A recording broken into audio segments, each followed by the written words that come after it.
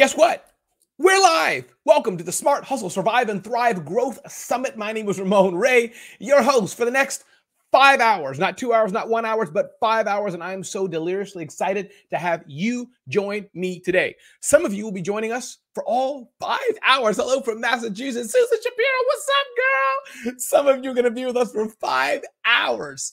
Some of you will be in here for two minutes. Some of you will be in here for an hour. Some of you will be watching this in the replay. We are so glad you're here. This whole event is all about one thing and one thing alone, and that's you. And that's specifically focused on how to help you grow your solo business. And by solo business, I want to be very clear from the front. Solo business means A, you're literally a solo individual. It's just you. And hopefully by the end of tonight's discussion, you'll realize that it's not so great to be just just you. You should get a little bit of help, no matter how you may consider that help is an executive assistant, an online business uh, coach, or however it may be to help you. But one other person that can kind of help you a little bit, and you're not paying them full time like an employee. But that's what we mean by solo. Either just you or like me, it's Smart Hustle. We have a small ninja ninja team and with that i really want to thank everybody that's helped make this event possible and i must say many of you see the face of ramon ray but hey there's a lot more to Ramon Ray than just Ramon Ray. And keep sending the hellos, keep sending the comments in. We got a few minutes of introduction, so love seeing it. Cal, what's up? So glad you're here. Pump for part two. Love the one this morning. I'm so glad you're here, Cal, with us today. Big thanks to Jamie Thank you, Jamie, for being an amazing, an amazing COO, executive assistant, project manager, online business chief, muckety muckety officer, however you want to call it, Jamie. But thank you for being the wind that really drives and helps me uh, produce all things Smart Hustle, Jamie.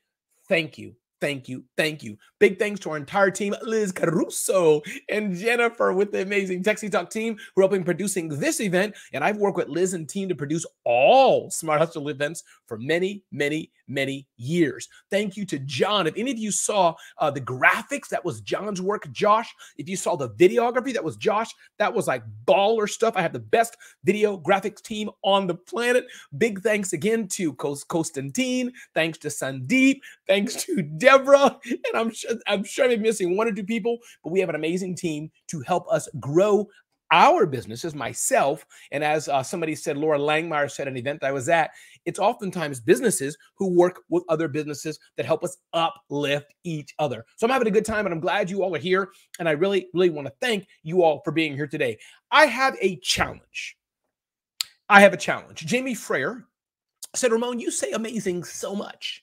So as of right now, for 2 p.m., we're going to have a contest. And we're going to run that, reveal that contest tomorrow evening or maybe we'll have reveal it Friday morning. You're going to guess by the end of the night how many times Ramon has said the word amazing. We're going to see how many times that you think I say it. The one who gets closer to that, I will send them a cool Smart Hustle gift box. That's what I'm going to do. Probably send you my book that I'm going to unveil soon and some other goodies that we'll send as well. So who can now, how many times Ramon is going to say the word amazing tonight or some version of that? Tara, what's up, Clubhouse Queen? So glad you're here today. Greetings from the Windy City, Chicago, indeed. And by the way, those of you hearing the sound of my voice on Facebook, Thomas, what's up, brother from another mother? Don't forget, go to streamyard.com slash Facebook. Hey, Udine, so glad you're here. Streamyard.com slash Facebook StreamYard.com slash Facebook to seal the integration between StreamYard and Facebook so we can see who's chatting and who's doing that. We'd love to say hi to you for sure. And while we're at it, we're going to have some fun right now. Blow up the chats. Let me go over to the chat section. I think I can. Oh, yes, the comments are here. Yeah. Where are you from? What's your business about? Who do you serve? Let's blow up those chats right now for a few minutes. And don't forget to do the integration, especially those of you on Facebook. Go to streamyard.com slash Facebook so we can then see who you are, or you can just type your name at the end of it. But again, Tara's here and Udine is here. Thomas is here. Cal is here. Susan was like one of the first person to greet me and say hello. And I see a lot of excited to be here. So make sure you put your name at the end so I can call your name out because I can't see it. I enhance your operations efficiency so you can be more productive. That's Susan Shapiro Awesome. Jennifer says, Hi, Ramon, tuning in from sunny Cleveland, Ohio. Awesome, awesome, awesome. The state of my birth. Collaboration expert, another Facebook user. Don't forget to get that integration done. We have people from all over the place. Let's pack the house. You know it. Absolutely, absolutely. So I'm glad that you all are having a good time. Accounting and bookkeeping, absolutely. Bonjour, Tara. Why do we always say bonjour to Canadians? I don't know. Uh, in New Hampshire, accounting and bookkeeping for sure. Accounting and bookkeeping is so important. And on and on and on. The room is blowing up. Lori, hey, hello, Ramon, tuning in from Savannah, Georgia. Lori, we are so glad you're here at the Survive and Thrive five hour live experience, all to help you grow your business. And I don't know why I'm screaming. I have a microphone right here. I just get so excited. And not a hi, Ramon. Thank you so much, Jennifer, tax accountant. Thanks for being here, Jennifer. So appreciate you. Accountants are so important. And my man Thomas, Charlotte, North Carolina. It's 75 and sunny today fractional CMO, marketing consultant. Thomas, it's good hanging with you at Traffic Conversion and other places. We're so glad that you are here today. So, listen, we're going to have a good time today. Orlando floaters in the house. Keep the comments coming. Keep the comments coming. And for another few minutes, for sure. Love seeing him. It encourages me and inspires me to keep going. Before we begin the uh, event today, wait a minute. I got to stop. Joel Z is in the house. My brother from another brother, brother my brother from another mother, extraordinary musician and extraordinary in so many other areas. Joe, I love you, man. It's so good to see you here. I'm warmed that you're here. And Udine, I didn't know Trinidad and Tobago as well. So keep the comments coming. We'll flash them on the screen, but I'll take five minutes and in a minute I'll share the story of really why we're here today. For those of you launching live, listening live, and for those who'll be listening after, it's important to set the stage of why we're here, why I'm doing this what brings us together from all over the world. Hello from Nashville, Monica Ricci. What's up, Monica? From Nashville. It's so good to see you here, Monica. And again, those joining, don't forget, go to streamyard.com slash Facebook to tie that integration so that we can see your beautiful faces and smiles and all that as you join. I am doing fantastic. Definitely, Facebook is in the house. So, why are we doing what we're doing. Why are we doing, especially survive and thrive? I will tell you a story. In March 2020, when COVID happened, as it were, I'm not talking about the months before or from Asia or wherever it came from, anything like that. No, but meaning in the USA, where President Trump at the time, where he was like, Ramon, or he was like, world, we're shutting down America. We're going to close things down. I was thinking, what am I going to do? What am I going to do? My livelihood's largely a part of flying around the world, inspiring and educating small business owners to start and grow small businesses. This is what I do. By the way, anybody wants me to fly somewhere and speak at their event, just email me and let me know, DM me and let me know that you want me to speak somewhere. I would love to serve you anywhere in the USA. Ramon at smarthustle.com. So I was thinking, what am I going to do? How am I going to serve people around the world? How am I going to make an impact? if I can't travel? How am I going to pay my rent? How am I going to pay my mortgage? How am I going to buy gas or food? And so I was sitting there thinking, I went to a Wednesday night Bible study and I said, you know what? I prayed and I was inspired. I said, why don't I create something that's never been done before, quite like this? A five hour. And why do I always go like this five hour? Because five plus five is 10. Let me put a hand away. A five hour live experience. No tape, no recording. And many events are recorded. That's cool. But I wanted to do something different, a five hour live experience. And I did. And lo and behold, we're doing our fourth, I think it is, our fourth Survive and Thrive event. We've served thousands and thousands of people. This is what we do.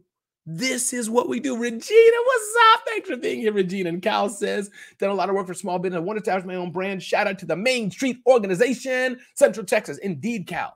So that's the genesis of this Survive and Thrive Summit. We've done it about once or twice a year. It's kind of crazy because it's all live. Some speakers can be on time, some speakers may be a little bit late. But this is why we do we do. And I'm just going to say right now, I'm going to talk about it later, but some of you are saying, Ramon, why do we see the Grow Your Solo one there as opposed to Smart Hustle? I'm going to be launching something brand new, still part of the Smart Hustle community. But Grow Your Solo is a new offering because people ask me all the time, Ramon, can you help us? Ramon, you talk all the time about things specifically for solo business owners. Can you help us? And I always say no, not in a mean way, but I say, no, I don't have anything for you. Go see somebody else. But I'm tired of that. And so that's why you'll see, and I'll dive into that in a bit in a minute. But that's why those of you want to peek, you can go right now to growyoursolo.com and check it out. It's a brand new offering, been working on for a while. Growyoursolo.com. And you'll see a brand new, and I'm going to launch it formally, but I just excited, a booklet and you're going to be getting the PDF and some other cool things that I'll talk about a little later on. But if you want to peek and check it out right now, growyoursolo.com, you'll see three things right there the book, a cool audio experience, and workbook is level two, and three, working with Ramon. And that's brand new. So get ready, working with Ramon. So let me move on. Thank you so much, Lisa. And I always love to look at the comments as I go along. Lisa, thank you for your kind words. Thank you, Carl, and so many others. Lisa, I appreciate that. Love the name, Grow Your Solo. Thank you, Lisa. I do too. It's pretty cool. The hustle is not a hassle. Proven results live now.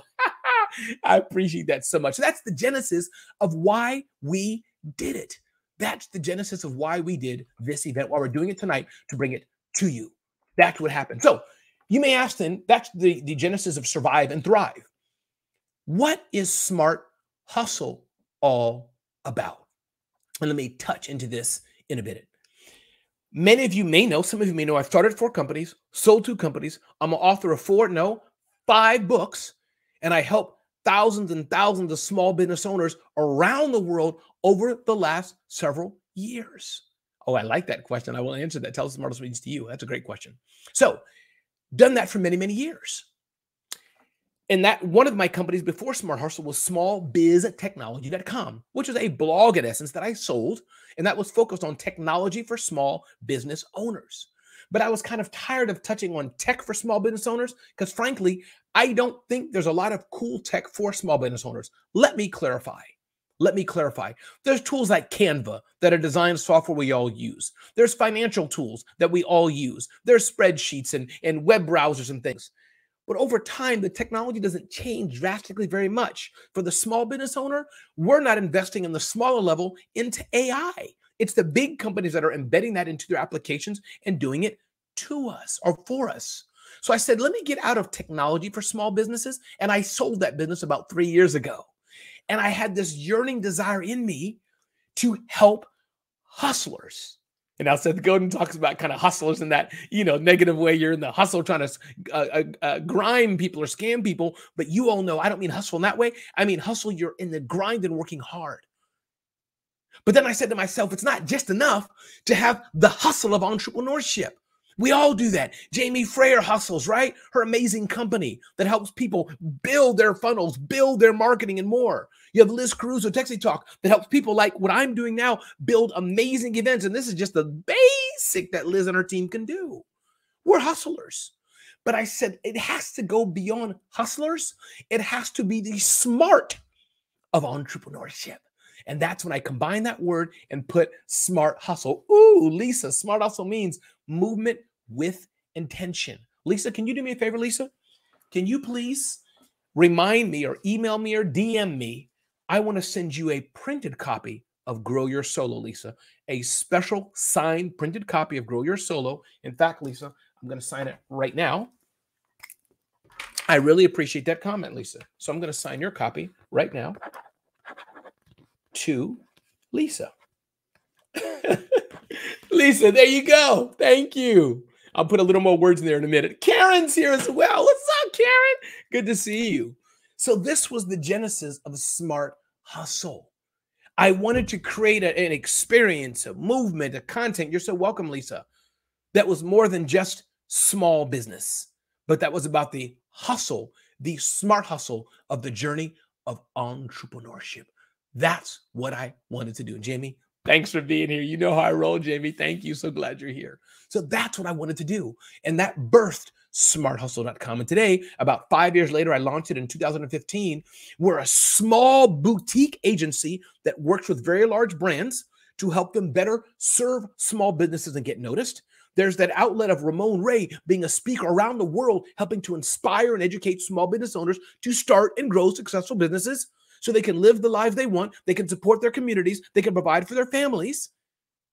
And now we have launching Grow Your Solo, part of the Smart Hustle family, Grow Your Solo, which is content specifically designed, premium content that you can invest in yourself into to grow your business. That's the power of Grow Your Solo. And I encourage you, let me stop putting this book down. I encourage you to definitely check out Grow Your Solo uh, to download the PDF get the ebook experience.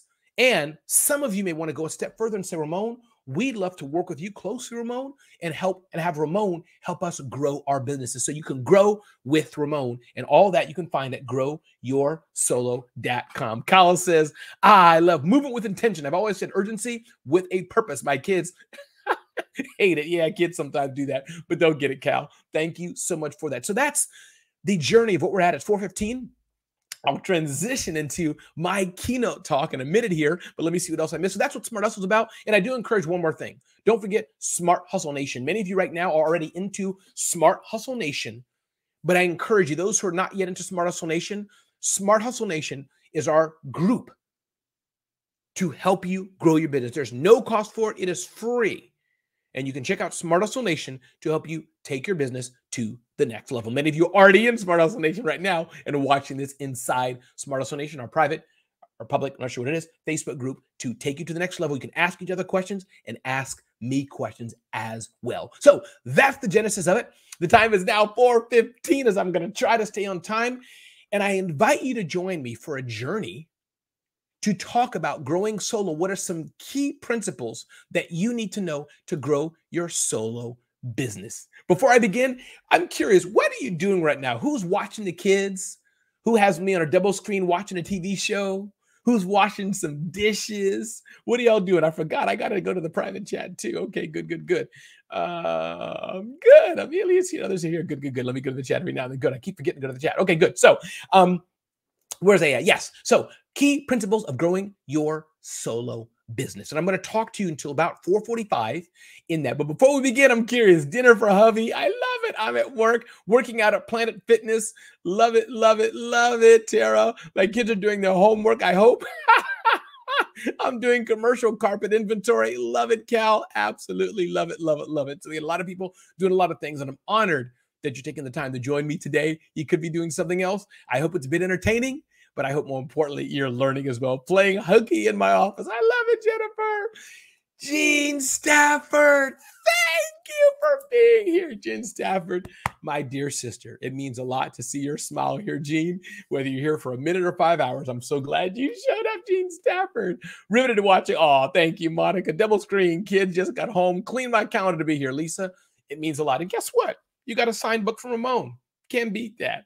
So let's dive into what it means to grow your solo business. And I'm taking it from the pages of my new book. It's not a big, thick book because a lot of things that we small businesses need for success don't need to be thick. But I took the time to put it in these pages, and there's an audio experience. The audio experience is freaking cool. That's something you want to watch and listen on the plane as you're driving, whatever, the audio experience. But I want to walk you through what it means to grow your solo business. Thomas is in his office while waiting. We're writing an employer employer branding uh, plan for a client. Thank you, Thomas, for being here. It means a lot to me. Time is important. So let's go through the Grow Your Solo playbook and what it means to take your business to the next level in the time we have. First thing I think that's really, really important, very important, in fact, is to ask yourself, why are you in business? You may have heard this many times before. Why am I in business? Ramon, we know this. But I think sometimes we forget, and there's two principles to ask why are we in business? One principle what are you running from? Some of you may not, but I've been running for some things, and I'll share with you in a minute. Or what are you running towards? And there's things I am running towards. Why are you in business? Wow, thank you, production team, Texie Talk, for having that the lower third. That's so cool. So why are you in business? For me, I remember when I was fired from the United Nations for having my own business. Why are you in business? What are you running from? And I was working at a company. United Nations is a great organization, but I realized that my wife will tell you a traditional job is just not a fit for me. It's just not a fit for me. Making sure no fires, looking at my phone here, making sure everything's okay. Good. So it wasn't a fit. So, one thing I'm running from is I want to have economic and entrepreneurial independence to run my business as I want, to work with who I want Jamie, Liz, Jennifer, John, Josh, Konstantin, Sandeep, our little ninja team at Smart Hustle, to work with who I want, and more importantly, to serve who I want, how I want. It's a choice. This is why I do what I do. And I must say, I love serving you all. As I scroll through the names here Gene Stafford and Thomas and Lisa and Monica, many who are in the Breakfast with Champions community that I've met recently. And we'll have a member of those communities in a few minutes coming on board. But I've met many people and I love the service that I'm doing. Thank you, Tara. I appreciate it. I love it. Nothing like being on a stage to light me up, serving thousands where I've spoken in auditoriums across the world, or sitting at a coffee table and just pouring into three people, or having people pour into me. So that's my why. This is why I do what I do. And it's important to know why you do what you do because when times get tough, it's important. So let me tell you what I'm running towards. And thank you, Jennifer. Your servant I was evident this past weekend. Jennifer, I appreciate that. Thank you. Thank you. Thank you. So that's what I'm running away from. I, I don't want a necessarily a traditional corporate job. I don't want that. I want the freedom and independence that I have. And I'll say Jamie Frere the same way. Jamie knows, you know what I love? I love when Jamie says, like, Ramon, it's Friday or Thursday, whatever day she wants. I'm checking out. I'll see you, dude. I'll be gone for three days. Goodbye in a good way. That's cool because she knows what she has to do. I know what I have to do. I love it. This is why we do what we do to live the lives we want. This is why we do it. So that's what I'm running away from. But let me tell you what I'm running towards.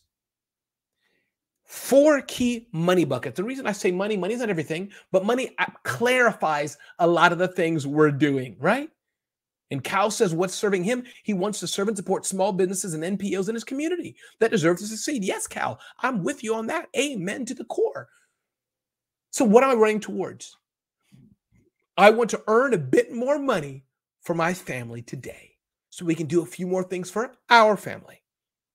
Two, I want to earn a bit more for retirement. Scott Simon and so many other people, Brian Hess, I've learned from over the years, over the last few months on Clubhouse, especially, talk about this. Earn for from retirement. So me and my wife, we're oh, old and can't work anymore. We just want to have fun. We can do some more things, right?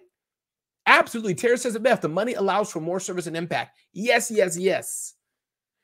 Point number three I want to have more money to give to my kids. When I'm when I'm when they're at now or when I'm older, whatever it is, I want to be able to give my children a legacy. But the fourth point, the fourth point is the bigger reason why I want to do what I'm doing. The fourth reason I want to be able to have wealth to give to others. Everybody's not cut out to go through the pain, suffering, and misery, what it takes to be an entrepreneur, to be a small business owner, and build wealth. That's not for everybody per se. That's not, and that's not bad. But I want to be in a position where I can tell somebody, you know what? I got you. I'm paying three months' rent. It's okay. I got you. I'm paying a year car payments off. That's what I want to do. Tara, I love it. Amen. That's right, Tara. I'm a business to have freedom to work. I love that. You have the freedom to make unlimited income. Love it. Also to help young women around the world to be independent and financial literacy. It doesn't matter what the situation is. As a teenage mom, I want to give them hope. And I'm reading from the screen. That's a beautiful share. I love that. Yes. So, this is tip number one of what it takes to grow your solo business. Know why you're doing it. Yes, you're doing it for some money, for sure, but there has to be something that often, for me at least, my experience, that I'm running from, what I don't want to go back to, and something that I'm running towards. It excites me to go to a restaurant and, by God's grace and humility, to tip somebody $100, $500, $1,000, $20. It excites me to go to a shop or at my local store and be able to stand in line and quietly tell somebody, I'll pay your groceries especially when they're older, maybe living on Social Security. That's what excites me. And I know I can do that. If I serve you all, you all will vote for Ramon, as it were, not only with your attention, not only with your likes and feedback, following me on Instagram and Clubhouse and all these things, but you also vote for me by, by you have to invest in somebody to help grow your business. Why not me? So, grow your solo is an extension of that. Let me dive deep and to help the smallest of small businesses on the journey that I've been at. Thank you for saying about the mentorship. Thank you, thank you, thank you. And I see I'm starting a business to help people with anxiety to overcome it. Woo, I love that. Anxiety is a powerful uh, a, a challenge for many people. So that's tip number one. Let me keep moving along here. Understand why you are in business. Second thing to consider is your mind set for business. Do you have what it takes to have the mind set for business? I love those lower thirds. And again, Tara, I love what you're saying. That changes someone's life and it ripples. Absolutely, Tara. So, a mindset here's what I mean by mindset. As I look through the Grow Your Solo booklet, right? As I look through the booklet here, I think it's in the table of contents here. It may not be in the right order here. So, uh, but mindset for business, yeah. So these things are there. Be physically and mentally healthy, it says here. Invest in business self development, right? All these things are here. And again, the audio version's available. You have the uh, PDF versions available. Or some of you may say, Ramon, we want to grow with you, Ramon. We want to join you and have you help us grow our businesses. And you can find all of that at growyoursolo.com. So the second thing is, do you have the mindset? The mindset. What does that mean? Most often, especially as you're starting out, business is going to be filled with a lot of no's. A lot of no's. Steve Harvey talks about in his journey. I'm sure Glenn is going to come up here, talks about his journey. Amilya, right? Brian Hess, Sara McCord, Scott Simons, Coach Isaac, right? Julia Pimsleur.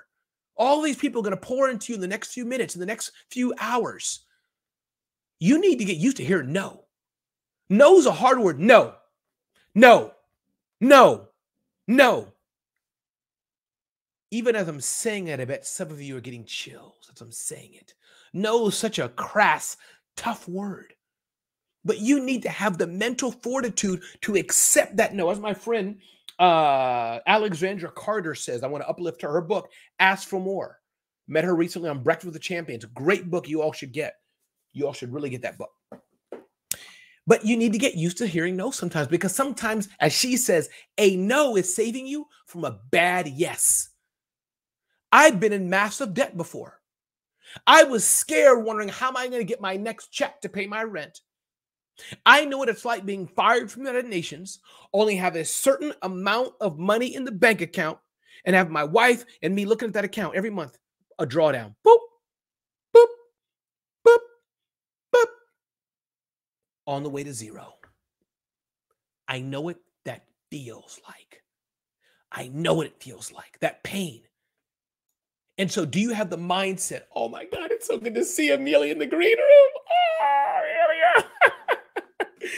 Boy, thank you, Billy, for being here. So my point is, is that do you know what it takes? Do you have what it takes? Do you have it? And some of you, I must say, I'm not saying it in a bad way per se, but some of you may not, should not be in business. Some of you should hold your head high and get a great job and go serve that way by working for someone. Maybe you want to work at one of Car Simon's dealerships, Carter Myers Automotive. Maybe Amilya's hiring people for her team. Maybe Glenn's hiring people for her team. Maybe Sara is. Maybe Coach Isaac, whoever may be joining us today. Maybe Liz is hiring. No shame in that because it takes a certain mindset to do it. It takes a certain mindset because you can't successfully grow your solo business, right? Hard to grow your solo business if your mindset's not in the right place. You're right, Lisa saving from a bad yes. And Tara, I got that from Alexandra Carter. so I give her credit for that for sure. So let's move on here.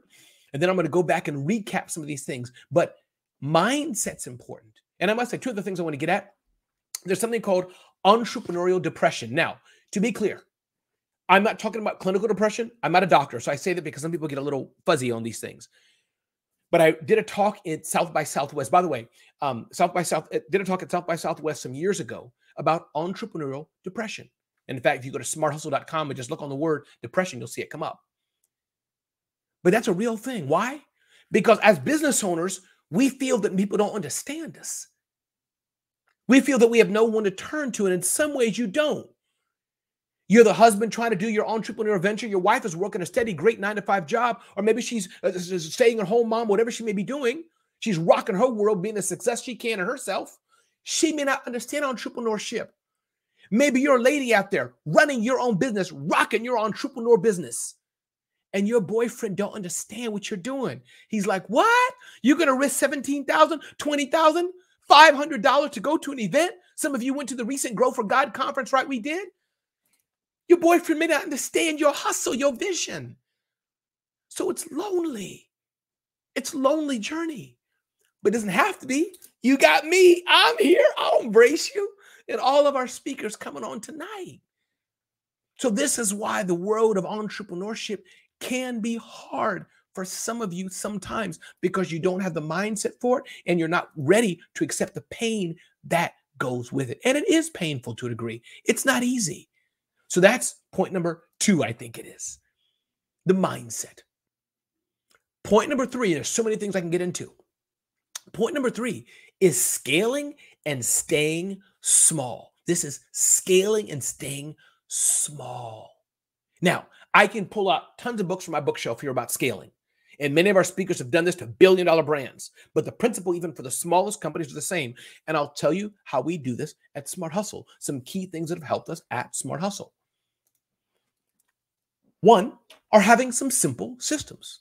And this is what Jamie has honed into me over and over again. That's not my skill set naturally. I'm just like fire, ready, aim. But you got to have some repeatable systems so that you can remove yourself from the job and other people can fill in and do it. Repeatable systems, even for small companies. What happens when you get a new client? You get a new client, you add them to your, your, your CRM or whatever system. You maybe have an onboarding call, right? You send maybe a thank you note to thank you for hiring them. Maybe two months later, you do follow up, and then maybe you send them a thank you gift. Whatever it is, simple systems. Interior Terry, you're right, simple systems. Doesn't have to be complicated, but it should be documented, something that you can do. Big thanks to our sponsor, Thryv, who's going to be talking to us a bit all about systems or other things we'll talk about, but systems are important and make sure you have the right software to do it. So, what are your simple systems in your business? By the way, if so far you're picking up what I'm dropping off, you are learning from this, can you put yes in the comments? And I know Tara's doing it and Lisa, but put yes in the comments if you're picking up what I'm dropping off. And let me um, see here. One is here. Good, good, good, good, good, good.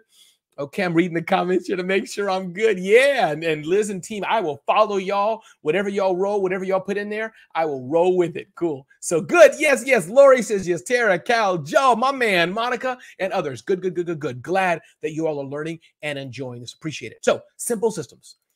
Number two, thank you. This is amazing. And I get this from Jim Collins.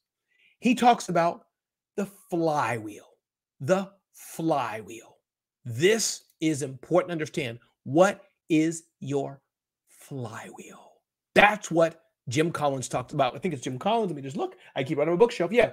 Jim Collins talked about his monograph, Flywheel. Okay. Why is flywheel important? Flywheel are one of those repeatable things that you do that make your business work. Thomas, thanks. Totally following you. Cool.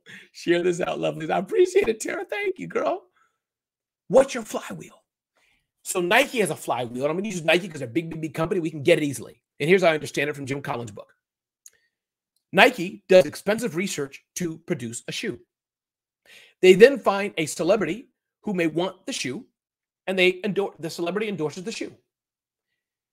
After the celebrity endorses the shoe, it has a huge surge of interest from other people. After this huge surge of interest from other people, the price lowers a bit, and Nike does it again. They invest money to create a cool, fancy, high-end shoe. Celebrity endorses it, millions of people buy it, and they do it again and again and again. This is Nike's flywheel. This is Nike's flywheel. So the question I have to ask you and ask for yourself, what's your flywheel?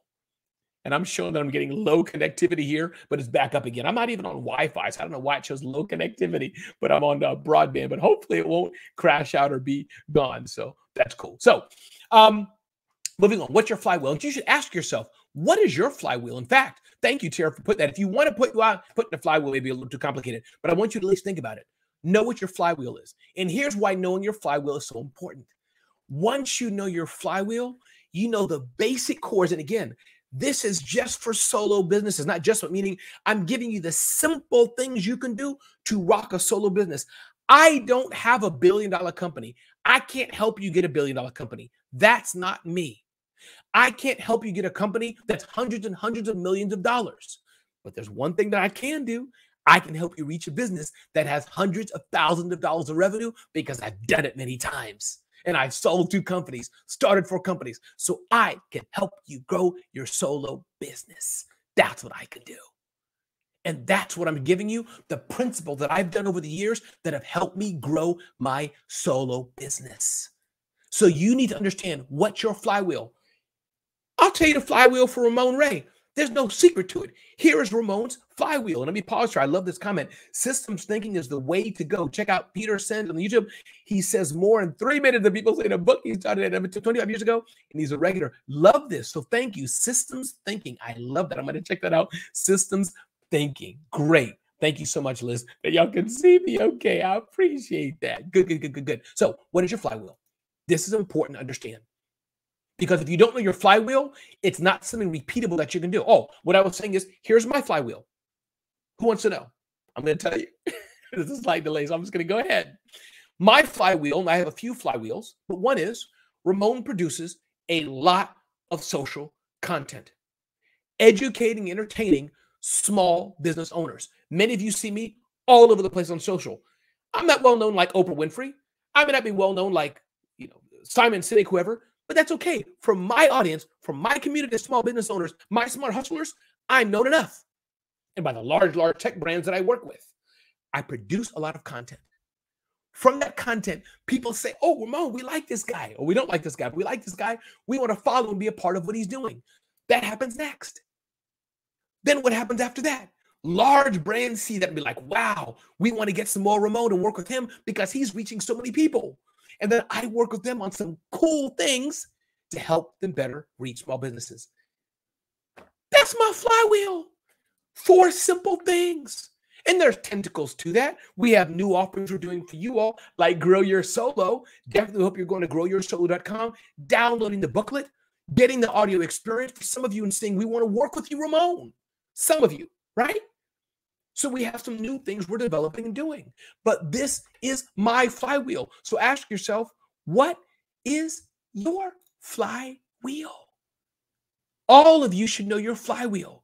And if that's something you're struggling with, let me help you do it. In fact, you can post it in Smart Hustle Nation. Why don't we do actually why don't we do that? I'll look at it tonight and tomorrow.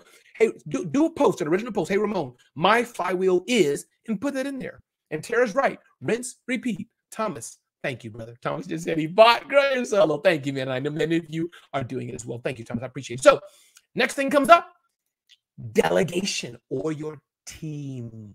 This is important. Now, it may be ironic for you to say, wow, Ramon, you're talking about grow your solo, but now you just said to have a team. Well, here's what I mean. When I say grow your solo, what I mean is you don't have to have a 25 person company with 24 employees. But the delegation and team aspect as what has been able to 10x, 5x, triple X Ramon Ray's brand. I'm one person. And I know by God's grace, by God's grace, what I'm good at. I'm good at probably two things, maybe more, but two things. One, I do like to sell. And part of selling, what that really is, my ability just to connect to people. If it's not for you, that's okay. But if it's for you, I'll show you how what I'm whatever I'm selling can benefit you and help you. So that's one, connecting with people. And then two is I like sharing on the, on the public stage, entertaining, being engaging, and connecting with people in that way. So maybe that's really one thing. That's what I do. But everything else, I have people on my team who do it way better than me or who could do it faster than me, who they've given their life to do it, and so they can do it much more expertise. Take a look at this event. I'll just call it. I'm taking you behind the scenes to how we roll at Smart Hustle. Can I use StreamYard? Yes. Can I do graphics? Yes. Can I produce an event? Yes. Will the event come out busted? Yes. Will the graphics come out busted? Yes. Will it take me a longer time to do it? Yes. That's what I call Liz and her team. Done. Boom, boom, and bang. End the story. Can I do funnels? Can I do email marketing? Can I do websites? Can I do all kind of fancy integrations? Of course I can. I'm a techie to the core. But guess what? Jamie, my COO, my executive assistant, right? Online business manager, she can do it much faster than I can. That's her gift. That is her genius. Like Amilya, right? That's her genius. So as you up level and delegate and work with others, you'll find your business can go much better. I like that. You go, Jamie. That's true. So this is the power how you grow your solo business. Delegate, build a team. And I must say, we use technology up the wazoo. Task management systems, your calendar. In fact, some of the things I'm reading from Grow Your Solo, right? Grow Your Solo. Look at the table of contents here. If I can find it here, yeah. Delegate, Cash management, start the day right. Glenn Lundy's going to touch on this, right? And have some bonuses in here too. Your dream 100. Ooh, time is short. So I may go back to some of these things. Saying yes to publicity opportunities. This is the playbook to grow your solo business. There's the PDF, the audio experience. And some of you may say, Ramon, I want to work with you. I want to work with you and be able to ask you direct questions to help you grow your own solo business, to get you to the next level. This is what I want to do and help you for the next several months. I love this. I'm going to see what somebody's flywheel is. I'm just looking at the comments as well in the private chat to make sure nothing urgent that I need to know. So it says, my flywheel is the original meaning of beauty. Ooh, beauty going back to Plato is about you, the person. Beauty is the act of responding to your own calling. I'm trying to listen to what my heart is saying. Whispering is okay. So let me tell you this whoever said this, your flywheel, thank you so much for being bold enough to publicly share your flywheel. Let me help you tweak that a minute if I may live. This is a good start to helping to define your flywheel. But as I hear it, and I could be wrong, as I hear it, this seems more like your purpose, what gets you excited, what you're really helping people do. What I want to see is now what are those things you do over and over and over again that make the business run? You feel me? So, the beauty person in here, feel free to refine that and send that to me and let's see how that looks. Okay, somebody's telling me, Ramon, the video quality is getting lower and lower. So, team, let me know if that's like really bad on there. I do see that. I am on a hardwired connection, but if it gets really bad, we'll just come back into the I think of a jiggy. But um, Okay, so is it still bad, ladies and gentlemen? I'm showing high bars. Let me pause here for a minute with the team and just make sure we're serving you all well. Let me know how it's going. I don't have any Wi Fi at all. In fact, I'm on a hardwired connection, but you know how things go. So is this okay now? Um, can you guys uh, hear this okay? It freezes. Ooh, you keep cutting out. Ay, ay, ay, ay, ay. All right, I'm going to keep rolling. But if I see Jamie call me, that means that like it's a nuclear war. So it may keep coming out for a bit. Um, sorry about that. I am on a hardwired connection, but it is what it is. So thanks, Brian. We're good now, but I'm going to keep going and it may cut out every now and then. You know what I think? I think there's forces who don't want us to grow our solo business. That's what they're doing. All right. So let me keep rolling here and see how we go. So that was delegation your team. That's so important. And the fourth thing, and there's so many things we can talk about, but the fourth thing is this a maniacal focus on your customers, a maniacal focus on your customers. It may sound simple and cheesy, but you're asking what's the number one thing that has helped me grow my business, to grow my solo business? It's been a maniacal focus on my customers. So, one of my customers is a large telecommunication company. They said, Ramon, can you do a webinar today which ends at three? That's one hour before showtime, serving all of you. Guess what I said? Now, the team and I were cautious about it. 3 p.m. is cutting it close to game time. But I said, yes, they're a long-time customer. They've invested a lot in me to enable me to invest in you. So I said, yes. When it comes time for the holidays, you know what I did? I bought, I think, 20 or 30 customized cutting boards last year 30 cost me about $100 each for my customers, especially my large tech customers. You know, I have a lot of different types of customers, but for the large tech brands that are investing a lot of Ramon, I sent each of them a personalized cutting board with the name on it, right? I mean, wouldn't you like that? It says Amilya on a cutting board next time you chop it up some meat, or it says Hess on a cutting board next time you chop it up some broccoli. That's what I did. So my point is a maniacal focus on customers. If you do that, you cannot lose if you're maniacally focused on your customers. This is what it takes to build and grow a solo business. The time is now four, it's 44. So I'm going to take a little, not a break here, but I want to get some time to pause and reflect and I know you all heard this chopping broccoli maniacal focus. Again, I'm Ramon Ray. Those of you who want to get more of this solo stuff, definitely check out growyoursolo.com. Definitely download the booklet. Get the audio experience. Little click a little bonus there, audio experience, a workbook. This is the playbook that you can use to take your business to the next level. And some of you may want to say, Ramon, I want to work with you too. I want to work with you, Ramon. And that's cool too. So, hey, if you like what you're seeing, you see what it is. I'd love to uh, work more with you. So, that's the steps to grow your solo business to take it to the next level. This is the five hour Survive and Thrive Summit. We are four hours and 45 minutes into it. I've been having a good time. You've been having a good time. I'm getting the DMs, the dings. People are signing on. It's, it's a great experience. We're to have people even listening to it uh, uh, after this, but I'm so glad that many of you have decided to join me for as long as you can on here. Tara, it's been great to see your words of encouragement. Regina, Thomas, Joel, Brian, coming up soon. Susan, thank you so much. And so many others have been here throughout the day today. Lori, many others, as I scroll back, really appreciate you here, and I'm glad it's helpful for you. So we have coming up next, in the next yeah, one minute or about now. Grant Freeman of Thryv is coming up, and I think he's ready because I didn't hear anything in the negative. So, whenever Grant is here, what's up, man?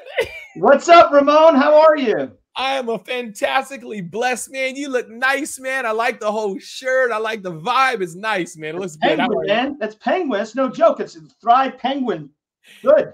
I love it. I love it. I love it. Where are you um uh, uh beaming in from? From uh from from Austin, from Iraq, nope. from Netherlands? Where are you from? Where are you beaming in from? I'm from Atlanta, where it's not too hot right now, but I'm I'm I'm in the south. Uh, I'm in Atlanta, Georgia, sir.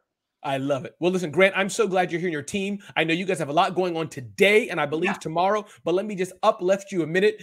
Grant Freeman is the Chief Customer Officer at Thryv. His primary focus, besides hanging out with Ramon Ray, is accelerating revenue growth for the cloud division. Grant is responsible for software sales teams and client, I like this word, Grant, experience, in addition to retention and so much more for Thryv's software clients. And actually, that's all of you. So he serves, he works for you. So this is great, Grant, to have you here today. Grant, I'm excited to talk to you. You have a conference coming up now, which I had the pleasure of keynoting earlier this morning, I believe it was Connect 21. Tell us about that. Why people should be logging in right now, signing in to join the rest of it tomorrow, Grant. Talk to us about that. Yeah, absolutely. And first of all, Ramon, thank you for kicking off the conference this morning, man. Your opening keynote. This guy's a keynote speaker, in case you didn't know. His energy, his passion, it got the conference started off on the right foot. So thank you, sir, first and foremost. Secondly, you ask about why people should tune in. We have dedicated our lives to helping small businesses not only succeed, but to thrive. There's going to be so much packed, uh, it's going to be tomorrow day packed with information uh, to just help small businesses, help them modernize, help them achieve their goals, their aspirations, their dreams. Talk about scalability, right? Like I heard you mention, I took some notes, sir, uh, systems and automation so you can achieve scalability. We're big time with our customers and entice our clients to do the same, being maniacal with their focus on the journey they put their customers through and delivering an exceptional experience. You're going to learn about all that. We also have industry leaders, sir, like Merrill Lynch, like MasterCard, sharing their knowledge on how to better manage your business, how to communicate with clients in the modern age, and most importantly, achieve financial success in today's digital environment. All big talking points, all things that small businesses need to learn, need to really understand. And then we also have some software sessions sessions to show uh, how our Thryv software can really help them achieve that as well. Getting back to what you were talking about, systems automation, so vital in this day and age. I love that, Grant. And to the people, the few people, hopefully, who are not familiar, well, in a way, a lot of people, because that means it's a big opportunity, however you want to look at it. Yeah. But the people who may not know about Thryv, unpack not so much Thryv, the software yet, but at a high level, talk to the small business owner you know, they got Google contacts, they got their email. They're doing as best they can. You know, they got some probably some business cards, you know, lined up around. The yep. customer oh, called yeah. them and said, "Come and mow my lawn or do my accounting." And they're, you know, you get this, this scenario. Good people. What what are what are they missing? And then get to Thryv specifically. What are they missing? Well, first of all, we really solve one of the problems that you just set forth, and that's that you got your email over here, you got your MailChimp over here, you got your text program over here. We're an all in one business solution for small businesses. And to make it really simple, Ramon, we help people win business, keep business, and grow their business. Those are the three things we do. Totally automating them and modernizing them. So things like having a fully functional CRM, having the ability to, to receive payments, having the ability to do estimates, invoices, having somebody manage your social, having a, a modern day website. You name it, Thryv has the power to really help you modernize your business be more efficient, and give you the opportunity to scale and grow like you wish that you could. I love it. And that is so important, especially for the smallest businesses, because I think, uh, Grant, you know, it's it's true every day, but I think today, if somebody's trying to do it all manual, you're already behind the eight ball. That's you know what I and, think. And, and Ramon, as you know, man, nothing's more difficult or frustrating than having different point solutions that don't talk to each other. So I got to enter this here and enter that there and that, and nothing's there's no cohesion. So it leads to a waste of time. And, and these small business owners, they're the CEO, the CRO, the CMO, every chief on their own. They don't have time to mess around. They need automation. They need things that sync and talk and communicate, you know? Absolutely. And that's and by the way, just for those who don't know, that is Thryv. We definitely want to look at Thryv Connect, but for sure, Thryv, I think, is the mothership T H R Y V. Yeah, we spelled, it, we spelled it wrong to be cool, baby. That's that's what we did. I love it. It wrong to be cool. I know a few things are important to you, uh, um, Grant, and feel free to take this conversation wherever you want to go. We don't have to go by some things I had on my mind. Feel free to throw that out. But I know one thing is hiring, and I think whether that's hiring on a contractor level is, is challenging, but definitely hiring on the employee level. Me and my wife were at a local restaurant down the block, and you're thinking you just read it in the newspaper. They said, no, we've shut down the front area. No one is here. All we have is one dude or one gal in the back. The line's like all the way to Kalamazoo. Talk to us about that, Grant. What are some tips? Why is this happening? Help us understand this. Yeah, so uh, I mean, this has been in the news a lot lately, and it's really impacting small businesses. I think there's two different things that are really important to consider here. Number one, it's the expectations of your customer. So the, to all the small business owners that I'm addressing right now, your customers, their expectations of you are not going to change whether you can hire or not. Right? It's a consumer-driven marketplace. They have choices. So that may sound scary, like Grant, Ramon, what am I supposed to do if I can't hire? Automation. You have to find systems and processes that allow something to act as if it's a secretary, as if it's a team. Like like Ramon, you spoke passionately about having a team.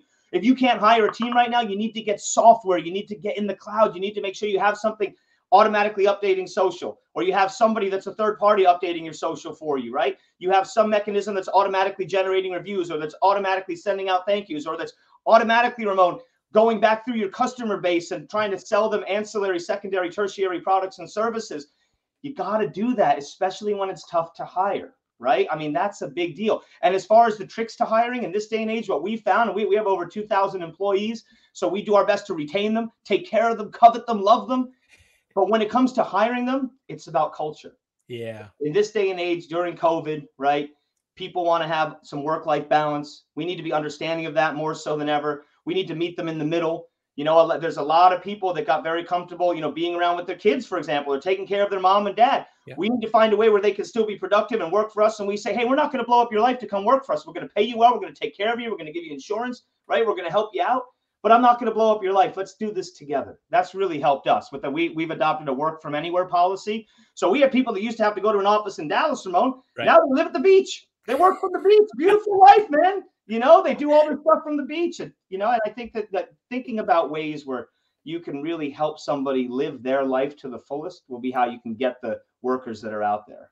I love that. And Tara says balance, which is so true, important. Grant, you said two words that are important. I want to, you know, uh, dive into that a bit more. Reviews and selling more, in essence, to your existing customers. That's so important. I mean, one, can you, as best you can, unpack reviews? A, are reviews complicated? There's Google and there's Yelp and there's all these kind of things. Do you ask for it? Do you wait? Do you do you manually give us a, if you can, like a little master class of reviews? Yeah, absolutely. I mean, look, um, you should be selective about who you ask a review from, right? Like if you if you have somebody that was screaming at you, I wouldn't send them an email asking for a review, right? Let's be smart about this. Let's be smart like big business, some kind of a vetting process. But also it has to be automated. Hmm. You know, you have to have your CRM, you have to know who your happy customers are, who your best customers are. And then you have to have a system that automatically sends them an email or sends them a text where they're one click away from leaving. It's all about simplicity. It's all about being easy to do business with and making it easy for people to help you. So an automated system, you can't just ask somebody for one. They, will say, yeah, absolutely, Ramon, and then they forget because life happens, right? You have to have an automated system that continues to remind them uh, about reviews, you know? And then the other thing that you mentioned, which is something I'm going to be speaking about tomorrow morning, uh, which I think people will get a lot of value from. Small businesses, and I've dedicated my life to them, Ramon. So 22 years, that's all I've done is help small businesses either get leads or modernize their systems, uh, automate, etc they're always chasing the next customer. Yeah. The focus is always on win a customer, win a customer, win a customer, win a customer. You know what the difference is between that and big business, the billion dollar businesses you alluded to? What the billion dollar businesses realize is it's so much more important to focus on keeping the customers once you yeah. get them to really get the highest yield from the dollar that you invested in order to win them from Google or from Facebook or wherever you paid to market or advertise yourself. You can't just serve them once. You got to keep them coming back. So you have to communicate effectively. You have to understand through having a detailed CRM what they like, what they don't like, and serve them that. And you you said it was amazing when you said um um how important it was to to really covet each client. Yes, yes. You know, with maniacal with, focus. Yes. Yes, sir. And and, and, and you took notes of my talk, Grant. I'm humbled. I'm blushing, man. I learn every day from everybody. I learned a lot from you today. It was fantastic. I always get on early. I respect people like you that help small businesses bring energy and passion and infuse it into the ladies and gentlemen that are on this call now. You, are really making a difference, Ramon, and, and we all appreciate it. No, I appreciate it, Grant. One more time, guys, just so everybody knows, this is Grant of Thryv. I do suggest you check them out, thryv.com. They have a live event happening uh, or an event happening t- uh, today and tomorrow. They've had it. Grant will be speaking tomorrow on some things. So definitely check that out. And I think you're right, Grant. What, what do you say to, I guess, is there anything that you find, Grant, why people are not getting some of these tools and services to help their businesses? Because I personally think, you know, as a technologist, the big, there's two big, two of the biggest competitors mm-hmm. that companies like yours face. One is doing nothing. That's I'm not being cute. That's a real thing. And then two is Excel. Great software, nothing nagging the, the publisher of it at all. Great people, but it's just Excel and doing nothing. Why? well, I, I, I, think there's a fear of change. And I think that there's, uh, unfortunately, sometimes there's a lot of peace that comes with complacency, right? Uh, people don't like to be disruptive. They don't want to have the who moved my cheese. But I'm going to tell you this to everybody listening we have we have about 45,000 software customers, small business customers across the country. So we're big, very big. And I can tell you this, they end up really really impacting the other people that do what they do in the same communities who haven't adopted tools, who haven't modernized. The consume it's a consumer driven marketplace more than ever. You have got to make yourself easy to do business with. Many people say, "I've been doing this 10 years, I'm fine. I've been doing this 15 years, I'm fine."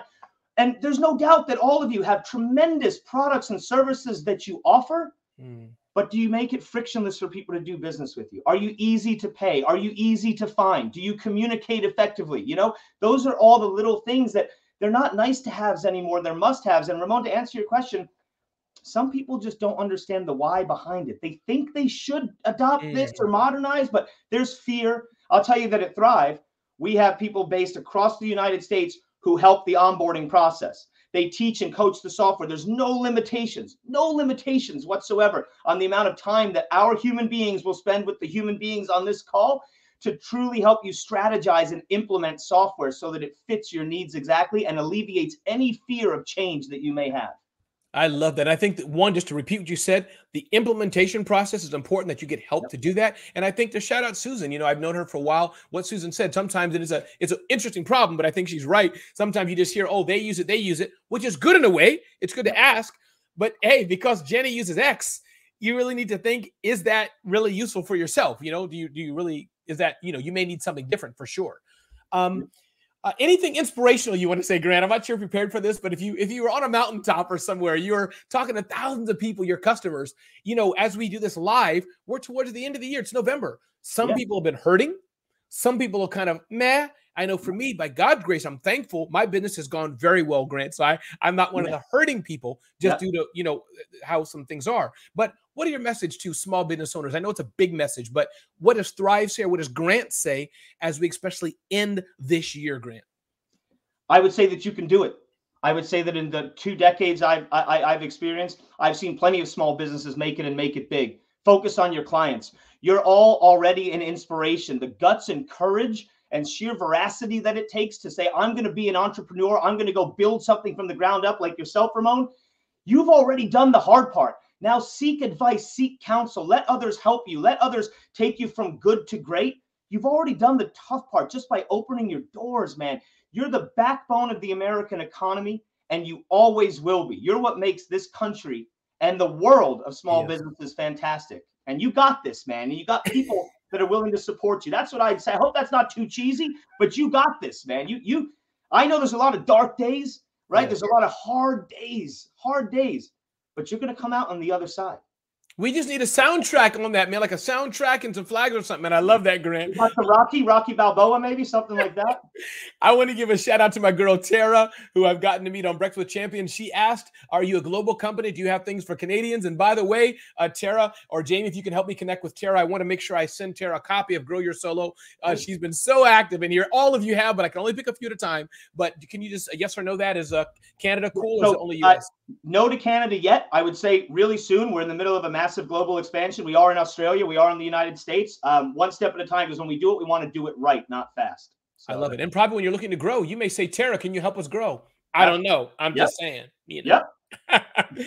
Grant Freeman of Thryv, thryv.com. It's been an honor and, and awesome you spending time with us today. Uh, those who are watching this live, definitely check out thryv.com. Definitely go to the Thryv conference, which took place today. I keynoted. I'm sure yep. that's up there. And then yep. tomorrow, Grant will be speaking. But Grant, reach out anytime. Hey, and, and oh, you know, let me give a challenge. I challenge everybody. What's the best platform for Thryv, Grant? Is it Twitter, Instagram? Any favorite? Do you know offhand anything? Uh, as as far as you know, where, where social about us. Yeah, like what I want people to do is take a selfie and then tweet at you or IG at you or oh, something. Oh man, we love Insta. We Let's do it. Insta, heck yeah. So those who want to take a selfie uh, and just say, hey, something, say hi to Thryv or something like this. I'm going to pick somebody out and I will send somebody another book of uh, Grow Your Solo. Jamie, thank you for your patience reminding me to do that. Grant, that's great. thank you for spending time with us today. Thank you, sir. Have a great day. Bye, everybody. Take care, brother. Appreciate it. Bye bye. Everybody, that was Grant Freeman. That was amazing, amazing, amazing talking about how we can grow our businesses using the power of CRM. And that was Thryv. And again, thanks for joining me at the Survive and Thrive Growth Conference. Yes, Regina, double fire. Absolutely. I am more excited than you can imagine at our next guest, my friend Amilya Antonetti, who I have followed. Amilya, who I have followed her career for years. Uh-oh. Um, yes, and that's a good way. Y'all ladies need to stop. That's a good compliment. And she was doing some things, if I can say it, on radio. She hasn't said it so much on radio even. And I would like listen. I was like, who is this chick? Who's this girl? So Amilya, thank you for being here. How are you? I'm doing great. Thank you for having me. I just I just love listening to your voice. I literally just walk around just listening to your voice. So thank you for having me. I'm so excited about being here. And I am just as passionate about you are about small business owners. It's a it's a it's an amazing opportunity right now. So I love that we're leaning in. Absolutely. Thank you, Amilya. Let me uplift you. If I get some of this wrong, you can correct me. But Amilya Antonetti is one of the most sought after human behavior and strategic advisor experts in the world. She's done so much. But what's really cool that you all will like, she has appeared as a regular business and behavior expert on the Oprah Winfrey Show, the Steve Harvey Show, my personal favorite guy who I can't wait to meet one day, and Dr. Phil. She's built billion dollar companies, sold billion dollar companies, and but her passion, I must say, over the last several months, especially getting to know her, is for us regular peeps. And she said yes to Ramon. so Amilya, thanks for joining us today. Let's get right together. we rise. I say this all the time. Together we rise. I love it, Amilya. Amilya, listen, I have a lot of questions to ask you, Amilya, for sure. But I think that I would like to give you space, if you don't mind, because you do this so well. Just talk to us, Amilya. You've been here for a bit. There's small business owners that are struggling. They're trying to grow. What's your advice, Amilya? What have you said in the last few months that you think everybody needs to hear? Because I know you dropped some amazing gems. Do you mind, Amilya, if I could just give you no, the space? I'll, the floor is yours. Talk I am so transparent. You know, so I think the first and foremost, what is really hard for all people, right, but especially small business owners, is that from where you are to where you desire to be, although we tell ourselves the myth, it's time, it's money, it's resources, it's all of these outside elements. It's really not What's between mm. you and where you want to go is a behavior.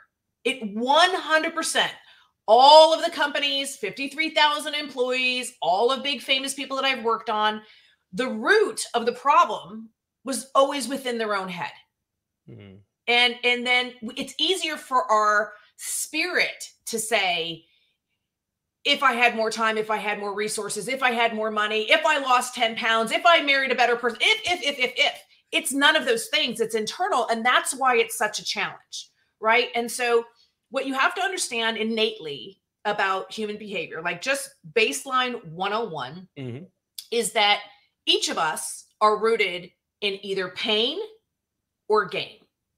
It's why most people avoid conflict like the plague because conflict is rooted in pain. That's really what we're saying. It's why we, you know, I do conflict resolution and people go, oh God, that stuff. And I'm like, not really. It's the biggest key to unlock everything, right? Is to get into a state of flow of like what's really going on in conflict.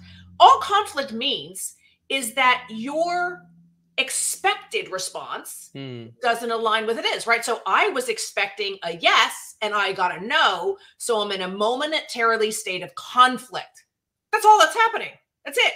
So the tool is to move from that to a gain. Now, some people are wired innately by gain. We Right. live in a state of gain, but that doesn't mean that you can't learn how to transform from one to another.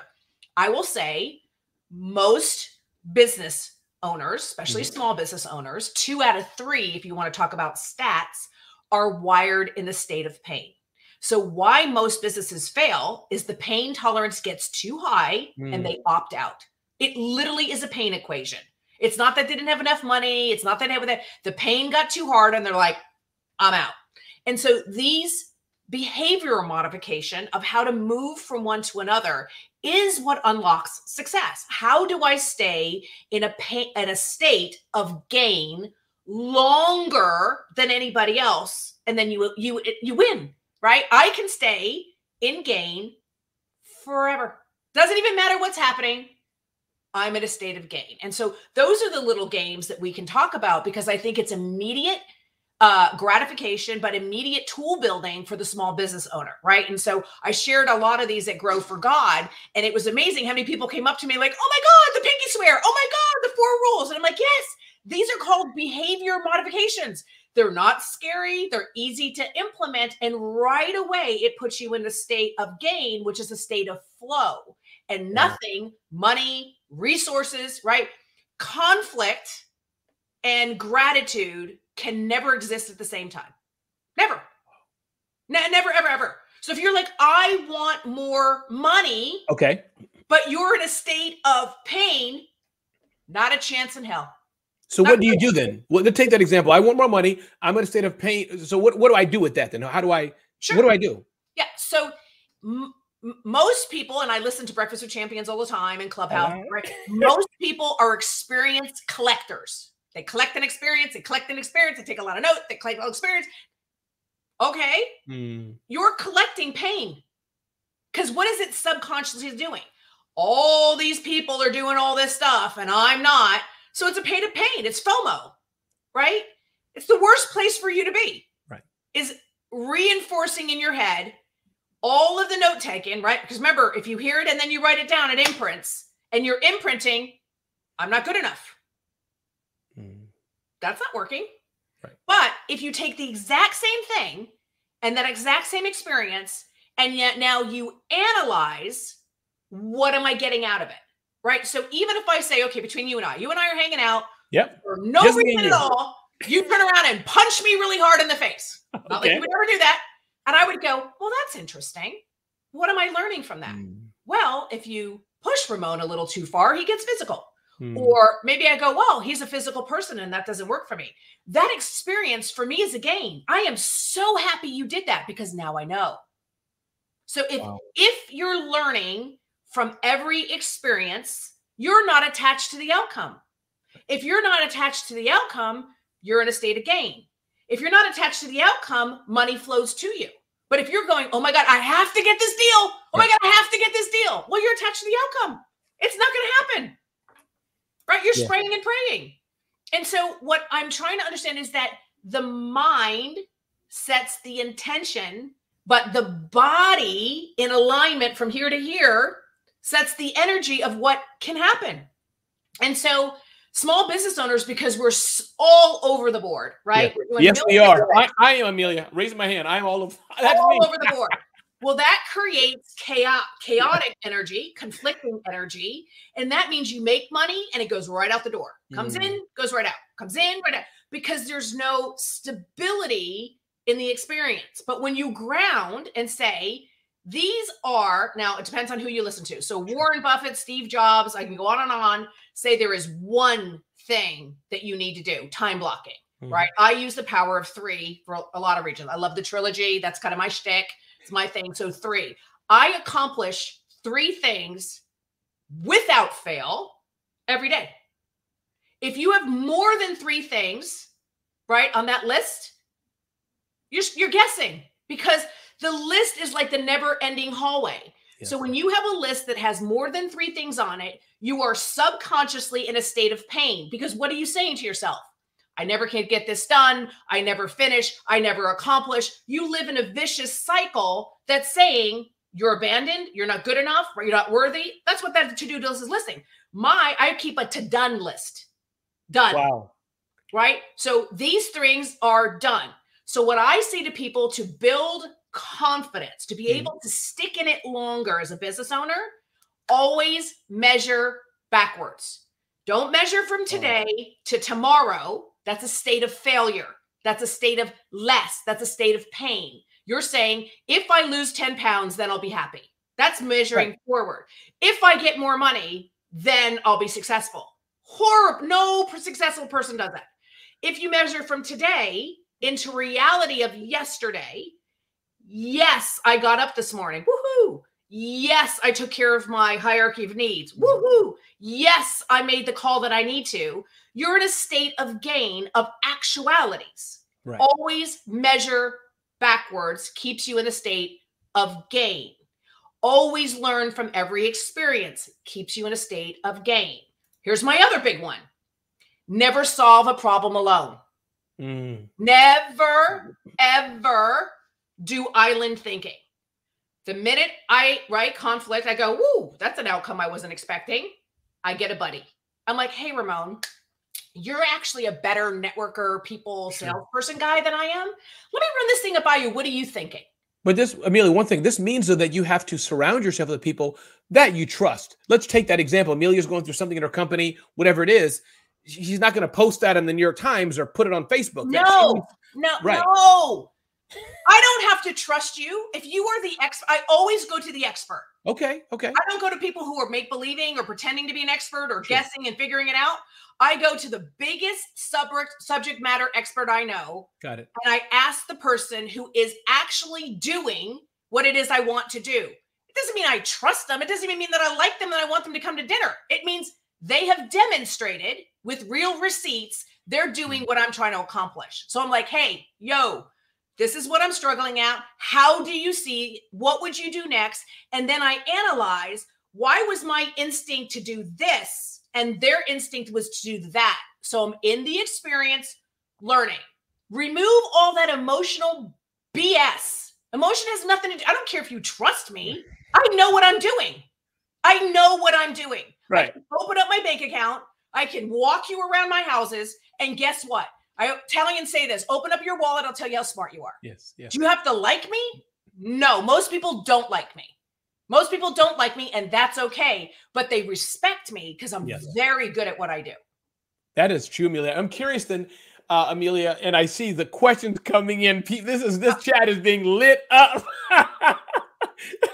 Somebody's like, I want to go to Amilya's home right now. Stop the conference room. Let me Come go on over. Right a lot of people have been here. A lot of people right. from Breakfast with Champions have been here. Yeah, so Amilya, indeed, that was a, that was a flying party. So indeed, listen, how do people start, Amilya? And I say this: talk to the Ramones of the world. I see my mm-hmm. friend uh, Tara's here. And you know Tara as well. Oh, you know the name. Love you know, Tara. she love knows, me some Tara. Yeah, yeah she, she knows these things. But Amilya, as you may get a sense, Ramon is that tactical, practical guy. I've only been newly, Amilya, introduced to this way of thinking largely because of Breakfast Champions. So my point being, talk to the person how we start, how we unlock, if this is relevant to it, yeah. our genius. Yeah. How we unlock this, those who are I love people like you. Okay. You. I love the tactical thinker, right? Because here, I'll fix this for you right now. Okay. Has it ever really been a tactic that stopped you from success? No. No. Because you can Google how to do anything.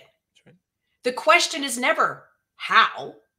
The question is always who. Mm. Who do you know who have demonstrated what it is that you're trying to do or that you're struggling with? Who do you know mm. that knows how? If you're asking how, you have already failed because you don't know how. Wow.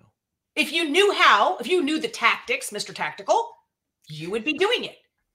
So it's not tactics that stops people from success. Yes. People stop themselves from success people. And so that's why I'm saying I am a master at people problems. You know, you've heard me say this before. You cannot perform your own brain surgery. You can't see it. right? And so you have to go to somebody so that you can see your reflection. That's the whole point of Genius Key. All it's showing is your own current thought state, your current reflection, and then you choose is it working for you? And if the answer is no, then you drop into the learning module to pick up the key that will work for you. And then here's the big part, and Tara is a master at this, is what do I have to let go? You mm. can't keep shoving all of this in your brain without releasing because that causes stagnancy, right? Confusion of I don't know what to do. There's so much in here. I don't know what to do. So when you learn and know better, you must remove what no longer serves you, whether that's thinking, whether that's people, whether that's environment. So every in must have an out, or hmm. you're setting yourself up to get stuck. So every new thought that I have, and I go, wow, that's awesome. Then I go, okay, how does this new awareness conflict with what I knew a moment ago? Right. What do I have to move away from so that the new information can imprint and I don't repeat what is more comfortable, which is my habit, as I practice something new? Again, this whole tying it all together is not what small business do. They run, run, run, run, run. Right. If they would spend literally if they would spend 15 minutes in the morning and 15 minutes in the night setting up the brain for success, and then what I call is a mind sweep in the mm-hmm. evening, what worked about today? What didn't work about today? And what am I going to do differently tomorrow? Start, stop, swap. What do I have to start doing? Because today some things didn't work. What am I going to stop doing? Because I absolutely know this is a pattern. I'm this. I've seen this movie before. And what am I going to try to swap that I'm going to do differently? I do it every single day. I also do one, one, one right, every right. day for 35 years. 35 years. I've been doing that same behavior. That's why I, everybody is in my network or knows somebody in my network. Because for 35 years, three, five, I have called somebody and said, hey, just checking on you and I want to know if you're okay. I don't yeah. want anything. Right. Checking on you. Two, I give a gift every day, just like you're doing. You're giving out a book. Every day I give a gift in some form. Doesn't have to be crazy. Sometimes I just buy somebody a cup of coffee. Sure. I buy them lunch. I send them a book, whatever, a gift. And then I make a, con- a, a connection. I call somebody and I say, I really think you need to meet Ramon. Mm. And that consistency allows me to, with confidence, to say, if you don't know somebody who knows me, you're full of shit. Because I've been around that yeah, long. Yeah, yeah. That long. And you are well, and you are massively well connected. Amilya, I want to package this in if it's a fit genius key. Somebody said in the chat, I did the G I it's great. I'm glad I did the genius key. Well, some people don't know what the genius key is, so I feel very left out to some people. Amilya, I want to, I want to, I want you to go back and end this on these things, but I want to sandwich in okay. the genius key as I understand it because I've taken it as well. I've signed up as a member. Um, it can help with a lot of these things, I believe. Can you help us understand why this genius is so important, but then particularly what is the genius key? And then people can go to the app store to download it. Can you talk a bit about that so we understand that, please? I know sure. it's a very important part of this. 100%. So, what it's identifying, right? Identifying part of your identity, right, is what your genius is rooted in, right? What makes you a genius, right? It's the thing that you do that takes little to no effort. It's the thing that you've always been doing. It's not something that you were taught or you were learned. Right. It's innate instinct to you. And what are those keys? and mm. how do they apply to what it is you're trying to do. Right. Then it also identifies keys that are not going to work in your favor of what you're trying to do. So I'll give you an example about me. Okay? okay. I have probably one of the fastest and strongest pace keys. I run very, very. You sure fast. do, Amilya. You sure do. but it feels normal to me. That's my state of normal. Right. And so prior to understanding this, I would wonder why people would burn out. I would wonder why they were like huffing and puffing, right? Because my normal is a stretch yes. for somebody else. For sure. So I needed to learn that in a team environment or on some projects like financing, legal, systems, fast pace, not to my best interest. Mm, not to my best interest. So I put somebody who's got a slower key in front of me to lead the pace of the project. Now, other things like hunting, sales, hunting, not mm. farming, hunting sales, I'm awesome at. Yeah. And I lead at my pace. But what I let the people around me know is listen, we're going to sprint the next 10 days. It's going to be uncomfortable for you. Mm-hmm. You're going to feel overly tired. I need you to take care of your heart, hierarchy needs because what I require at this pace, you need more. So that we're clearly understanding that I'm asking more than their natural state. Right. What they're asking me is to go a little bit slower than my natural pace. That causes me to trigger my survival. I think I'm dying. Ooh. Yeah. Whoa means I feel like, whoa, hold on. What do you, why? Right. And so this knowledge of your keys of what's working for you, what's not working for you, more importantly than anything else, it gives you team, right? Your project mm-hmm. to team leader. Which member of your team needs to lead and why? Yeah. And what does that mean for everybody else? Even if you're a solopreneur, right? I love this game. I literally used to have a jacket, a sweat. I had all these little dress up costumes mm-hmm. in my office of party of one. And when I needed to be the accountant, I put on my blazer and I would do my bill collection. right. I'd be that, that sure. I would right. And then when I needed to be sales, I was like, I had my little Letterman sweater on, like, hey, how you doing? I put on the different roles to get my mind in the frame right. of what I needed to do. Like I do this with doctors all the time. The white lab coat, right? Super yep. professional, but that will kill you if they're trying to run their business, right? right?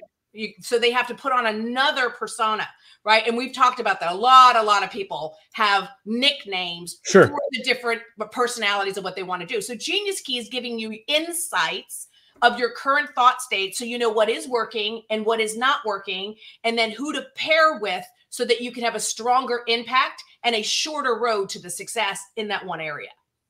So ideally, if somebody was a team of two, team of three, team of five, whatever it is, people should take it as a group, as it were. Don't cheat and you know, but look at it as a group, and then come back, maybe have a mm-hmm. discussion or something like that, and say, "Hey, what's your key? What's your key? Now we can fit better here." Or here's why there's so much conflict. We're matched yep. wrong. Is that? Yeah, and we're doing right? free decoding sessions on Wisdom and in Clubhouse. Literally, Genius Key. Come in, you tell me what your results are, and I'll tell you why it matters to you, what to keep, what to stop, what to swap, who you need to partner with. Like we're giving out all of these answers on how to do that, and then the next uh, download of Genius Key, if you're signed up in the apps, the next iteration is coming, and we have a thousand and eight layers to come. Wow.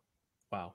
This is powerful. And so I recommend people go to the App Store is the best place, Amilya, correct? Oh, 100%. Don't go to any websites. Either yeah. go to Google Play if you're a Droid or the, the Apple Store if you're uh, an Apple user. And I have mine here. But Genius Key, and I think if in case I think there's in case there's more than one Genius Key Institute is where you'll find it at, just so people know. I just want to pull this up here. Yeah, just Genius um, Key. It's going to look like a little gold head. Yeah.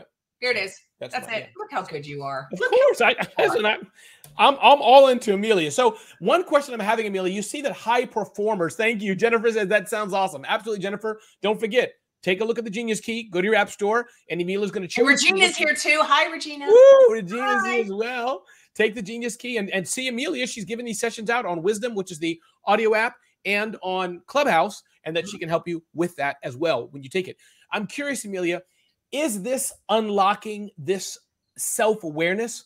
what high performance people have, such as I've studied them, not a lot, but I've read a lot of books and a lot of movies and documentaries, Navy SEALs, yes. possibly the Michael Jordans, The Last Dance, something like this ish. Is this kind of what they've been able to unlock, probably with help from trainers? Is this it, Amy? Yeah, because so very high performers, their mindset is to do one thing better and master it, right? Mm. They're not generalists, right? High performers will tell you they do one thing. It's the messed up school systems that we're in that try to make us generalists. We're not wired as humans to ever be a generalist. That's what technology does. Technology right. rinses and repeats. A human is meant to live at its highest and best self, which is right. innovation, problem solving, right? Interpersonal, con- all that is where humans are meant to live. Right. But we're fi- we're for- we're fighting the mindset of if I made all A's and one D, right? Everybody tells you get better at that D. No, hire somebody. Mm-hmm. Turn the A into amazing right? That's where you need to focus your efforts. Same thing with your children. Don't do that to them because you're creating them to live in pain. When you grade yourself, right. that means you're comparing, and comparing is the kiss to death. I am the very best Amilya, and I suck at being a Ramon. I guess that's true. no, you're right, Amilya. So, yeah. so those listening today, Amilya, those listening today, for sure, people should get the Genius Key on your app store. You've made us aware, and again, it's not fair in a 30 minute discussion. You made us aware that we probably have some limitations that we need to get around. Is there anything else we should be thinking of or doing? Or do you think, Amilya, by the fact that we're even more aware of it, that that mm-hmm. may be one of the keys to helping by the fact that we're a little more aware today, thanks to your comments? Is that make sense? You know, like the boss today may be aware of it. The, the, number one thing, if you hear nothing else, but and I and I don't care if you download the app or not, right? in this solar solopreneur space, being solo, you will fail. Mm. You will mm. fail. Mm. You have to lean out of your comfort zone and ask for help. People, all people, 99.9% of people want to help because when they help, they feel worthy. Right. And so you just have to lean in and say, hey, listen, I'm seeing your social. I think it's amazing. Could you look at mine and lend some advice? Hey, I see that you're incredible with systems. I would love for you to take a look at my business and, and share, right? Trade services, right? If you're good at something, trade it for something else. Never solve a problem alone. It mm. is the epitome of the mastermind. We are greater together than we are by themselves. I do nothing alone nothing alone. I'm always leaning in and going, this is what I'm seeing. What do you see? And then I always go, tell me more. Mm. Tell me hmm. more. Tell me more about that. That's interesting. Tell me more. How did you come to that conclusion? What experience did you have that led to that conclusion? Get really curious. The more curious you are as a small business owner, the more successful you will be because in the state of curiosity, you are not alone. Wow. No, you're right, Amilya. I'm curious, and if, if, if, this is a relevant question, but you've done so much in your years of experience and working with some big name celebrities. Maybe you work with people even you can't tell us you work with. Um, can you just tell us any stories on that? Meaning, I guess my question may be, how have you done this? What What was your genius? What was your key that enabled you to be in some of the places that maybe people listening were like, "Wow, she's done so much." Yeah. What's so special about Amilya that call? I know you've done broadcast television, radio, you've done mm-hmm. celebrities help us understand Amilya and what we can learn from that, if that makes sense. I think that, you know, and I've, let me just tell you, I have had some very painful lessons. I mean, like, knock the wind right out of your sails, like in the fetal snot cry position, going, I have no idea how I got myself here and how I'm going to get out. Like, let's be clear for every win you see on my resume, there was mm. 10, oh my goodness, failures. So I win big, but I fail even bigger. Right. Mm-hmm. And so what I will tell you is what I had to learn the hard way. I will say this was my $11 million lesson. I had to learn the hard way that none of this is about me. Mm-hmm. None of mm. it is about me. And I am fortunate that I am now surrounded with people who are committed to the work. I don't care if you ever know who I am. What I do care about is that you know my work because hmm. my work will continue. I always tell my people if I get hit by a bus today, carry on. The legacy is about the work. The legacy is to heal unattended pain. That's the reason why I'm doing this. So when I removed Amilya and the I, I, I, I, and I made it hmm. about you, my whole world changed. That is powerful, Amilya. I think that's powerful, and I think that I, I, I, I've been amazed to see how you move, how fast you move, and I think one other question I have for Amilya: Why is it so important? I know some key people in our mutual lives and other things that you've flown to and met people in person. Mm-hmm. You spent time with people. Why has that been so important to you? I'm sure you're not doing everybody you meet, but it seems like there's. Oh no, I'm yes. picking up a thread. yes, yes, it is. So I, my belief system. This is what I've learned about people right? Like it or not like it, because I'll just prepare you before I open up my mouth. Everybody here's going to go, oh my God, I can't believe she just said that. Um, I spend money and time with people very quickly, right? Mm. Time is your most valuable asset Sure. and money. And so I spend money with people to figure out who absolutely is full of crap, right? And Mm. what I mean by that is, you know, people say they're this and that they're the other thing. And then I hire them. And then that $5,000 saved me millions, Mm. millions. And so just even in our little world, I've spent money with a lot of people that Sure. and guess what? They're not on my team. I wonder why. I wonder why. There's Yeah. a reason why. Yeah. Right. Now, that's not to say I'm better or worse, but for what I'm trying to do in my business plan, right, where I'm going, the pace that I'm going, it wasn't a good fit. So the hmm. sooner you know that, the better. Because you would rather have a hundred dollar lesson, a thousand dollar lesson, because it's going to cost you the longer Yes. you're in it. So don't wait for the $25,000 lesson because every one of those lessons that I've had, there was a sign along the way that it wasn't going to work, right? It's that hope. You hope more for others than they're willing to sacrifice. Sure. So when you have to realize that I can't love you more than I love myself. I can't believe in you as a teammate more than you believe in yourself.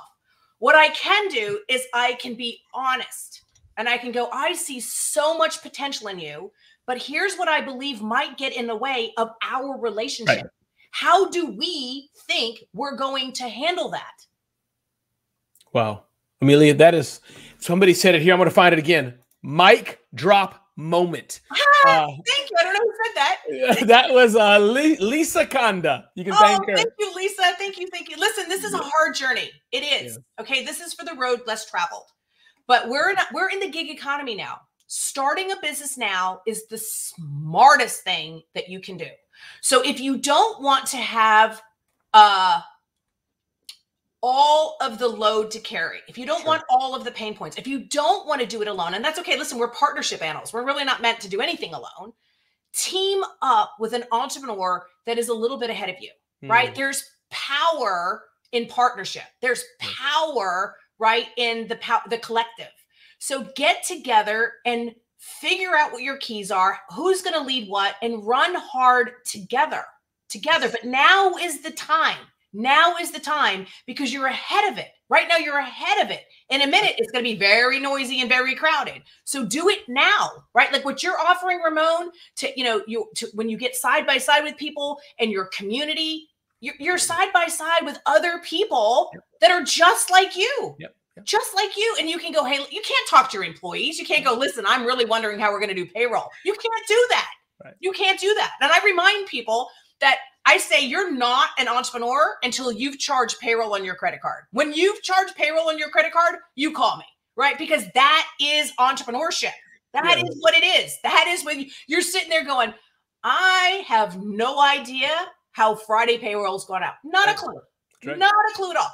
Right. And so when you're in a network like what you have with other business owners, they're saying to you, here's something I've done, here's something I've done, here's something. I mean, I've even been in communities, my forum group, which God bless my forum group, where I'm like, hey, listen, can I borrow today and I'll pay you tomorrow so that you can do my payroll and then I'll, this is what it is. You got to get side by side with Yes. people who are committed to figuring it out, not quitting, figuring it out. Keep pushing. The answer is there.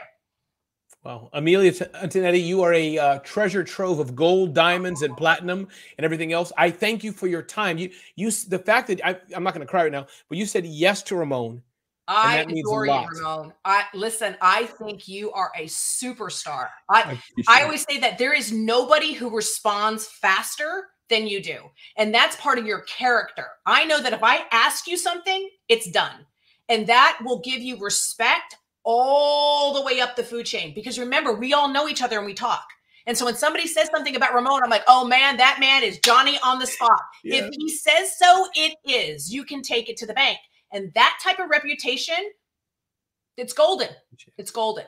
So thank you for all that you do. And I am honored to call you friend. Amilya, wow. I'm gonna tell, I'm gonna put that on replay and just have my morning alarm. Amilya Antonetti, everybody, thank you so much. Definitely check out all she does. Genius Key. Download Download the app. Download the app. app. Genius Key Institute for sure. And we'll be pushing that out later on. Amilya Antonetti, thank you, my dear. Appreciate your Thank time you. with us. Thank you. Blessed to know you. Okay, bye bye.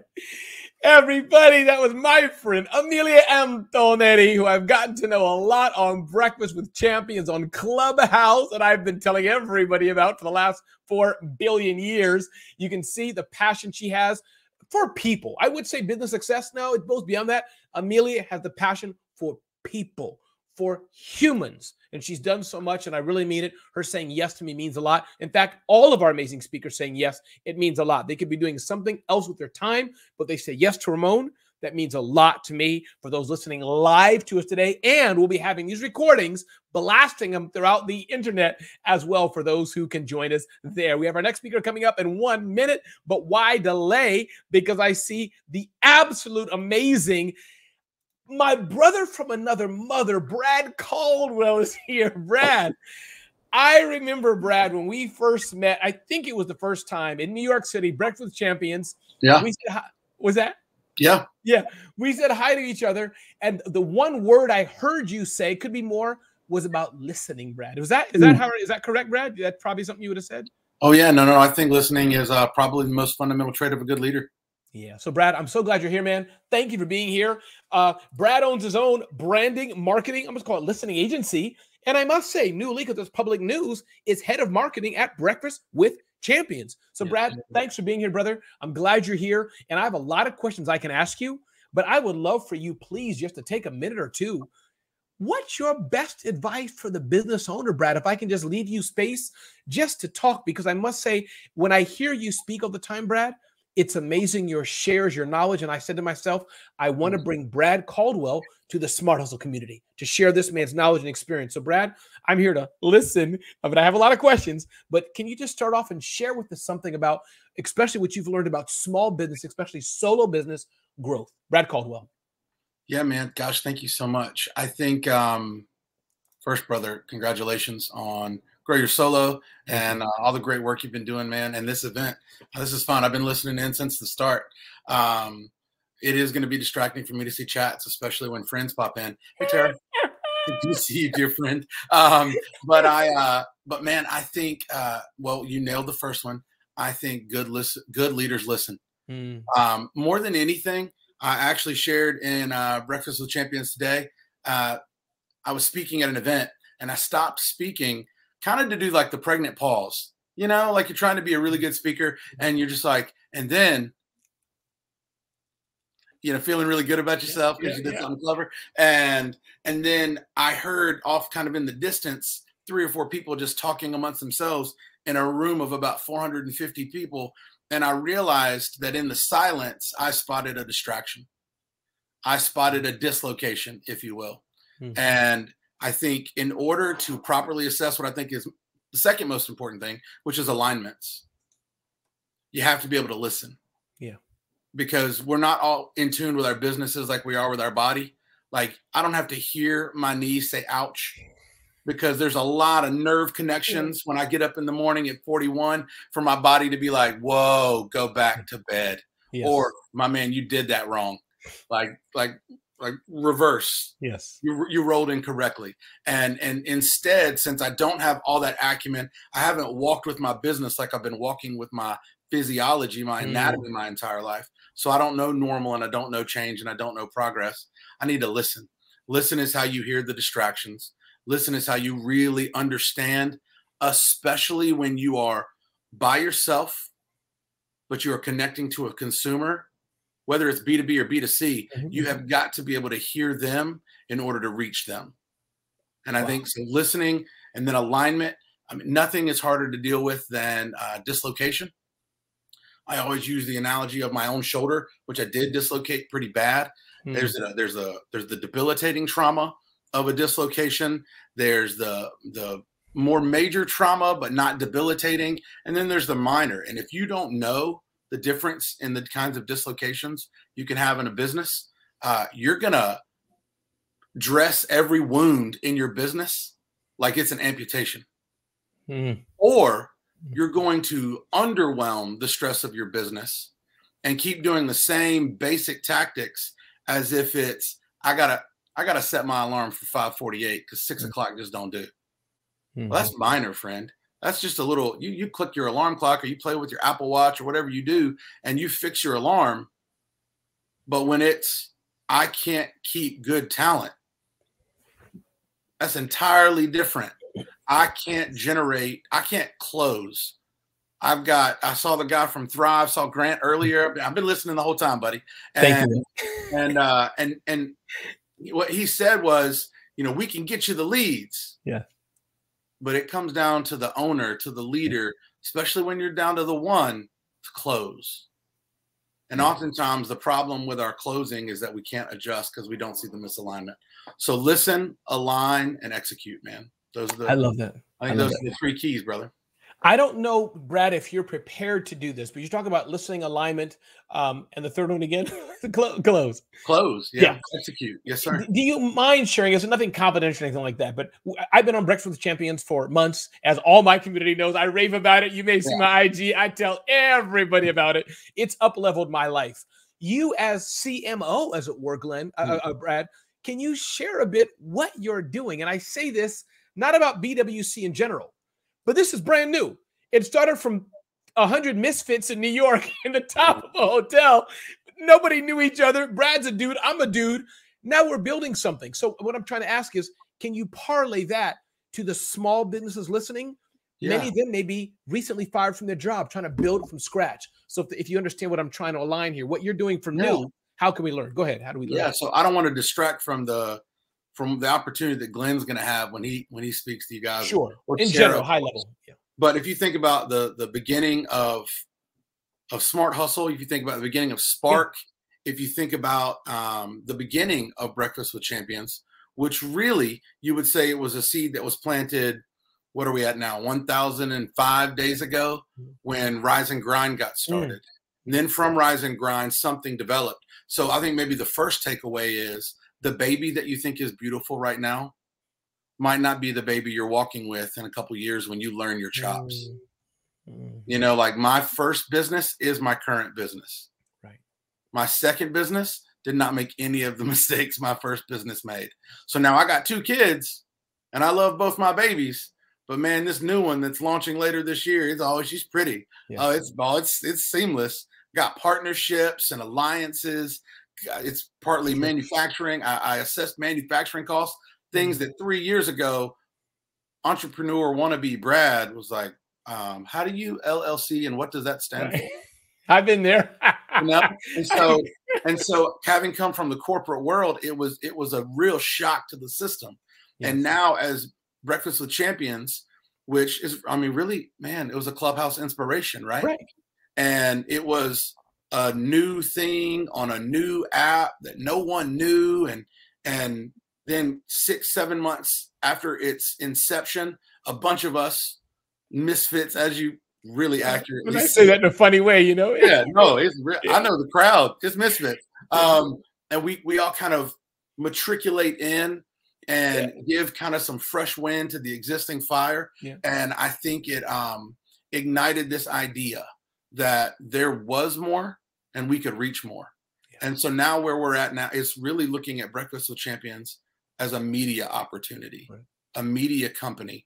How can we capture social media? How can we capture digital marketing? How can we capture event spaces? How can we capture one to one communication? How can we revolutionize things like coaching and accountability and messaging and inspiring people at all levels of engagement?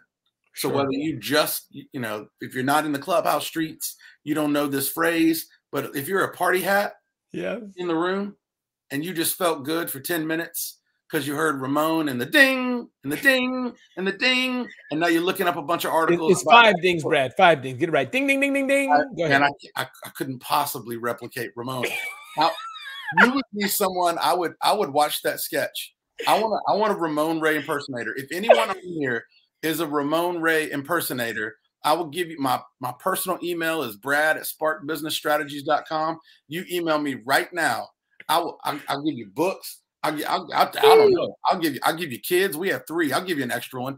Um, man, I we I want to see that because uh, I couldn't I couldn't possibly do it. But that person yes. who gets it, who gets a, a little bit of juice, from that segment that, yeah, you and I planned it, but we speak all the time. So we're prepared. We're prepared. Right. So we're ready to give our 25, 27 minute talk and then move on. And it was good for someone for a moment. All the way to to Tara, who is going to be mentioned apparently this entire event. And when I met her in New York, that's perfect timing. Oh, that is, marketing brilliance, Ramon. Nailed it. You and your team, golf clap. Very Yeah. good. But when when she connects with me face to face and Yeah. says, Brad, let's stay connected. Well, connectivity means something so entirely different. Yes. And so does that mean, Brad, I want to I'm going to listen to your segments? Does that mean, Brad, I want to have you as a consultant in my life professionally? Or Brad, I'm just going to follow you on apps and we're going to talk and it's going to be fun.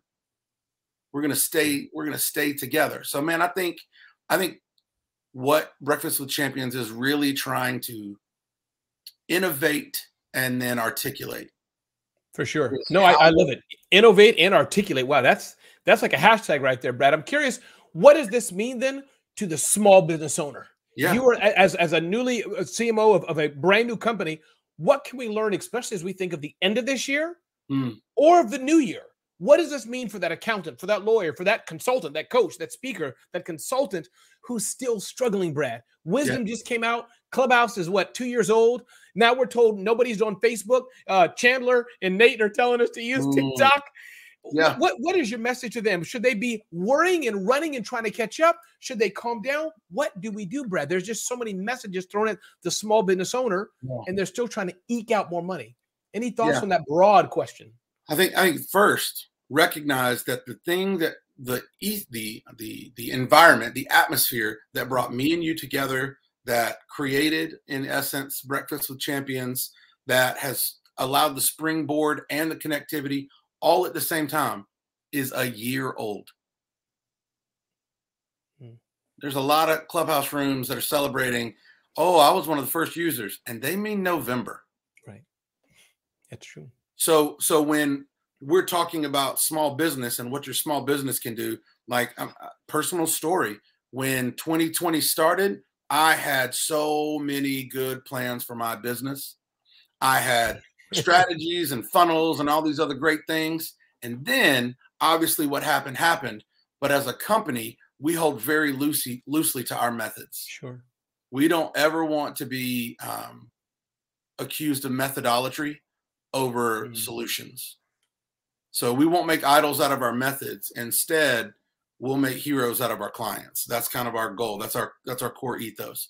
And so when we when we look at that and we realize, well, if we're nervous, Right. what's this going to mean for our clients? And I did what I never do. Now I know you only know me in this way, Sure. but in early 2020, no one knew Brad Caldwell's name, and everyone who knew Spark just knew Spark. Right.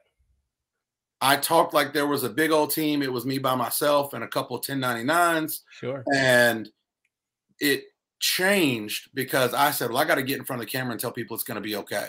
Because that's what I was telling my team. And so we were working like dogs, feeling great. and- We were doubling, and then we tripled, then we quadrupled, and then we quintupled. And I think the only reason we quintupled and it stopped there is because I don't know how to say whatever is after quintuple. Um, I don't, I don't know. I don't know what that is. I'm from the south. I don't know what that is either. You know what I mean? Uh, we're gonna we're gonna say six toppled, and it's not right. It's not right. Six toppled is not accurate. It's not what it is. But when we when we looked at the strategy that we executed, it was very simple. Mm. We knew who we were sent to serve, and we knew how we were. That's a lot of children, a sextuplet. Yeah. Um, and we knew exactly who we were going to help. Yes. And so when a problem ro- arose, we just made a pivot. Now I want to be real careful with that word because I'm a I'm a little averse to the word pivot I got you. because if you're here now and you're a solo entrepreneur as a response to 2020 and you worked in the healthcare industry and today you're a digital marketer, Mm. friend, Yeah. you, didn't, you didn't pivot. You moved. Mm. Stop saying pivot. That's disingenuous. The reason it's so hard is because you whole up earth and walked away and then replanted. That's what that is. And so make sure you know the difference. A pivot for me in the branding and marketing space is to represent a larger brand as a part of their company, which Right. is what we've done with Breakfast of Champions. Because up until now, we haven't had companies that really went far above 5 million annual Sure. and it's been it's been really good. So I think that's an excellent way to state it because for some of us, it's we need to we need to move. Yeah. You know, some of our prayers uh, are often like, "Man, I I just pray God gives me a pivot." Mm. Sometimes the prayer is, "Lord, move or move me." Like, Yes. I, and He'll do that. He'll do that work. And so I think, man, um, the biggest the biggest opportunity for the solo entrepreneur is to recognize that the secret sauce is the entrepreneur. It's not Yeah. the product, it's not the service, it's not the mission. Mm. It's the person who's doing the work. Yeah. Because things may change, and when things change, or it's going to get dark, or it's going to get hard, Right. it's going to be tricky. You're going to lose the client, or lose the bid, or you're going to have a great event, and then it's going to hit a flat note Yep.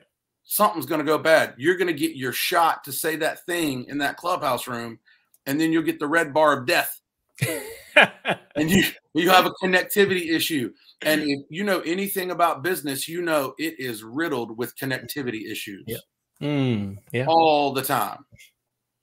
Because right now, in order to do this, there are four human beings downstairs Sure. that I'm not with.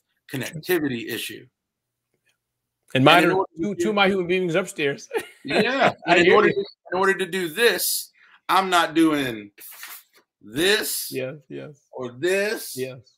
working on the book that's on that whiteboard over there, or answering copious emails from Sarah. Yes. Yes. Indeed. You know what I mean? And so when when we make that, I'm gonna tell you what we do. We choose to cheat. Yeah. Because everybody cheats something. And we have to reckon with the fact that all the choices of entrepreneurship are on us. It might not always benefit us. It might not always work out for us. It might not always be our jam. However, it is my call. Wow. I'm uh, not where the buck stops. I'm where it gets manufactured. I'm where it, I'm where the buck gets discussed. I'm where the valuation of the buck came from, and I'm where the buck stops. Yeah. And then when I create a team, the ne- and that's the next step is learning how to let go of some of the Yes. responsibilities of that leadership, even when you're hiring VAs and event coordinators. And like you said at the beginning, you know, could you do the graphics? Yes. Right. What did you say? They might be busted. They can Uh, be busted. I said I could do the graphic, be busted. I They can do the, the, the event. It'll look terrible. I can, I can do it all. I'm pretty talented, but it won't be as good as other people. You're so true. Brad, I'm curious, how have you learned how to let go in that? Because you said as your business is growing, that's one thing that's hard for solo business owners. We're so you, Seth Godin said it. You know, I interviewed him on BWC some weeks ago that as we do it the cheapest, the fastest, the bestest, everything to our to our chagrin. So Mm. anything that you've done, Brad, where you've had to say, you know what, I've asked Becky to do this, I've asked you know George to do this, when you've had to say, yeah, what do you what do you do when you've had to let go and delegate and move on because you so you're not back to the same place? Any thoughts on that? there's really no reason to execute listening if you can't execute understanding. Wow. Okay. It's a waste of time. Like we we waste so much time hearing people talk, not listening to what they say. Yes. We will ask our team the right question, but we don't listen for the answers. And then we don't listen for the answers because we don't want to affect change. We don't want we don't want to do something different. We want to do what we've done because we know our own capacity to increase it. So we Right. think we can get more. And that the most frustrating thing about old adages is that they're old and we still don't listen to them. That is true, Brad. You know That what I mean? true. Like, I do. How, do- what's the definition of lunacy? Doing the same thing over and over again and expecting a different. Oh, the same result. Yes, yes, yes. Correct. You know? Yes. and and so I think if we're going to take the time to listen, we need to take the time to understand. And as you develop teams, as you develop strengths and weaknesses within your own infrastructure Right. and your own your own leadership. Because the first person you're leading every day is you. Yourself. Yep. and and that's not going to change now that we have a team of five or six and there's another company with partners and I'm the CEO of that one, but I'm talking to equal people. Yeah. yeah. And I'm not the boss in that room. I am not where the buck stops. That buck gets passed around like craziness, right. which is something new for me to learn. But the people who were invested in that new in that new venture, when I ask them a question, some days they're going to listen to me like I created it. And some days they're going to listen to me like I'm equal. And some days they're going to wake up with the bad knee and be in a bad mood. And I got to understand it, especially in circumstances of change. I think the biggest lesson we learned in 2020 is that we suck at adjusting. Mm. We're bad at it, man. That's true. We're bad and, ho- and hopefully this time has, has caused us to get better and better for sure. But Absolutely. listen, Brad Caldwell, what's a great place that people can go to to learn more about you, to connect more with you? What's your best place? I know there's a few different places, but uh, any particular place you'd like to? Uh, Again, if you are if you are a Ramon Ray, I say this with all sim- all sincerity. Okay. If you are a Ramon Ray impersonator, it's Brad at sparkbusinessstrategies.com. Please, please email me. If you're not, you're welcome to check out my website. This is brandstrategy.com, or just find me find me on them social media yeah. streets. Follow Breakfast with Champions. I'm always around. Absolutely, Brad Caldwell. I, I really appreciate your time. I, as you said, you have a lot of things to do. You have a huge priority, and you said yes to me. It means a mm-hmm. lot.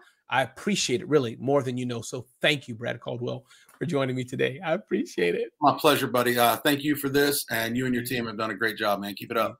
Be blessed, man. Yes, Love sir. You, Take care. You too, man. All right.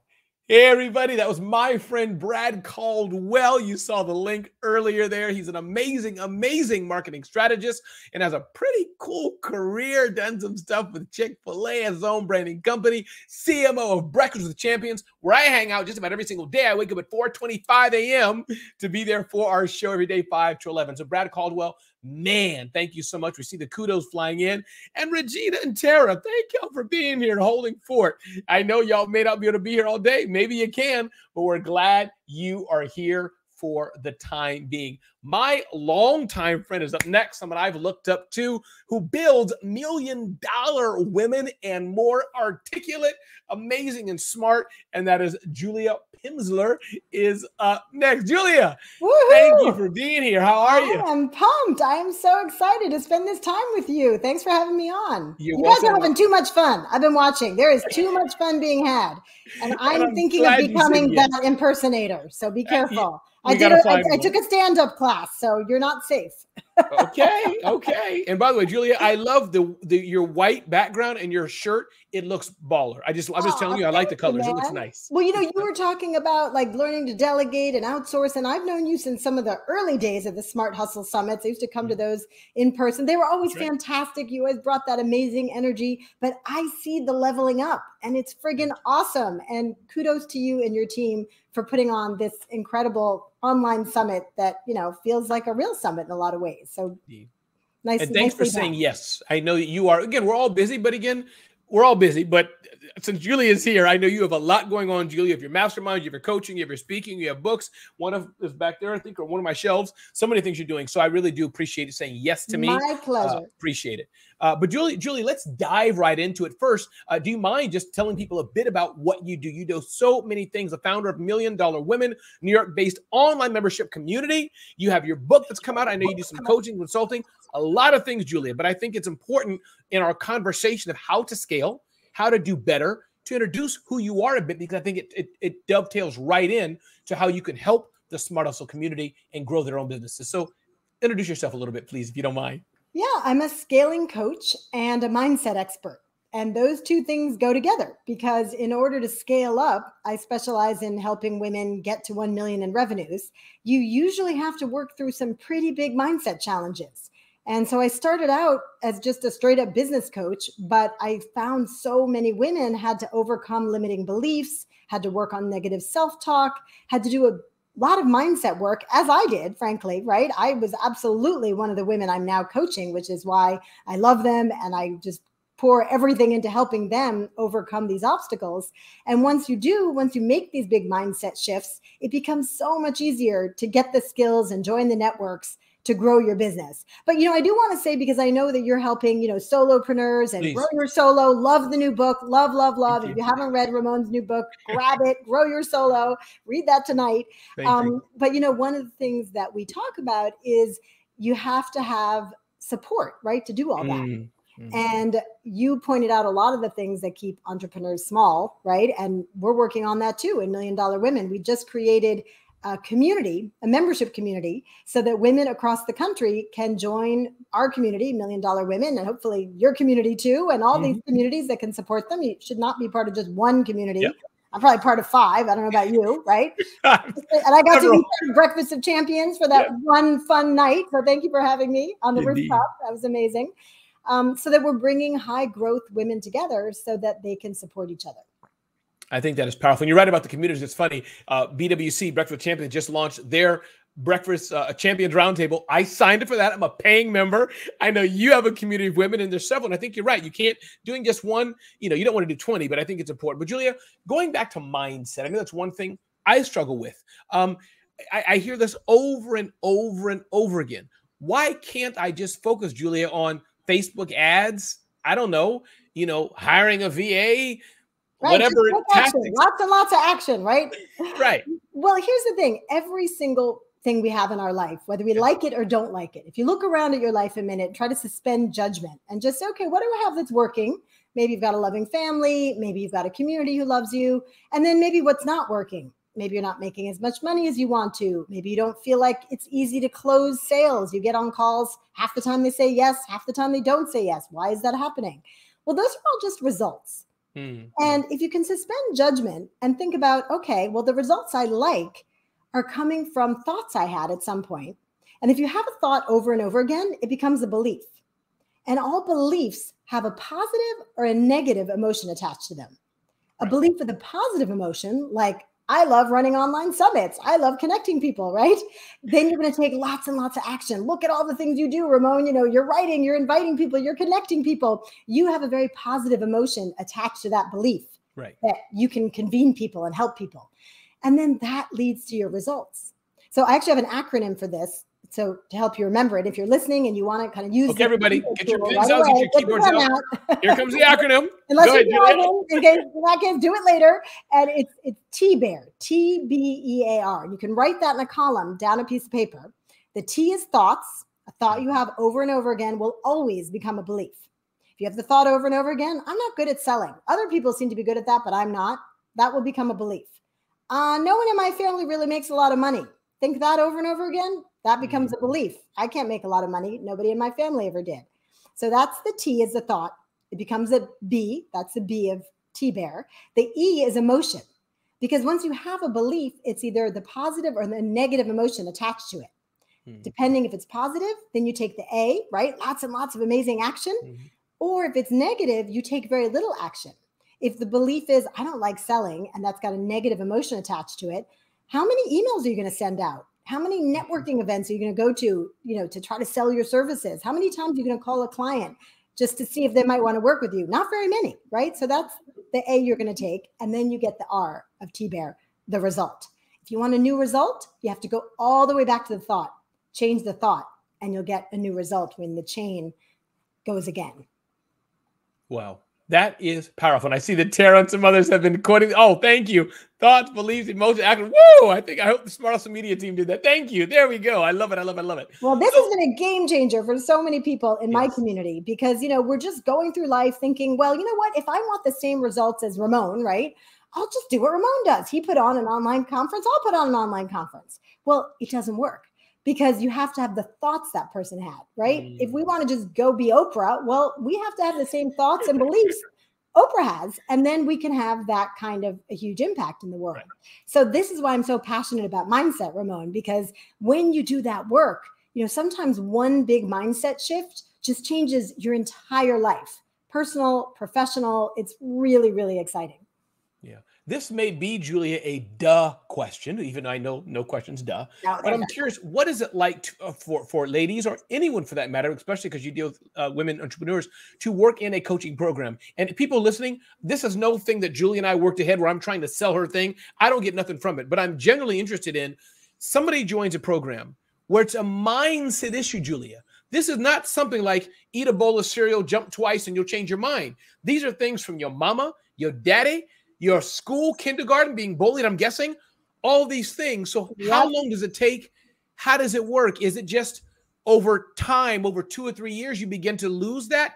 no, no, we're too impatient for that. We're entrepreneurs. how does it? You get my point. How does it? What is that yes. like? That process. Well, I had an amazing experience back in 2015 okay. with a mindset coach who used NLP, neuro linguistic programming, which some people might have heard of. It's often used in sales. A lot of Olympic athletes use it.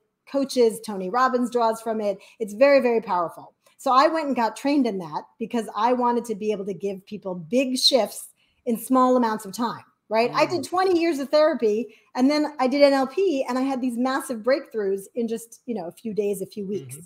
So when people come into our program, we start with mindset always because that's the foundation on which you build your mansion.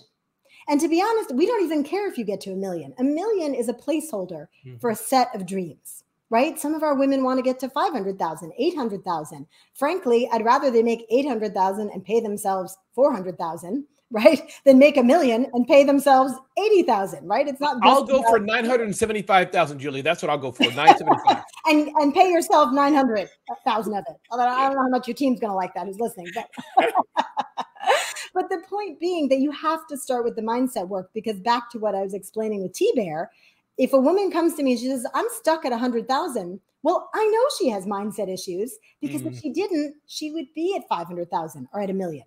So that's the first thing we have to do is say, okay, what is influencing your thoughts? You know, we don't have to like unpack a full Freudian on the couch thing, right? Mm-hmm. But we can ask a few targeted questions when you're a trained mindset coach to get at those limiting beliefs and quickly shift them. So then we can start teaching. And you're asking what happens in the program. We start with mindset. We get everyone into the go big mindset so that they can clear the highway, right? So they can right. get on that path. And then we teach strategy, finances, marketing, sales, execution and efficiency, building teams. It's basically like a mini MBA, is right. what we're doing. But we're bringing it to women where women are at. Because here's the thing, Ramon men tend to start their companies in their mid 20s, yep. but women start them in their mid 30s. And what are women doing in their mid 30s often? What are a couple things women are sometimes doing in their mid 30s? Some are raising kids, some are home, some are in the in the in the work career, but many, like my wife has been, you know, she she wanted to, she chose I'd like to raise my babies for a while. She chose well, and you know what? The, a lot of women entrepreneurs become entrepreneurs because they want that flexibility to spend right. time with their kids. So they, you know, they start a business, they're all fired up, they're amazing solopreneurs, they're doing yep. everything themselves. And I've heard other people talk about this here today. But then they hit this wall where there's only one of them, right? And they're working way too hard. They're trying to take care of their kids, some of them parents as well. And they can't drop everything and go back and get an MBA. Right. One, it's, you know, I looked into an MBA because I hit that wall myself, right? I had two little kids at home. Mm-hmm. I was growing my language teaching business, Little Pim. Uh, I got the 400,000, but I was like up at 5 a.m. with the kids and then at work, you know, from nine to seven and then back home and put them to bed and back at work. And it was exhausting. I was totally burning myself out. So, what we decided with Million Dollar Women is let's bring it to them because they're not going to drop their kids and drop their aging parents sure. and go do an MBA and they don't have time. So we created an online program where they can just do it on their phone or right. on the computer. And it's a combination of asynchronous, so watching videos yep. that I teach, and then meeting in small groups with other women and with me and with mentors who are women who've built multi-million dollar businesses and with financial mentors.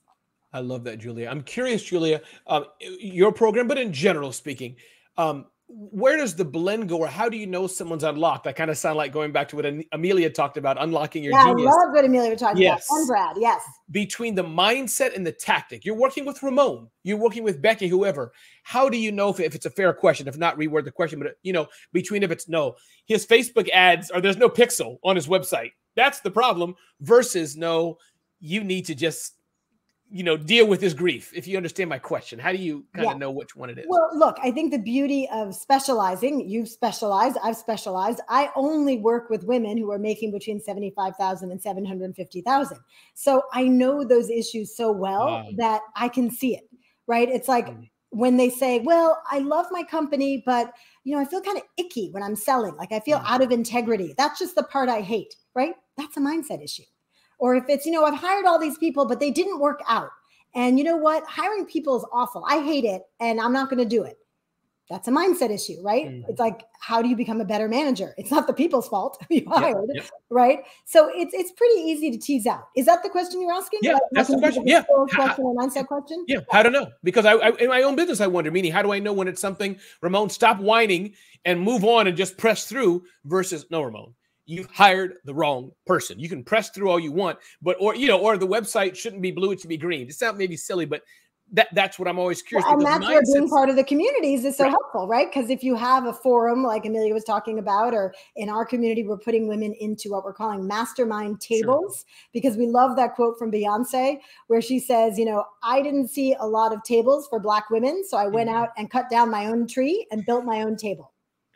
So we're putting our women at their own tables, and they'll be in a group of six to eight entrepreneurs where they can, you know, compare notes, see, wait, is this just me? Plus, you know, they have me as a coach. But if you don't have a coach and you're listening and you're wondering, well, how do I know? I think checking in with other entrepreneurs is the way to go. Ramon and I check in, right? Yeah, absolutely. These calls where it's like, well, how are you doing that? I don't know how you're doing that. That's right. that is amazing and so great to have those resources. Yeah. Can you talk, Julia, to the uh, again? We're talking about the solo business owner, um, focusing at least for today. Talk to that solo business owner, as you said, those who 75,000, 50,000 even. It, uh, there's some. Yeah, that was a pre-pandemic number. pre-pandemic, okay, uh, we started yeah, twenty-five thousand. Now we're helping sure. people at fifty thousand. But my point, though, at those who are and whatever you can make, God bless you. We're happy for you. But are there key things you're seeing, Ramon? Here's two or three things today that those who are trying to hit a 100,000, and generally speaking, especially in the Northeast, to feed their families better, to have a little better apartment, are there any two or three things you're seeing, Ramon? Here's some common things that we're always telling them if they do it, they may start to be on the right track. Anything like that? Well, uh, I'm glad you're asking. We're about to share a brand new PDF, which is an adaptation of an article I wrote in Entrepreneur that okay. was called "The Top 10 Mistakes That Keep Women from Scaling," because hello, people want to know, right? So I'll just tell you five of them. Sure. So mistake number one: doing it all yourself. That's come up a lot here today, right? You cannot yep. control every single piece of your business. Got to delegate and outsource. Mistake number two lack of internal systems and processes, mm-hmm. winging it, writing things on paper, yes. doing it different every single time, not scalable. Mistake number three, busting, not busting, limiting beliefs. Mm-hmm. That's back to the mindset. A limiting belief is an unconscious belief you have that you can't do something. But I said unconscious, so you don't always know it's mm-hmm. there. Like when I needed to raise money for my company, Little Pim, I had a limiting belief that I couldn't do that because I didn't study finance. Right. I wasn't great at math. No one in my family is in banking or venture capital or anything like that. My parents were academics. So my limiting belief was, well, I can't go raise money. I'm not from that world. Once I got rid of that limiting belief, I busted that limiting belief. I was able to take action and did go raise that money. So that's just one small example. Mistake number four, not understanding the scalable part of your business. Mm. I get a lot of women who come to me with businesses that have a scalable part and a not scalable part, and they don't know the difference. So we help them in the strategy tease those out. Yep. Mistake number five: not working with coaches, mentors, and advisors. It's you know maybe the best kept secret that just about every woman who has made it to a million and beyond has worked with coaches, mentors, and advisors. So why would you deprive yourself of that? That is one of the best things you can do is find people who are in your corner. You don't, they don't have to be paid coaches, right. right? They could be mentors, they could be advisory council, but that is a game changer. So those are five of the mistakes wow. that keep women from scaling. But if you want all 10, please reach out. We're, we're sharing this PDF literally tomorrow. It's like hot off the presses. I love it. I'll be sure to push that out, and you can see Julia's website. I think that's correct, right? Julia, is that correct? Um, yes. Okay, good. That's the community. Good. I love the domain name. Congratulations on that. Um, but listen, this has been fabulous information, and we will be sure, remind me, team, to point to Julia's article wherever it may come out. We will be sure to do that. But Julia, this has been, I think, a powerful discussion because indeed, I like to talk to people who know strengths that I don't have. I've only learned recently about mindset and things, Julia. A lot of that's been you've been there, Breakfast with Champions, this community. I love you that conversation on there. Yeah, yeah. And, and, if and people are you know, on this mindset journey, you know, look, yeah. we all are, right? It's not a once and done. I wrote the book recently about mindset called Go Big Now. That's right. eight essential mindset practices to overcome any obstacle and reach your goal. But I'm still learning every day. There's so much that we all can help each other with on mindset. So I really just want to get the conversation going. And thank you for, you know, sharing your work so that we can compare notes and help each other and help more entrepreneurs to go big. Julia, you are a refreshing breath of fresh air, always spicy and full of knowledge and information. and I, I honor you and I thank you for saying yes to me. I oh, appreciate always, always, Ramon. You're amazing. I support everything you do. And thanks for having me on and bringing all these incredible people together. I'm going to keep listening a little bit awesome. and, you know, carry on, bring more fabulous people on, yeah. and I'll see you soon. Mwah. I appreciate it, dear. Take care. Bye bye. Take care. Hey, everybody, that was the amazing Julia Pimsleur, Million Woman, I believe it was. You can put that link up again. I always want to say dollar, but then it's millionwoman.com. I believe it is. Julia Pimsleur, yeah, millionwoman.com. Thank you so much, millionwoman.com. Amazing, amazing insights helping half the planet are amazing, amazing women who are growing their businesses. I'm Ramon Ray, founder of smarthustle.com, and this is the fourth Survive and Thrive five hours live, five hours live. And once we're done with this, my team will be cutting up these videos and we'll be sharing this widely across the planet with all of you who want it. The focus of today, the focus of today is helping small business owners grow their solo business. I'm an author of four books, but now with Grow Your Solo, five books to help you grow your solo business. I encourage you to check out Get the PDF, the audio experience. If my voice is annoying you, get the audio experience. If you like my voice, get the audio experience. Some of you may want to say, Ramon, we'd love to work with you. So definitely check that out at growyoursolo.com and see how we can help you uh, grow your business. But again, I'm having fun. I am having fun. I got my bottle of water here. All I'm doing is staring at it. Do you think I'm going to slurp on a bottle of water when I got five hours of live content? You must be crazy. But I'm having a good time here, and our speakers are only going, getting more and more and more. Tara says, Who doesn't love your voice? Thank you, Tara, for being here. Tara's a rock star, and so many people have been with us for these for this time, and really appreciate it. Again, whether you're here for an hour or uh, or five minutes, whatever it is. But listen, let me be quiet because there's two amazing gentlemen who I've had the chance to. We're not like golfing buddies like that, but on this app, Breakfast with Champions, many of us have become brothers and sisters and gotten to know each other so well over the last few uh, months. It has been. So I'd love to welcome, I think, Brian Hess and Scott Simons already. Yeah. Woo! What's happening, brother? What's up, Scott? What's up, Brian? Man, I can't believe Simons is still awake at this time. hey, this is not Ben Stock, baby. This is Scott Simons. I'm ready to roll. I love it. I love it. Listen, gentlemen, thank you for saying yes to me. Brian Hess, how are you, man? It was good seeing you just a few days ago in Kentucky at the Grow for God conference. Brian, I hope you and your family and who you love are well. Y'all doing okay? Doing great, brother. Thanks for having us here, man. Awesome. We appreciate it. You're welcome. Scott Simons, how are things in your world? Carter Myers, automotive partner and a leader of people. How are things in your world? Scott Simons, thanks for saying yes to me. How's your family? And how are people who are important to you doing today? Man, we're doing fantastic. I mean, how can we say no to you? I mean, with all the energy and how you show up and serve others and give back. And man, you asked me, I'll be there, brother. And I think you're seeing that today. I mean, two hours of just bombs being dropped. Uh, Julia, I mean, that lady was amazing. And Julie's uh, amazing. It's a true honor for me to be asked to be on here, brother. You ask, and you can count on me, brother. That's what I want to be known as. One phone call, you call me, brother. I'll, I'll answer the phone. Brian, we're going to put that on his tombstone, like a phone picture, phone, like call me. Amen, brother. If I got a All phone right. call, that's definitely who I'm calling. I can tell you that. Oh man, Thank let's you. jump into it. Brian has give me the pre brief. I could talk about you, Brian, but it's better you talk about yourself because you'll get it right. Who are you, Brian? Where were you? Where are you today? In brief, Scott, I'm going to ask you the same questions. Then I want to drop science on this Smart Hustle community to give them some of the gems that I've heard from you all over the last few months of growing their business. Brian, first you tell us a bit. Who is Brian Hess?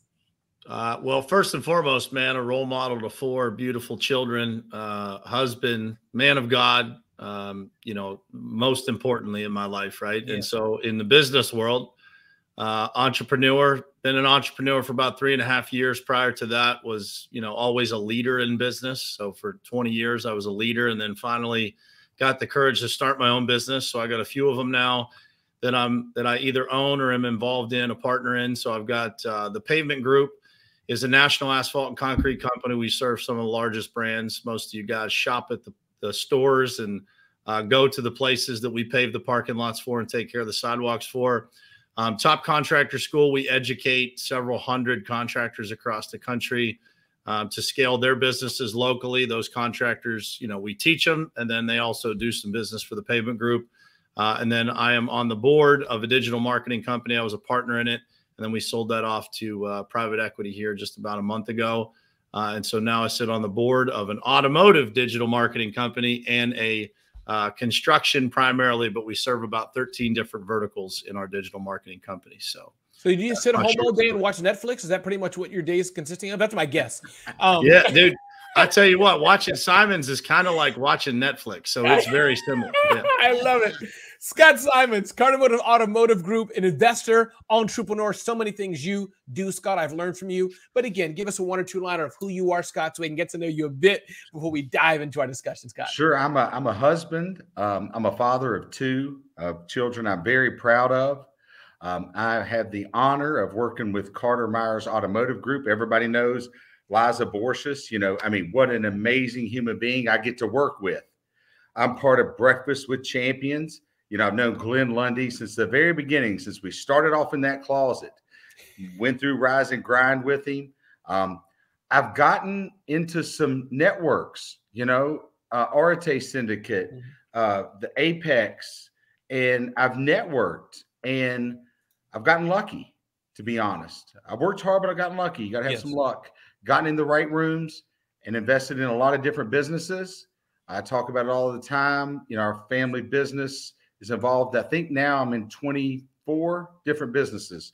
I'm looking forward to doing some business with Mr. Brian Hess. I got to hang out with him during this fantastic conference we just got away, uh, got back from, and uh, we got to hang out. And man, I have never laughed and had so much great fellowship with amazing human beings. That's and true. I, you know, got to see you serve others. Yes, yes. You have a servant heart, brother, and uh, and you light up. You are the energy in the room, and uh, just, it's an honor for me to be here. But I'm just a, a, a, common guy that refused to give up and, and got around the right people, man, and um, living a, a great, fulfilled life. But I have a lot more to give before it's my time. No, absolutely. I appreciate that. And Brian and Scott, we can have rapid fire. I'm going to ask a few questions. And again, we're here. I'm a tactical guy, as you all get a sense. Um, but Scott, I'll turn to you first. One thing I know about you, Scott, it's amazing because we all pick up certain things about us. You know, Brian has me say, Ramon, I don't want to be called the concrete guy. Well, that may be what I heard all the time. So, you know, that's that's your problem, not mine. But Scott, one thing I what I think about you is leading teams. I don't think about you as a car guy. In a way, I do Ford, what is it trx i do think of that? Because that's part of your brand but you like to lead people and uplift people. At carter myers automotive i picked that up. So can you talk about that a bit scott to the small business owners who have their small teams? I have a small team. What are you doing right? What lessons have you learned in leading people and why is it so important for you to do that scott? Yes uh, ramon that's a great question. And first you have to care about others. There's a point in my career I was so determined to achieve my goals that I only cared about me. Hmm. And I was winning in business, but Ramon, I was failing in everything else in life. I wasn't a good husband. I wasn't a good dad. I wasn't a good friend. And it, it, it struck me, you know, and it, it happened. And I said, wait a minute, I've got to make sure that I serve others and I find out what's important to them. One thing I'll share with you is every associate we find out there are three personal and three professional goals. Their personal goals are first. They have to align with our core values. However, I need to know what makes them tick and why they do what they do. Mm. So when I learn that and show that I care, it enables me to manage them. It enables me to push them. I can push them a whole lot further when they know that I care than if I'm just trying to hit numbers. They're more than a number. We get to know them. If you come to our dealership, I can walk around and I can tell you a story about each person at that store. People came to visit us and they go, You really know all these people. Wow. And it, you know, it's hard because we've grown so much. Yeah. But I mentor, we get to know. And I think that a good leader leads by example and puts others before themselves. And then when you do that and you lead with a servant heart and work hard, we don't don't leave that out. Yep. Don't, I mean, we got to work hard. Then that's when the magic happens. So uh, I love leading people Um, I, I, love setting the example, and uh, it's, it's it's an honor to work at Carter Myers Automotive Group and Liza Borches. It's it's amazing. No, I appreciate that. I love how you uplift her every chance you get as well. Brian, respond to that. And then, Brian, I'd love to talk about your journey into entrepreneurship and what you learned that we can learn from you to avoid some of your mistakes. But first, feel free to give feedback to what Scott just talked about leading people and how important that could be to you, Brian.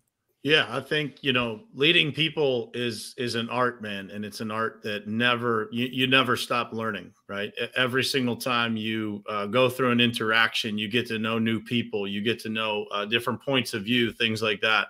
Um, you know, one of the things that's most important to me is, like Scott said, getting to know our people on a personal level. Um, we do something in our company called a "How I Want to Be Coached" form. So we mm. fill that form out um, and it tells you know tells us what motivates them, what demotivates them, uh, what their goals are, and what they're striving for. And to Scott's point, if you don't put their goals first over the company, um, you you got things out of priority, right? And and it comes down to uh, we all work for a living, right? To live. You know, we go to work so that we can live. Uh, it, it, if you get it in the wrong order, man, and uh, I believe a lot of companies do. It's what drove me to become an entrepreneur. Uh, a lot of places that I worked, you know, they were great places to work, but they weren't exactly the culture that I wanted. Uh, and I wanted to be able to create a place where people felt enthused. And not only did they make money, but they became better people, right? And they became better members of our communities and um, able to give back, able to see things and grow and just, you know, be better people and uh, and be excited about coming to work and being part of a mission. And uh, that's what we've been able to create at the Pavement Group. And um, it all starts and ends with everybody in the company's ability to lead, right? Mm. Because we don't just have leaders; everybody leads each other. Powerful for sure. And when you were starting out, Brian, can you any tips that you can think of that, hey, Ramon, this is something universal that I did right or you did horribly wrong, which we'd love to hear more so. But either one, right or wrong, that you can talk about that we can learn from today as you were starting your business or businesses, Brian. Yeah, I'll tell you, man. One of the things that always comes to mind is uh, if I were to go back and do anything over again, it would be to think bigger sooner. Um, mm. You know, every time I look back, uh, you know, I, I hate people ask me what my five year goal is and I don't like responding to that because every single time I do it, I feel like I sell myself short. And so it, it's a, the most challenging thing to do is to think bigger when there's nothing in front of you. So those people who are starting out, you know, the best thing that they can do is get a mentor uh, who has been there, who can pave the way for them uh, and help them stretch that vision that they they have. And so for me, when I was starting out, um, I didn't have that. Right? It was it was me trying to create and trying to figure it out. Uh, and if I would have known people like Scott, uh, even though we're not in the same industry, mm. it would have helped me be able to think bigger sooner. Um, and we would be further ahead than we are right now. Right. And so mentorship is one of the most important things that you can do. Um, and for me, I was always looking for that mentorship inside of our industry. And it took me a little while to figure out the value of, you know, not just being in the industry. In fact, the the value of being looking at things from a different perspective right. can be incredibly valuable to a business. Well, that is powerful. Um, uh, Scott, I'm curious. One, feel free to respond to that, the aspect of mentorship, because I know you do that. But I'm curious, have you also received that, Scott? I know as you mentioned you hang out in several groups. I'm sure you don't just do it because you're bored to death. It seems like you learn from it and network from it. Pour into us. Talk a bit about that mentorship aspect, Scott, uh, please.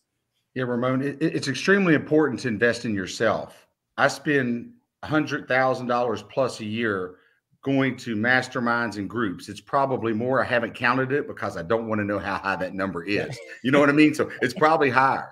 So you know, I'm around the Andy Frisellas, the Ed Myletts, the Grant Cardones, the Danelle Delgados, and I want them to push excellence out of me. I don't mm. want to get stagnant. Our great friend Glenn Lundy says we're most comfortable before we die. I don't want to get comfortable. So I put myself in uncomfortable situations. And when you get around people that are further than where you are, mm-hmm. it's hard not to be critical of yourself. It's hard not to have um, get kind of upset at yourself. I did that at first, and it's very short term thinking. And I put myself in rooms and I listen a lot. One of my favorite pictures I have on my Facebook cover is a seat at the table with Jesse Itzler. I think Mm. Jesse Itzler is one of the Yeah. best entrepreneurs out there. Jesse has won across multiple different industries. Yes. So he's sitting there with Dan Fleyshman, Aaron Wagner, all these Arte people. And I'm sitting there just fixated on him. And someone captured that picture. And his whole thing is get a seat at the table Yes. Yes. so many times we get around those people and the immature Scott would talk because I want to impress them. No, you listen, you listen, you learn, you implement, you take action. Take action. You know, I want I want to learn from so many other people. You know, like Ramon, like I'll give you a perfect example. Please. You are a servant leader. You. I know you don't like people, you know, talking about you, but you're a servant leader. Hmm. You showed up at Grow for God. You know what you did? You served everybody else. You you cannot be in a bad mood around you. Your whole you, world could be falling down. And you know what? You still got that beautiful smile and that positive energy. People feed off that. You're a natural leader, Thank you. natural leader. And I saw it in action this past weekend. So I learned something from you. I got to mm. vibrate. I got to make sure that no matter what I'm going through, I got to be the person that has the most positivity and I have to serve. So I Yes. learn from anybody, anybody and everybody. But Ramon, if I'm sitting in a corner and I'm not engaging and I'm self enthralled, I won't learn. I learned Yes. a lot from Brian Hess. Brian Hess and I are going to do some epic things together. You heard it here. And when I do it, I won't brag, but I'll say, hey, remember I told you about me and my little buddy Brian Hess? I love it. I love it. that Pittsburgh native and my West Virginia hillbilly butt, we're going to do some special things. I'm going to do some great things with you, you know, because I'm going to get in that circle and I'm going to Yeah. serve and I'm going to do whatever I need to do. You said, Hey, Scott, show up to this epic event I got going on. I said, Brother, first of all, I'm honored that you would ask me. Two, I'll be there at 2 a.m., 4 a.m., whatever time. I will be there to serve you because you serve others. Wow. I'm, I'm going to record that and just, I don't know what I'm going to do with it, Brian. I'm going to do something with it. I'm going to make it an NFT or something like that. Thank it's, you, it's true, brother. I mean, nobody's going to say no to you ever because of how you vibrate. I mean, that's the that's the truth. Nobody's going to say no. appreciate to you. that. Thank you all so much. Brian, I want to turn to you and, and then I'll turn to you next, Brian. Criticism. We've gone to a high note serving, but Brian, I'm sure there's been time when people called you an idiot, said it didn't work, you failed. Why did you do this? You screwed up. You can take it where you want to go. But how do you deal with with the low parts of life? Uh, Brian, and then Scott, I'd love for you to, to chime in on there because of being a small business owner, a solo business owner, our family doesn't understand us. Sometimes our wife doesn't understand us, our husband doesn't understand us. You know, where and you all have, have been there, understand what I'm saying, where you you nobody knows the check didn't clear, your rent's due tomorrow. So it's a big question, but I know y'all can answer it. What do you do at the low points in life, Brian Hess? Yeah, I I mean, listen, I think, you know, everybody has them, number one. I think for those people who, you know, maybe sometimes look at the personalities that they see on social media or the people that, you know, seem to have it all together.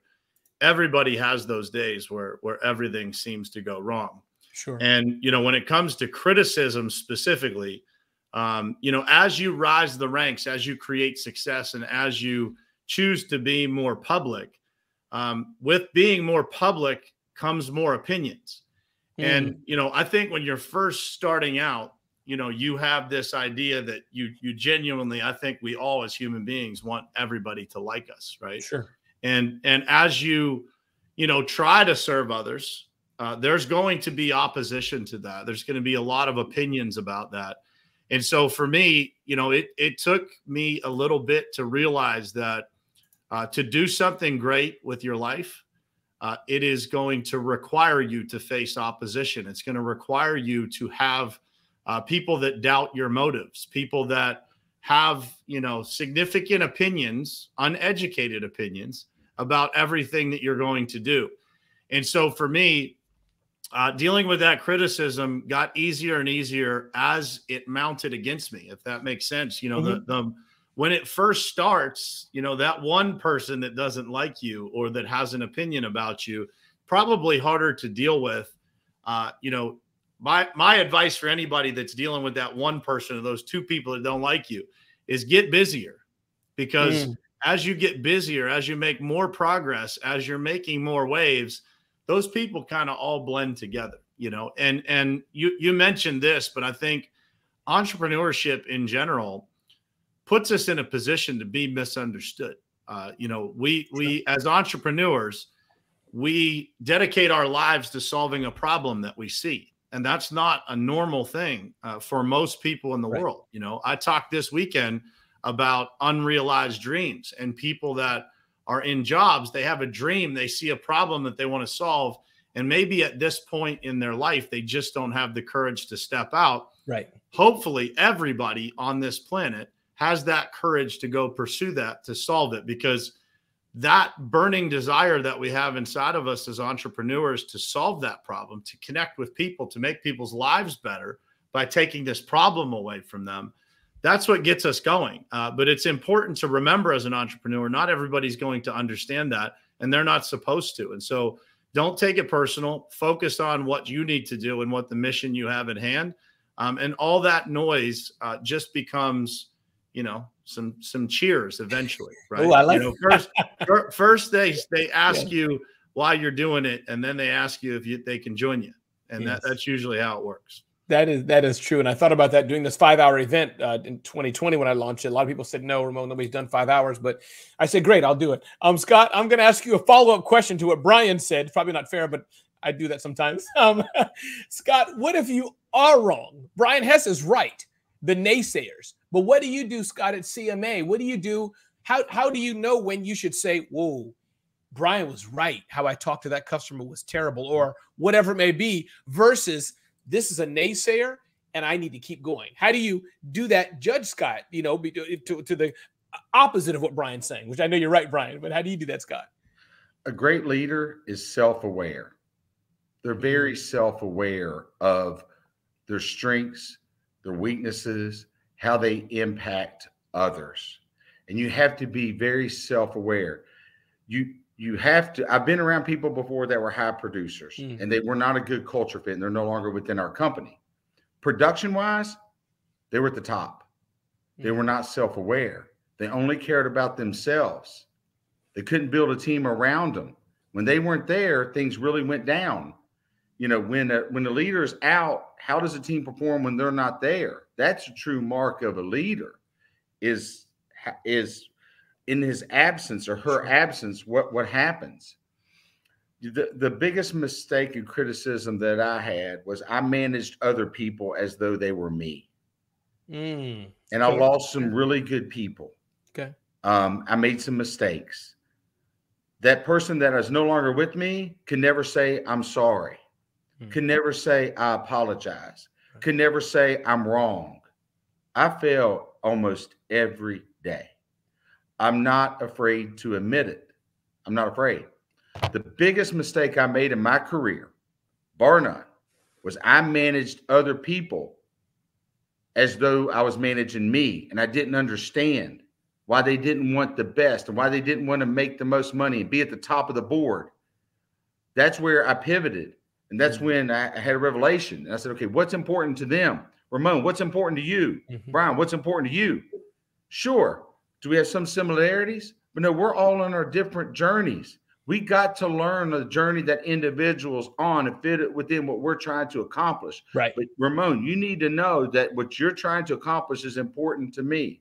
I need to know what Brian is is trying to accomplish is important to me. That way, the days you feel like not doing something, I can say, "Hey, Brian, you know, those kids will go to college. Yeah. I know you want to max out that 529, brother. We got to get it. you know, Ramon, I know you want to impact the world. Yes. And I know probably you don't feel like getting on Clubhouse and being the highest level energy person on that app.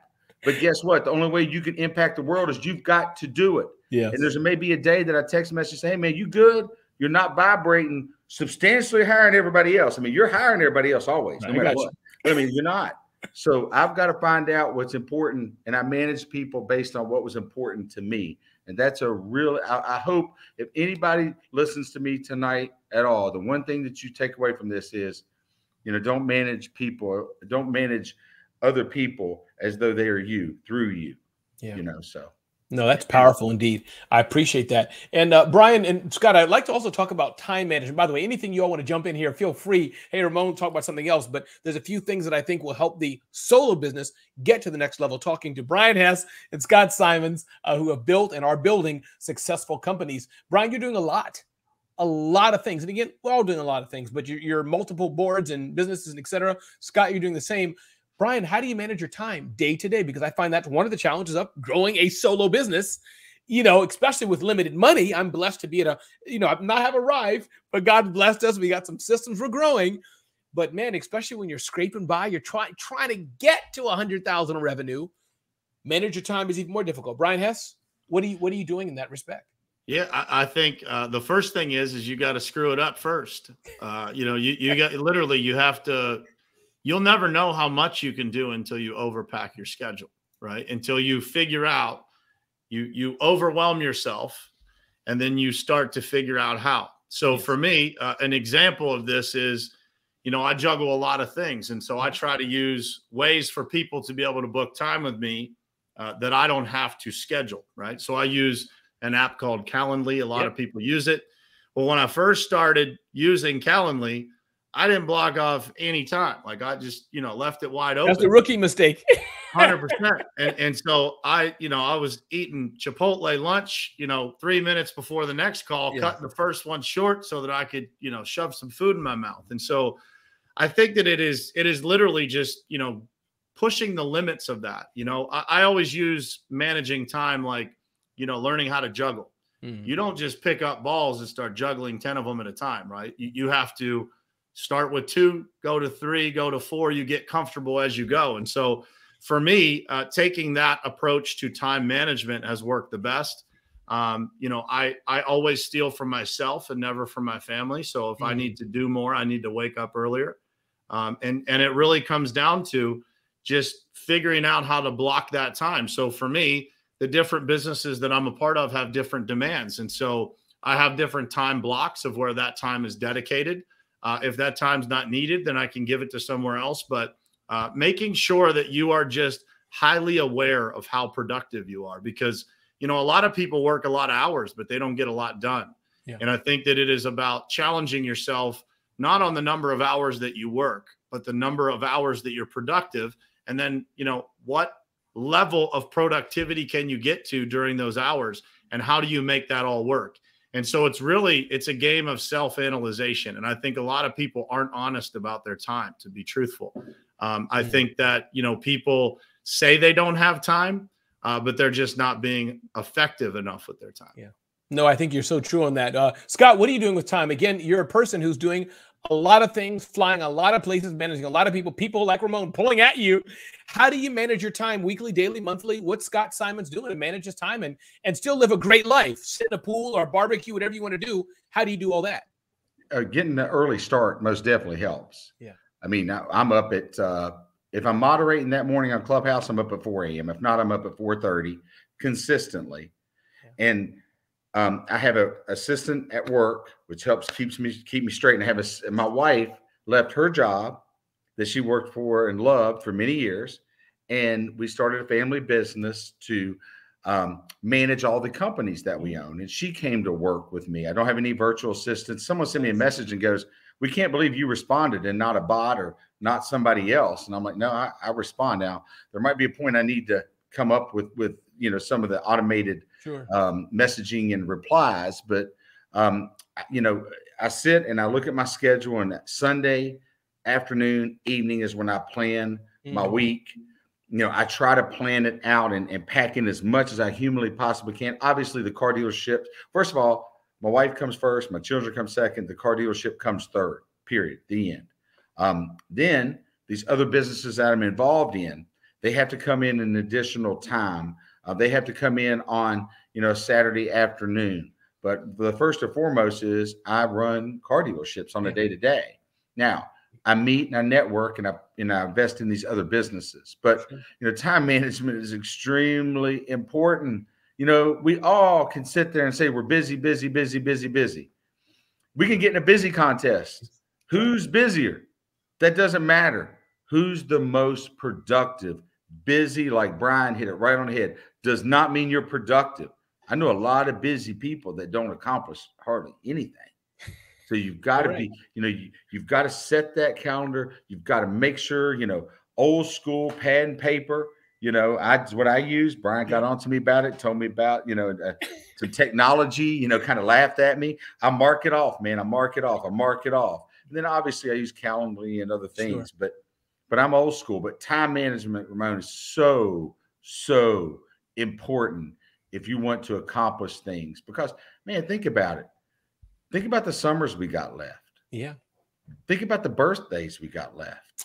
I think you about sit, think about it that way. We don't have that much time left. Right. So if you're not where you want to be, you better get super focused and super busy instruction. You're right. Scott, Can wow, I get an amen. Yes, amen. and talking about waking up early, you're right, Brian and Scott. I woke up, I wake up now at 425, going back from I don't steal time from others. Why do I do that? Because as we know, that the, the the community we're in as of this today, 5 a.m. it starts. Some of us, you know, here or there. But the point is 5 a.m. I wake up at 425. You know what? Because I realized when I woke up at 5, I only had time for BWC. But I wasn't reading my Bible and praying in the morning, spending time with my daughter. She's an adult, but going to work. So I have to wake up at 425. So I'm downstairs out of my bedroom at 430. That gives me 30 minutes to spend time with God. Then the rest, whatever happens, happens. I can go to the gym and put headphones on and all that. But that time is important. So I had to do 425. So I hear what you're saying, Scott. Um, Remember, multitasking, not to interrupt you, sir, yes. but multitasking, no, brother. Multitasking is the key. If you, I'm never hardly doing one thing, hardly ever. Yeah. When I'm on uh, Clubhouse, I'm on a Peloton. I'm yes. I'm on a Peloton. I'm on Clubhouse with the iPad, yeah. and then I got my iPhone, and I'm working. I'm shooting emails. I'm pedaling. The next thing you know, it's 20 miles later. You know, and you got to multitask when it's appropriate. Sure. When sure. it's not appropriate, put that phone down and get down to business. Stay. Brian says it all the time. Be very present with your time. Yeah. No, it's true. Brian Hess, Scott Simons. We have to do this again, or we can have y'all for five hours, two and a half hours each, or something. I am grateful for you saying yes to me, Scott Simons and Brian Hess. I am grateful and honored. Uh, this is live event right now, five hour live experience, but this conversation will reach thousands because we'll be sharing it over the next several days, giving it away to everyone. So, Brian, Scott, thank you. Thank you, brother. Simone, it was my pleasure. You and I'll see you. Appreciate you, you creating and, this space for us, man. Thank you. Yeah. You call, brother, and I'll answer. I appreciate it. I appreciate it very much. See y'all on what's it called? Clubhouse in a bit. Scott Simons, Brian Hess, thank y'all so much for joining me. That was a fire discussion. Two gentlemen that I've learned from so very much. Thomas says, I thought I was doing good waking up at 5:30 or 6. Nah, man, nah, man.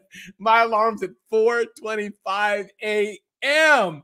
Next up, with about a minute over, and that's on me, is Coach Brown. Coach Brown is someone I've met. What's up, Coach Isaac Brown, over the last several months? Good to see you, man.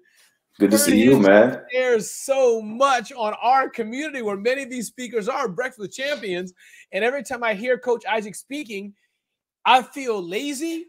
My legs oh. hurt. I feel out of breath.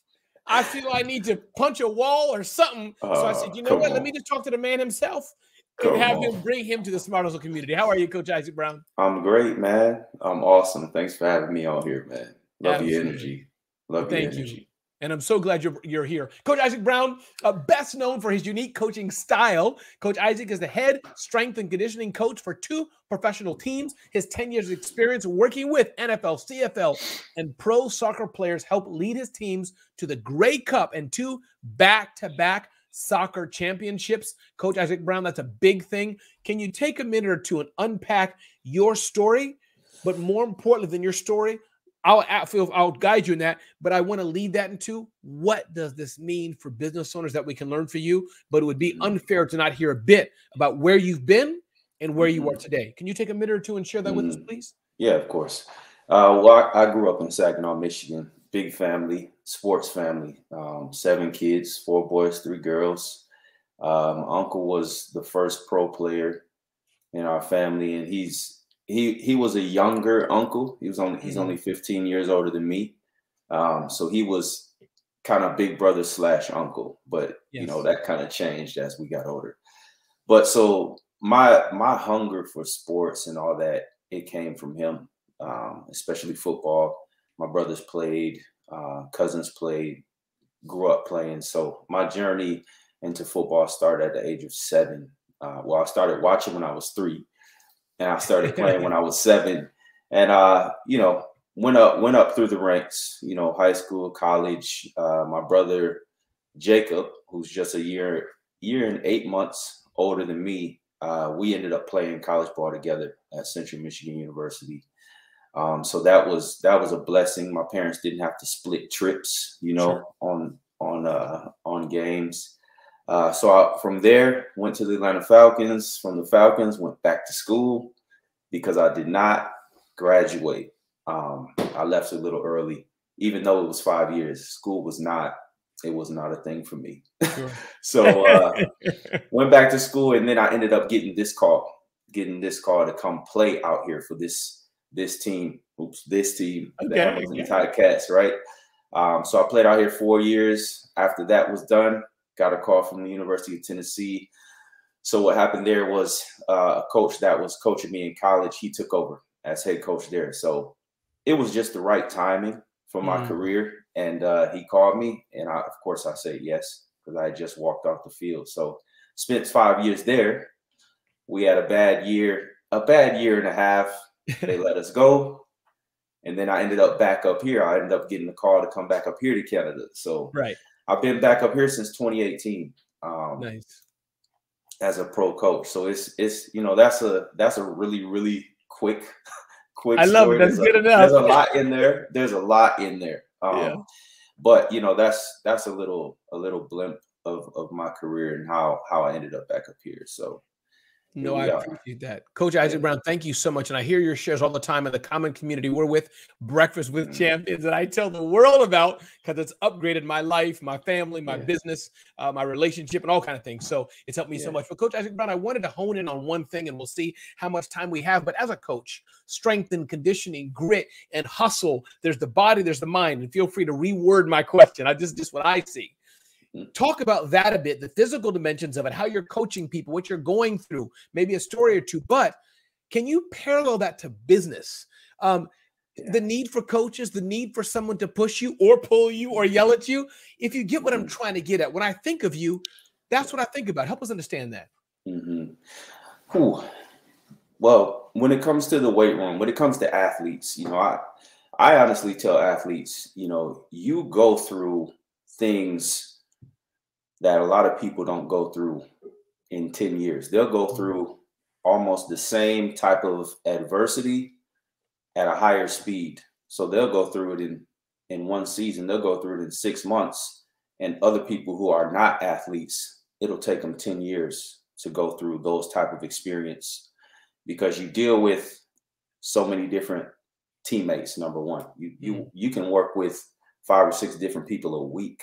The transition in pro sports is very fast because there's money involved. And if you're not performing, you're easily interchangeable. And that goes for coaches too, mm-hmm. right? So you can have five different bosses in three years, right? You can have 50 different co-workers or teammates or whatever you want to call it in two months, right? So you're dealing with all that adversity, not to mention week to week is a game right? And you know, we talk about hitting your marks in business. Well, you have to hit a, sing- a mark every single week. Yes. Right. So there's there's so much at stake as an athlete, and the mental stress that I don't want to say wears you down, but that, that it, it, does wear you down. Some people, but okay. some people build the resistance. Yeah, right. Totally. Some people take that mindset and they build that resistance, and it takes them farther later on in life, you know, and not to mention, let's throw in the injuries. Sure. Let's throw in, let's throw in the things that you can't even plan for. Right. So you have that going on. And if you're a, if you're a college athlete, you're juggling school, you're juggling training table, you're juggling workouts, you're juggling games, you're juggling fans talking bad about you on social media, you're juggling your social life, you're juggling your family, you're juggling all these different things, and you're between 18 and 21 years old, right? So that mindset starts to get built at a very, very young age. But I think the big difference between those who let it wear them down and those who don't is mindfulness. Hmm. The ones who don't let it wear them down, they're mindful of what's going on and they're using those things as fuel to build resilience, to build grit, and things like that. Right? And, so and how do you define mindfulness? That means self awareness, same thing, or something different? Just exactly mindfulness. exactly. Okay, That's exactly what I meant. Yep. Self awareness. I love that. And then how do you see that translate to the business world? You know, business ownership, it's kind of things you're saying. It's grit, mm-hmm. there's disappointments. People talk about you, people don't Yeah. understand you. Your, your Yeah. own family may say, you know, Coach Isaac Brown, you want to build a lemonade stand? You can't do that. So I guess what I'm hearing is to take that and maybe leverage it and propel you to do more. Is that what I'm hearing say, or am I off base in that? Uh, similar, similar. Uh, you know what I really mean is the things that the things that you see in sports and the things that you see in business, they're just they're just in different shades, Mm. right? I, I believe football is is just at a higher speed, right? So if you're if you're a business owner and you were a former, let's say you're a former athlete, Right. and now you're and now you're a business owner you understand how to just keep going because when you are an athlete there's the next game right there's the next practice we say on our team what's the most important play the next play what's the Mm. most important practice the next practice what's the most important game the next game because you don't have time to sit and wallow in disappointment you got 24 hours to get the crap out of your head and move on. You got to start preparing for the next opponent, right? The clock is ticking. Mhm. Like you can take a loss, but the clock's ticking. In seven days, there's someone else suiting up across from you and they're trying to kill you, right? So the same thing in business, but in but in business, it might be even more cutthroat because it's day to day, right? In business, is day to day. So as an athlete, you understand that okay, if I don't get my stuff together, I can I can just be out of here. Mhm. I can get called up to management and say, uh, we're gonna go in a different direction. And now you're packing up your locker and you're gone. Yeah. Right. So that mentality, it kind of it sort of numbs you to the adversities outside of football, outside of the game, because Mm-hmm. you see them on a day to day. I'm talking day to day so much. Sure. And however long you play, you build a certain callous and resilience to it. So then when you step out onto the real world, some problems that people complain about, they're like, is that really a Right. problem? Yes. That- Yes. It's not really a problem. Yes. Right. The, the So- fame, famed David Goggins, uh, multi special forces, is known as saying his mind was like a steel trap. What helped him through the special forces was that everybody else, they were tough guys and gals. M- guys were there, but is that he was abused so much when he was younger. He went through so much. It was like cold water, Mhm. you know, as it were. He did. This was an example. My mama abused me with cold water. This ain't nothing. So Right. that was his Right. thing. So I'm curious, Coach Isaac. Um, uh, and again, thanks so much for spending time with us and sharing your Sure. brilliance with the Smart Hustle community. I'm curious, is there a level though where you don't want to be too calloused or too used to pain because maybe you're insensitive, especially you as a coach, you want to slap the players up a bit, get them pushing Yeah. forward, but do you have to slow down a bit and say, "Oh, your dog died. Let's let's let's slow down." Any is there any Mhm. balance there? Mhm. You know? No, no, I don't I don't think I don't think you have to I don't think you you reach a level where you don't want to be too callous, but I think you just need to have emotional intelligence. Mm, You know, eh, like there's going to be there's coaches that have been coaching for 30 years and they played for 15 as a player. right. But if those coaches have emotional intelligence, if they're mindful, if they have great people skills, interpersonal skills, great if they're great at communication, then they know when and when not to let that callous mindset come in. Sure. You know, you know what I'm saying? So it really depends on you as a person and, and what's the content of your character? What's the content of the way you handle and manage people? You know? Yeah. Yeah. No, That's powerful. Somebody asked a great question here. And again, those who are on Facebook, if you wanted to see your name, feel free to do the integration. But I think it was very interesting. And I'm hearing the question about small things over and over again. If you understand what they're asking, you know, just lace up your sneakers, just brush your teeth in small business, just every Friday, look at your profit or loss. Nothing more. Mm-hmm. Just do that. What does this principle mean if it's a fair question? I see you nodding your head, so you know what I mean. Yeah. Of just Yeah. not trying to get complicated, fancy, and trying to get the Encyclopedia Britannica. Just, just do this two things. Can you help us understand what that means? Yeah, it's funny you asked that because every practice, uh, I warm the team up, break the team down, and send them off into practice. And today, the first thing out of my mouth was, "You start to lose when you think you're above the basics. Mm, Nobody's nobody's above the basics, right? You got to do small things with a great attitude. And I think when you start to see success, when you start to see yourself winning, you kind of you get that broom and you sweep little bitty things Yeah. under the rug. But if you're losing, those little bitty things are this big. But if you're winning, they're this big, right? But regardless, win or lose, they matter. That's the point, right? They're the common denominator. They matter, right? So I think you have to understand how to stay focused on the details at all Yeah. times, no matter no matter how far along you are in your success, because those details are the foundation, right? So the little things matter. Even in the weight room, I keep that place spick and span. I'm sure you right? do.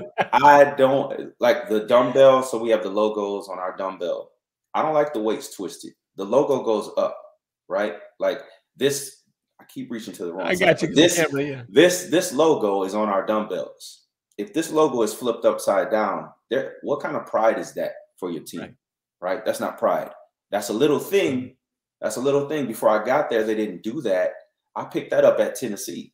They didn't let the T be upside down ever because the rival, our rival Vanderbilt, they flipped that upside down. Yeah, they take a picture of it or something. Yes. right? So it's just those little things. The details matter. Discipline and details is what I preach to the guys all the time. I love that details and discipline. I think that's that's so Yeah. important. Curious to know also, Coach Brown, uh, what do you do about team unity and team cohesion? You're dealing with, depending on the sport, X number of you know whether it's men, women, boys, girls, whatever it is, on a team who have to work together to fight, as it were, a common enemy. How do you keep the team together? I'm sure there are different opinions, different mindsets, different upbringings, different goals, different. Somebody pissed off at you today, not pissed off at you tomorrow. How do you keep them working as a team towards a common goal? And any thoughts on that, much as a coach? We work on it every day. And that's something that on it, every team that I've been on before this, before this one, it was unheard of. Mm. Like no one takes time to do team building, even if it's two minutes every day.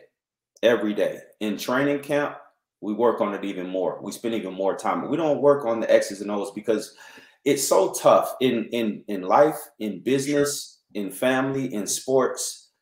It's hard enough just to work together with with with people, Yeah. right? So you better be able to like them, right? You better be able to respect them, and you better know a little bit about them. So we don't skip the steps. We we take the time and we work on team building every single day. It doesn't matter if it's okay, everybody stand up, tell the person next to you something you appreciate about them, right? Tell them something you're grateful for, right? What's your ask them what is their way what? And that stands for what are you working on today, mm. right? So every single day we're saying something or doing something that contributes to team building. And that's not when we get on the field. That's in our team meeting every But a lot- single day. But allow me to push back on that a minute. Allow me Yeah. to push back on that. Why do I gotta ask Johnny what his favorite ice cream ice cream cone is, or how his kids are doing, when all you want me to do is throw the ball 75 yards? Mhm. Why do I have Mhm. to care about where he lives or how he's upbringing? If I can do my job straight, does it matter if I know this dude or gal? If you get what I'm asking, Mhm. why is that so important?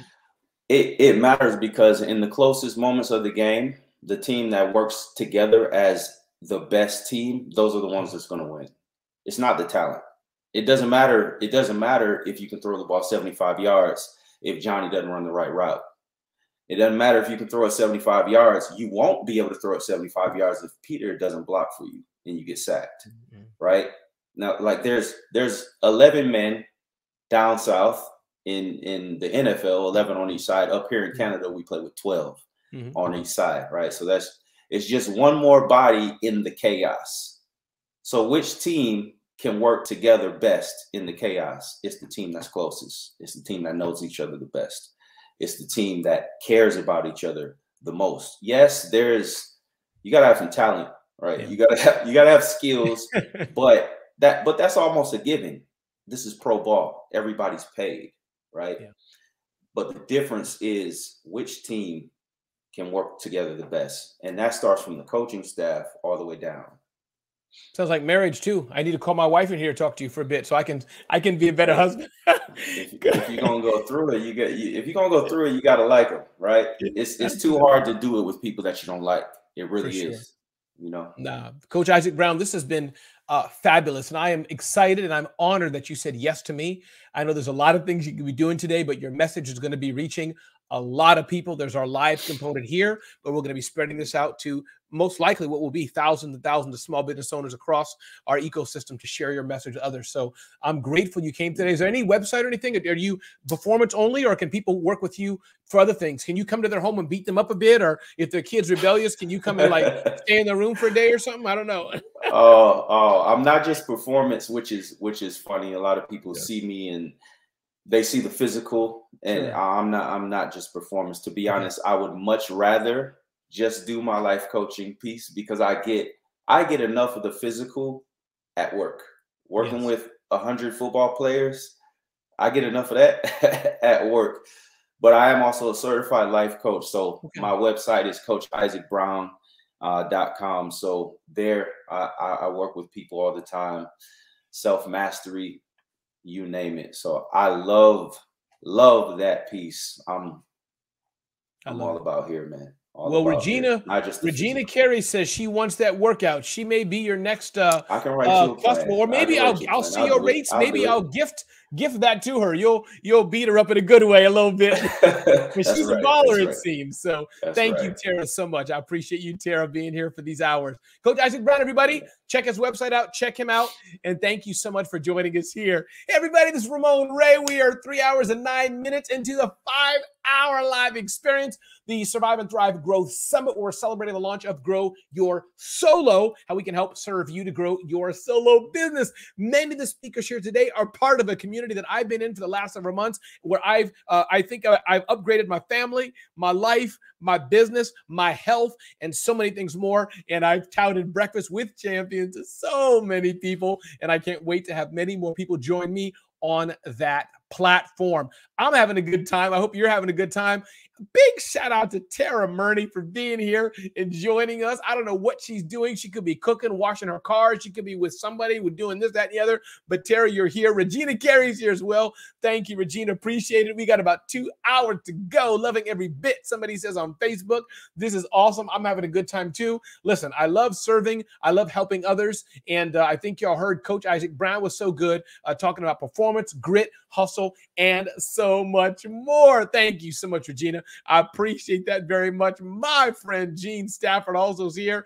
She says, Great time. And I'm so glad you all are here enjoying it. It's not too late to share this with others and let people know, but we'll be cutting these up and sharing these across social media so uh, long. My friend, my mentor, someone I have learned from and one of the smartest people people I love one of the most hanging out with. I got to be careful like the most, the most is Sara McCord, uh, president and COO of Breakfast with Champions. Sara McCord, thank you for saying yes to me. I know you've been sitting all day just laying in bed waiting for this call today. I'm you know that. You know, we actually uh, working with Glenn Lundy in less than 24 hours, we fully conceived of and launched a coaching tier, which you're a part of. So yes. I've actually been digging into the marketing of that today, and I'm so honored by your introduction. You're welcome. Sara. So Thanks not laying in bed, just to clarify for anyone yes, who doesn't know. No, I, that's an internal joke. Sara is one of the most busiest one in the world, waking up early in the morning as all but BWCers do, and uh, getting to bed when we can, or our families and all that. But let's dive right into it, Sara. For you bring so much knowledge, and I don't even know. I have so many things I want to ask you in the next uh, 20 or so minutes we have time together. I don't know whether to ask you about leadership, Sara, because how I've watched you bring people together, massage people together, you know, people's thoughts and and bringing a team, like I just asked Coach Isaac, a team, or to talk about marketing, Sara. I'm going to try to do both Let's because do you do Yes, you do both so well. Let's touch on marketing first, Sara. Every okay. time I hear your segments and Breakfast with Champions, I learn something. As you know, I'm a marketer. I've been doing this for 20 some years. I learn something from your segment every time. Like, I'm, I'm what? What'd you say? So, Sara, I'm just going to shut up. Talk to the smallest of small business owners. What are you seeing in the agency you have, BWC? What's some of the challenges like Ramon? Here's what they're always doing if they would just stop doing this and start doing this. Can we start there, Sara? Is that a fair question to give you some, sure. some please? Absolutely. So I think the biggest advice that I would give a small business owner who doesn't have a marketing team, who's trying to figure it out for themselves, is in everything you write, I want you to think about who you're centering. And here's what I mean by that. Are you centering yourself as the business owner or are you centering your audience and your customer and what they need and what they're coming to you for and that shift will make a massive difference so i'll give you a perfect example i know that you started this um, incredible live summit as a response to the pandemic and that's such a clear example because you saw two different messages coming out of small businesses who, thank you so much. Uh, we saw two different messages coming out of small businesses who are struggling. The ones that center the small business owner would say, um, we're struggling with this, we're struggling with this, we're struggling with this, and we really need your support. Right. And um, certainly that's powerful. And certainly your most engaged customers will respond to that, but you wouldn't get anyone new. On the flip side, if you were centering your audience, you would say, here is everything that we are doing in this moment to make you feel safe, to make you feel served, to show up for you, to be a place that you can come to. This might be why our hours have changed. This might be why our processes have changed. This might be why our prices have changed, but all of it's to serve you in this moment. Hmm. Which of those messages is going to get you new customers? Yeah. To serve you. Right. So what uh, right now cuz but but it can be confusing. And those are the things that I like to dig into marketing because people think mm-hmm. that in order to build that rapport and that relationship, you know, we hear so much about personal branding. They should be I, I, I, I, I, I, I. Mm-hmm. But some new business owners lean so far into that that they're talking at their audience instead of serving your audience. So that's a big shift that I would recommend.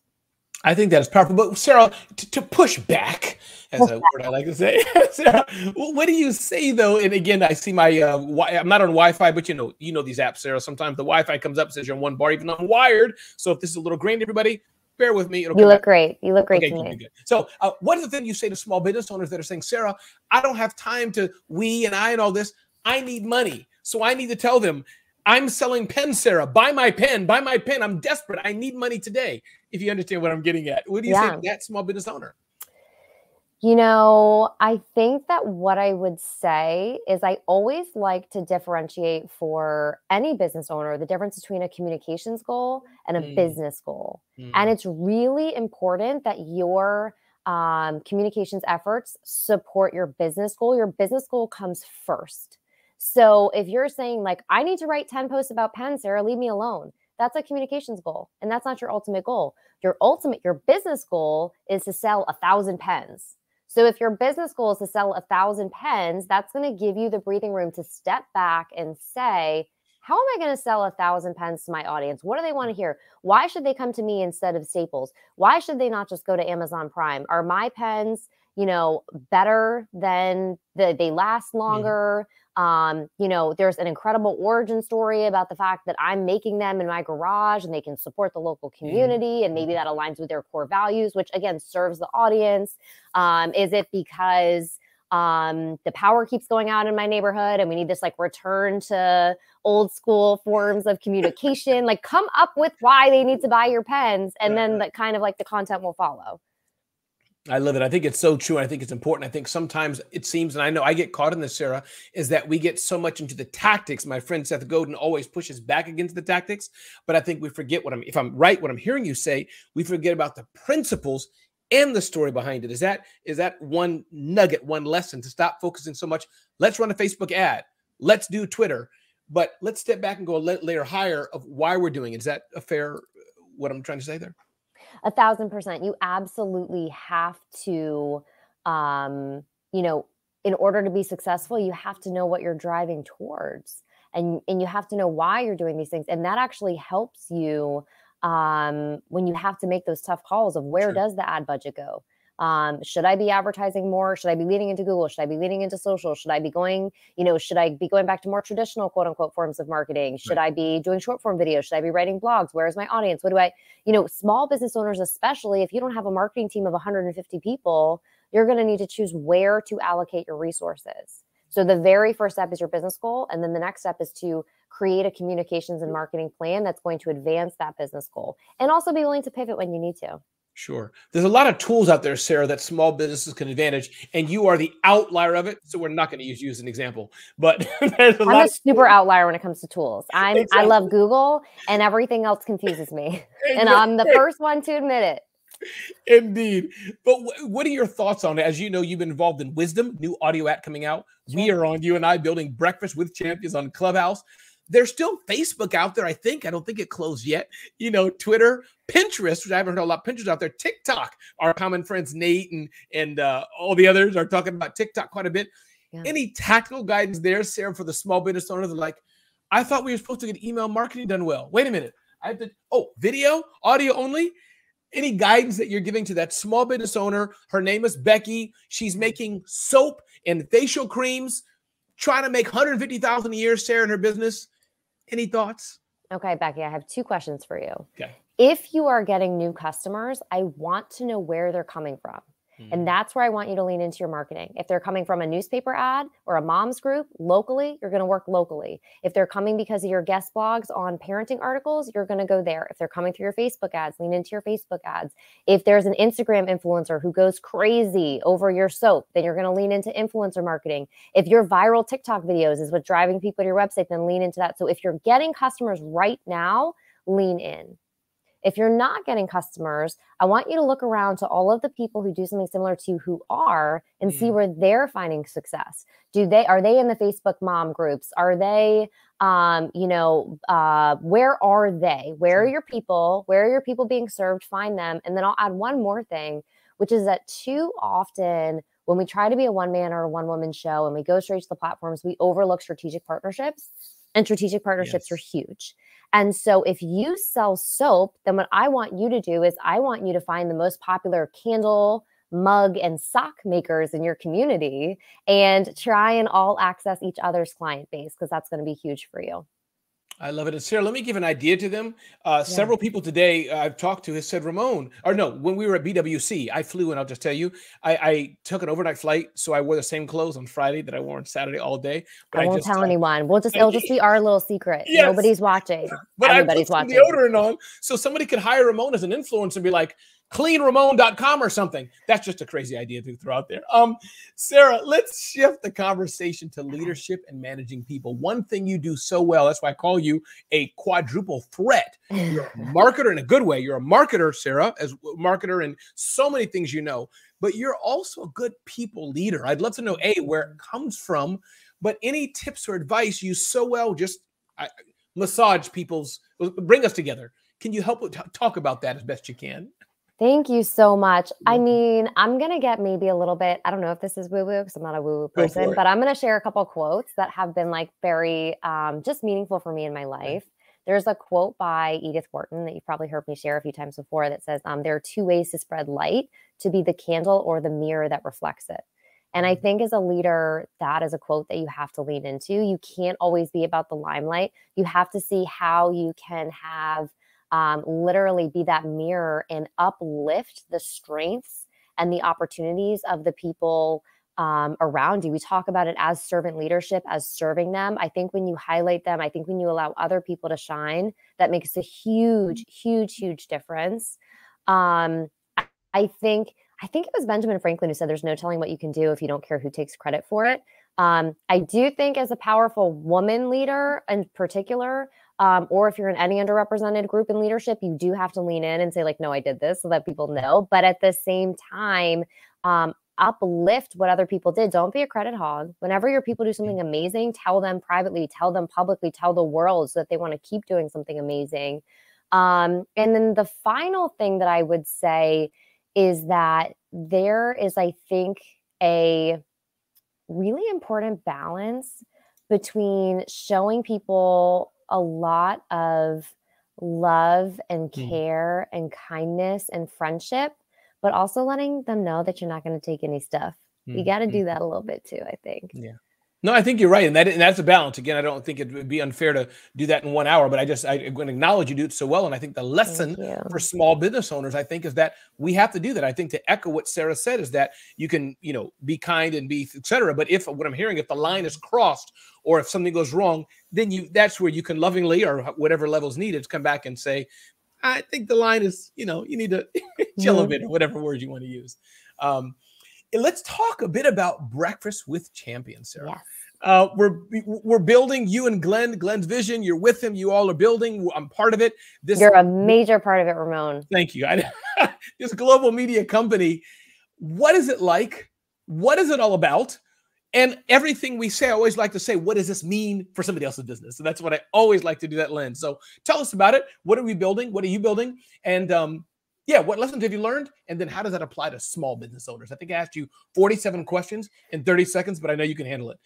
okay, I'm going to try and answer them all. So I'm actually going to start because Breakfast with Champions is at a really special evolutionary moment. So I'm going to kind of spend one moment on our foundation sure. and then a moment on where we're going and then how we can help small business owners.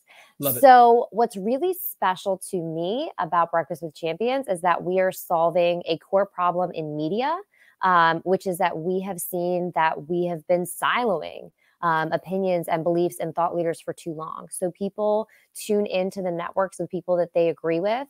And because of that, they never learn and grow from people who they don't automatically hold every single same political, religious, ideological perspective with. We have very intentionally brought together thought leaders across the political, ideological, um, and industry spectrum to just expose people to insights and experiences um, from people who don't, you know, vote, pray, think, walk, love, eat like they do, um, which is extremely powerful, I think, in the community and the movement that we're building. And then the other problem that we've come together to solve was a problem in social media, which, as mm. you know, is so often a net negative. It was actually Seth Godin, when you interviewed him on Breakfast with Champions, who said, um, you know, we he had said something along the lines that really inspired me and clarified this for me, where he said something like, "We spend time, you know, gaining friends who aren't our friends and followers who aren't our followers."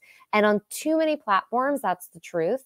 But what's incredible about Breakfast with Champions, when you were just talking about coming to Kentucky, is that it's a space where the relationships that you make are real and yeah. meaningful and profound and carry over and all of the time that you spend in breakfast with champions uplifts you. It will mm-hmm. uplift your business.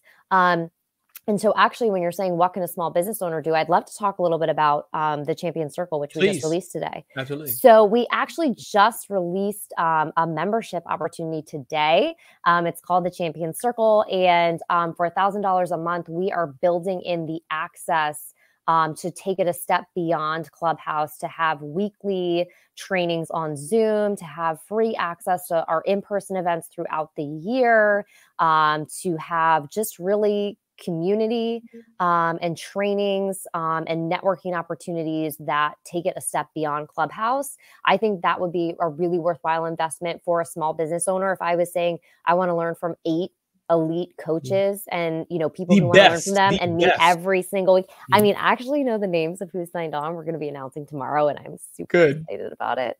Um, so you know where we're going is we're building in that access, we're building in those experiences, and I would say to small business owners, I hope it's breakfast with champions because as Ramon said, I spend all day every day thinking about how we can serve.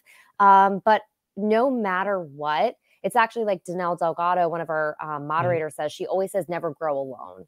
And mm. so that's probably my biggest advice. And what I think is so special about Breakfast with Champions um, is that we're all growing together. And I think, and I actually think that you were saying this to Scott and Brian when I was listening when I first mm. signed on. So hopefully we're pulling this through with some continuity. Please. This idea that mm. sometimes actually your family, your friends won't understand your entrepreneurial journey. It's and true. so finding those people who can understand and who can really um, cheer you on and teach you things is extremely powerful. Yeah, no, that's powerful. And I think one thing I like so much, uh, Sara, about Breakfast with Champions and about well, the model that's being built and small business owners can learn from it. My friend John Jantsch, Duct Tape Marketing, uh, you know, know, like, and trust.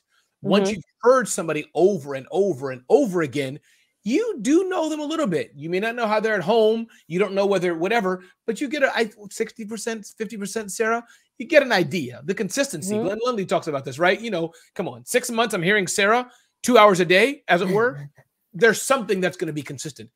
I'm going to want to work with her. So I think I like this about BWC is that maybe day one, maybe not, but three weeks you've heard Elijah Bowie. Four weeks you've heard Coach Isaac. Six weeks you've heard Susie Miller. Whatever it may be, you're going to build up that trust and knowledge. I think I want to do that. So I think a join Breakfast with the Champions for sure, and I think two for your own small business how can you build mm-hmm. a relationship and increase the trust index? Something else Seth, Seth Godin talks about. Does that make sense, Sara?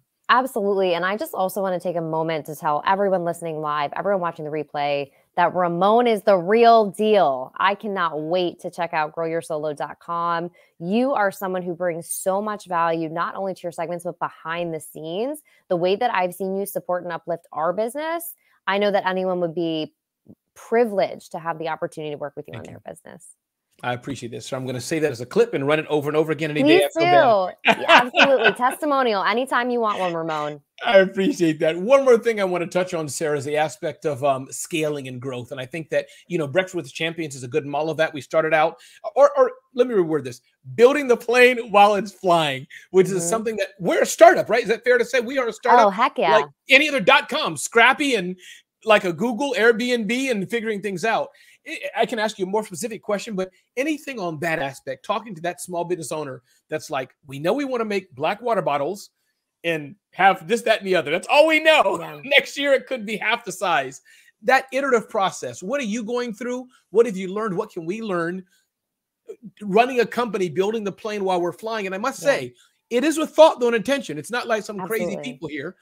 Talk about that, Sara. I would say you need a partner who looks at everything co- like the same, but completely differently than you mm. do. Um, so Glenn always says there's no growth in agreement. And um, it was actually really funny because there was something that we were talking about last night where he was like, you know what? Instead of A, we need to do B.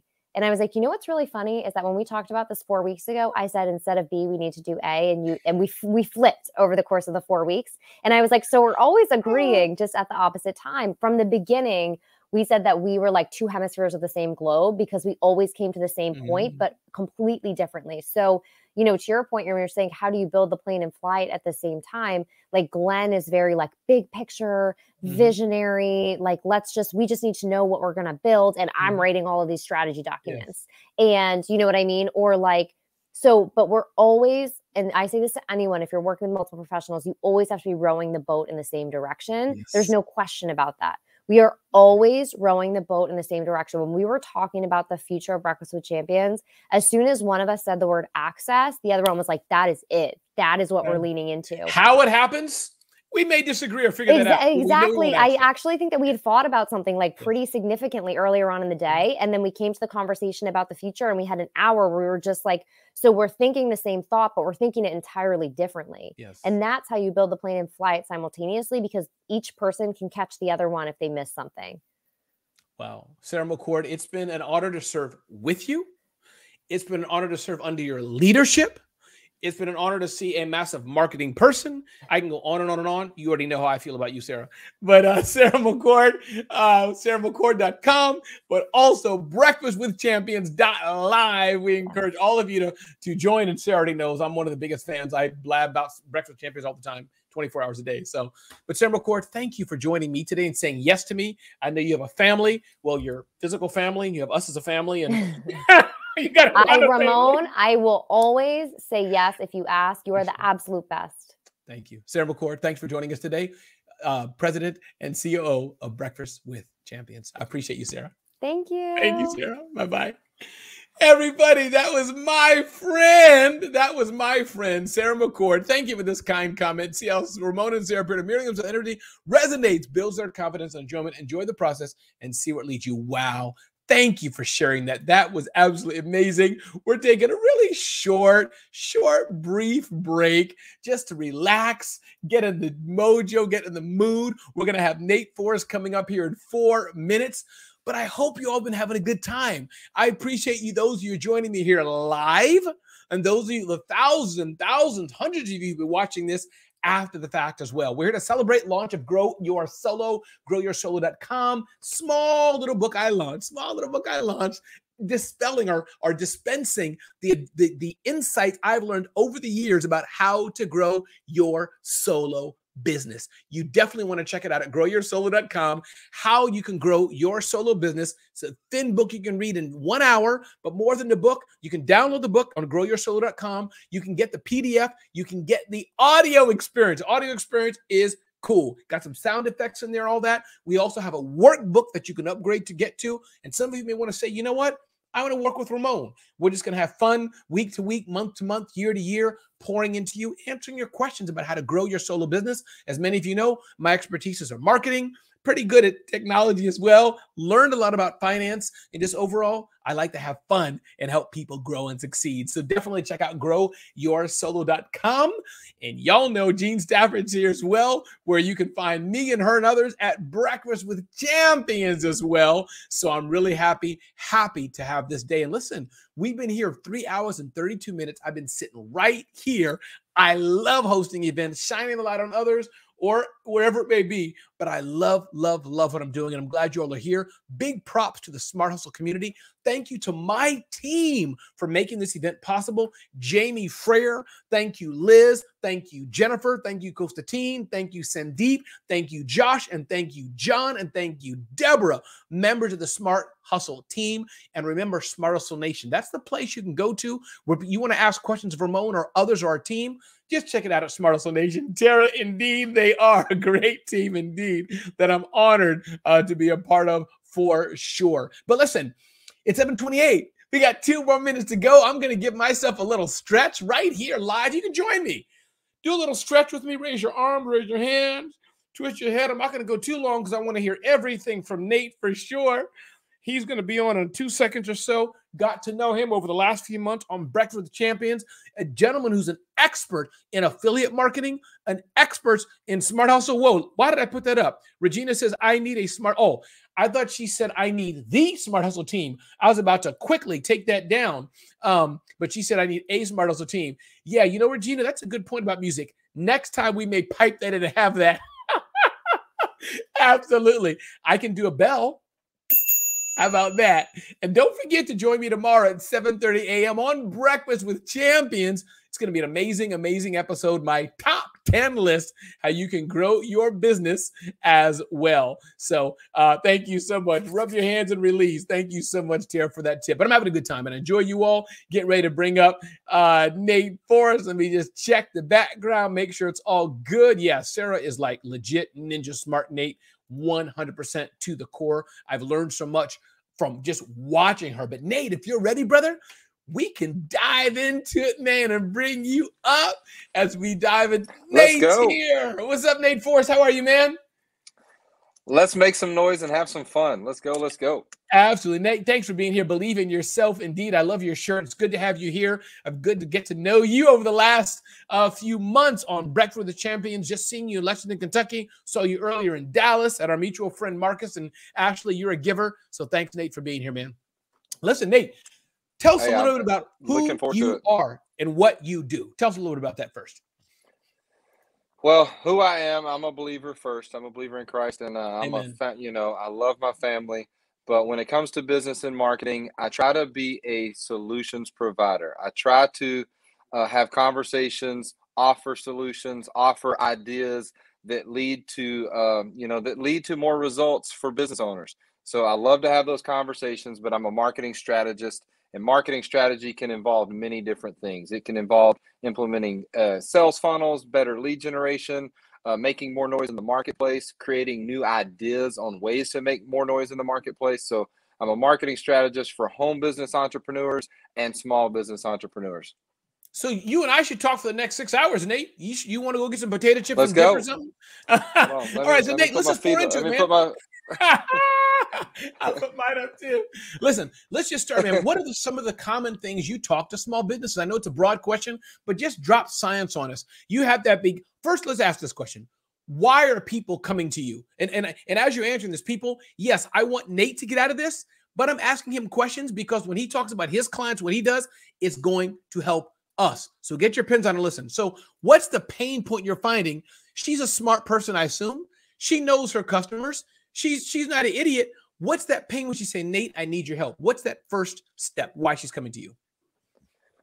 Uh, just uh, well, people need help with lead generation, but not just okay. leads. Not just Nate. Can you help me uh, find 300 names to talk to? I mean, there's people everywhere, but by by increasing the quality of their leads, honing in on their exact target audience, honing in on the the people that are most likely to buy their thing So it all starts with their messaging, the types of noise that they're making. So people come to me when they they hear me making a little bit of noise in the marketplace and mm-hmm. they want a little bit about you know they hear you talk about an idea they they they'll hear you uh, and sara and coach isaac and glenn lundy and everybody here tonight uh, scott simons and, and and brian hess yeah. they'll hear an idea and that idea will spark a question in their mind okay how do i create that same type of messaging? So people come to me they ask me questions about marketing lead generation and messaging and just improving the quality of their messaging so that they can tap into maybe not just a new audience but uh, uh, get closer to the ear holes closer to the uh, get more attention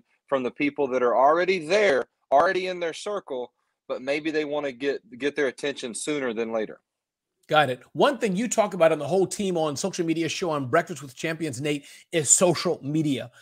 Any and again, we could talk for hours about social media marketing. Talk to the person that's using Instagram, probably the most basic tool that everybody's using. Any common things you're saying, Ramon, here's what they're doing wrong. Then after we tackle that, I want to talk about some funnel things. But I think social media, I think, but you correct me, Nate, is kind of the top of the funnel. What are yeah. those two or three things you're like, Ramon? Here's what people are doing wrong just in using Instagram. Anything that comes to mind, Nate? The first thing, the interesting thing, I love talking about this because I'm not a social media expert, but sure. I've learned a lot by hanging around people that that know the craft, and yes. I understand the, the the the foundational parts of social media. And first of all, it's uh, treating people on social media like they're not people, like they're just some mm. uh, some robot or somebody that'll just click a button and buy their thing. So just not understanding that social media is a place to meet people, as simple as that sounds. So understanding that social media is like a party. I say this a lot. It's you walk into a party, you wouldn't just walk around and be like fist bump, fist bump, what's up, right. what's up, what's up, and then after you do that with 300 people, you're like, okay, I'm going to go home, and then wonder why three of those people or, or ten of those people didn't call you and uh, and and and want to go hang out with you the next night. So if you're at a party, treat social media like a party. You would stop, you would have conversations, you would ask questions, you would engage, you would be funny, you would maybe you you talk about things that interest other people. And so treat social media like a party. That's a mistake that people don't make is they just don't treat people like they're people in the social media world. Hmm. They think they can just set up automated things. Auto. We'll talk about funnels in a uh, in a minute, but the automation comes after you build relationships with real people. So you hit the nail on the head when you said social media is the top of the funnel. Social media is the place where we meet the people, and it just starts with one person. We don't have to go do everything that Ramon Ray is doing right now.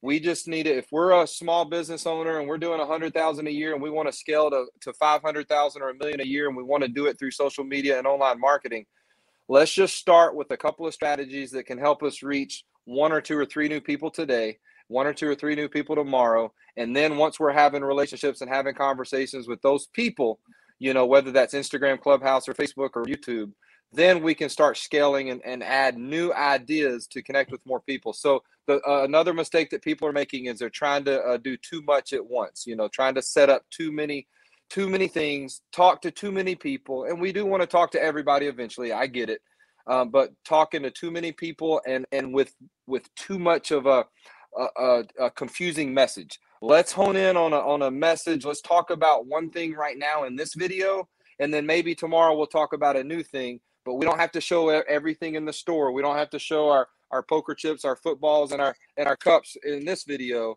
Let's hone in on our message and let's just talk about our footballs tonight to, in this video. And then uh, maybe the people that are interested in buying our footballs or they're interested in our messaging about footballs, maybe those people will come back and be interested in our cups tomorrow in a different video. So I hope that makes sense. It does make sense. And are you finding that people may be doing that because they're in a rush because they feel they're so desperate and they don't want to take the patience to do it right? Could that be possibly one reason which has that perpetual, I got to rush and rush and rush? Is there any other reason? We're humans. We're humans, so we're interested in what we're interested in. But marketing, I learned a long time ago from a mentor of mine. Marketing is the art and science of communicating to our target audience based on their needs, wants, and desires, and not our own. It's the it's the art and science of making noise on social media that changes the belief patterns of our audience so they believe that this product is their solution. We already mm. believe it's your solution. But we want them to say, oh, not only they believe it's their solution, but they they transfer a belief and think that they can do it. They think they can throw the football if our if our product is football throwing coaching lessons or whatever. Right. If Coach Isaac is teaching people how to throw a football. so not only do they think that Peyton Manning can do it, but we want to sell them on the idea that we can teach them how to do it. And so that all comes into messaging. And so uh, we need a we need a laser in on a step by step messaging formula, if that makes sense. It does make sense. So, uh, you know, again, social media, such a big topic, but let's say we're doing that okay, Nate. Now, this other thing you're expert in, Nate, I would like to spend some time on it funnels because I think it's something that small businesses they do a lot of DMs and they sell this, sell that, and the other. But funnels is something different. First, what does funnel mean to you? And that was understand an example of how it could mean for our business. And then let's dive a bit more into how we can maybe do this better. So, what are funnels, and, and why should businesses care about what funnels are? Well, to answer what are funnels, this is you know one of my favorite topics. Is first of all, a sales funnel is a sales process. Your sales funnel could be meeting somebody on Facebook and saying if you're if you're open to learning how to throw footballs, leave a DM and say foot or leave a comment below and say football. Now you might just reach out and connect with them in the DMs and then t- and call them on the telephone. Mm-hmm. That's a sales process. That's a sales funnel. But now when we get on online, when we start generating more and more and more leads and we have too many people to talk to and maybe we don't have the sales teams in place to make all the phone calls yet then we we create automated pages. And all it is all an online sales funnel is is it's like a virtual 24 hour salesperson because the best salesperson in your business in ramon's business is who? It's ramon ray. The best salesperson in my business is nate forrest but i can't talk to 100 people in the next hour on the telephone but I can I can do a one minute, two minute, three minute video and throw it on a page and have one or two buttons that say if you'd like to learn more about throwing footballs, click this button. If you'd like to learn more about the drink that I drink to help me throw footballs, click this button. So as long it's a it's a simple process that guides people where you want them to go so they don't mm. get distracted.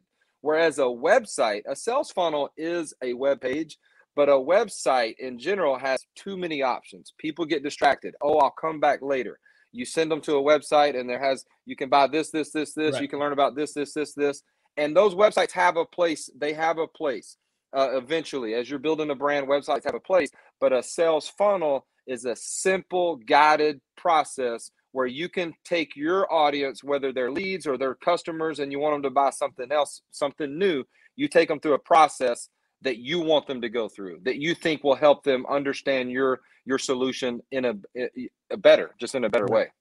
No i love that for sure. And when people are coming to you nate are they coming to you because they have a funnel already that maybe needs fixed? Or are they coming to you because they haven't even started it you know at all? They haven't even mapped it out? Talking maybe it's about two different types of people or is it two different questions? Yeah no that's a, a good a good question because some people they're already using programs like kartra clickfunnels a Kajabi. They're using funnels and maybe they're kind of confused. Maybe they've gotten lost. So people come to me that are looking for a simpler solution or a more inexpensive solution.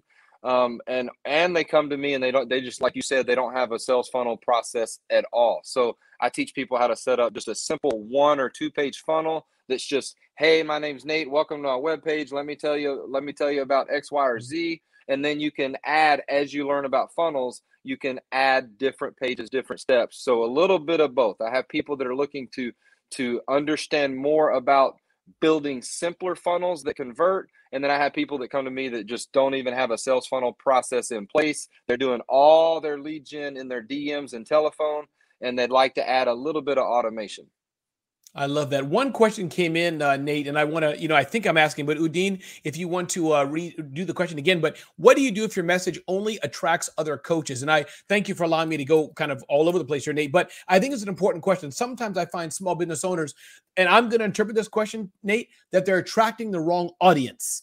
I'm saying, hey, blah, blah, blah, I want you, but yet this person keeps coming to me. Is that good, Nate? Is that bad? Help us understand what Udine is asking. I think it's a, if I understand her question, I think it's a very important question. Oftentimes, a small business owner is attracting people that they don't want. Why does that happen?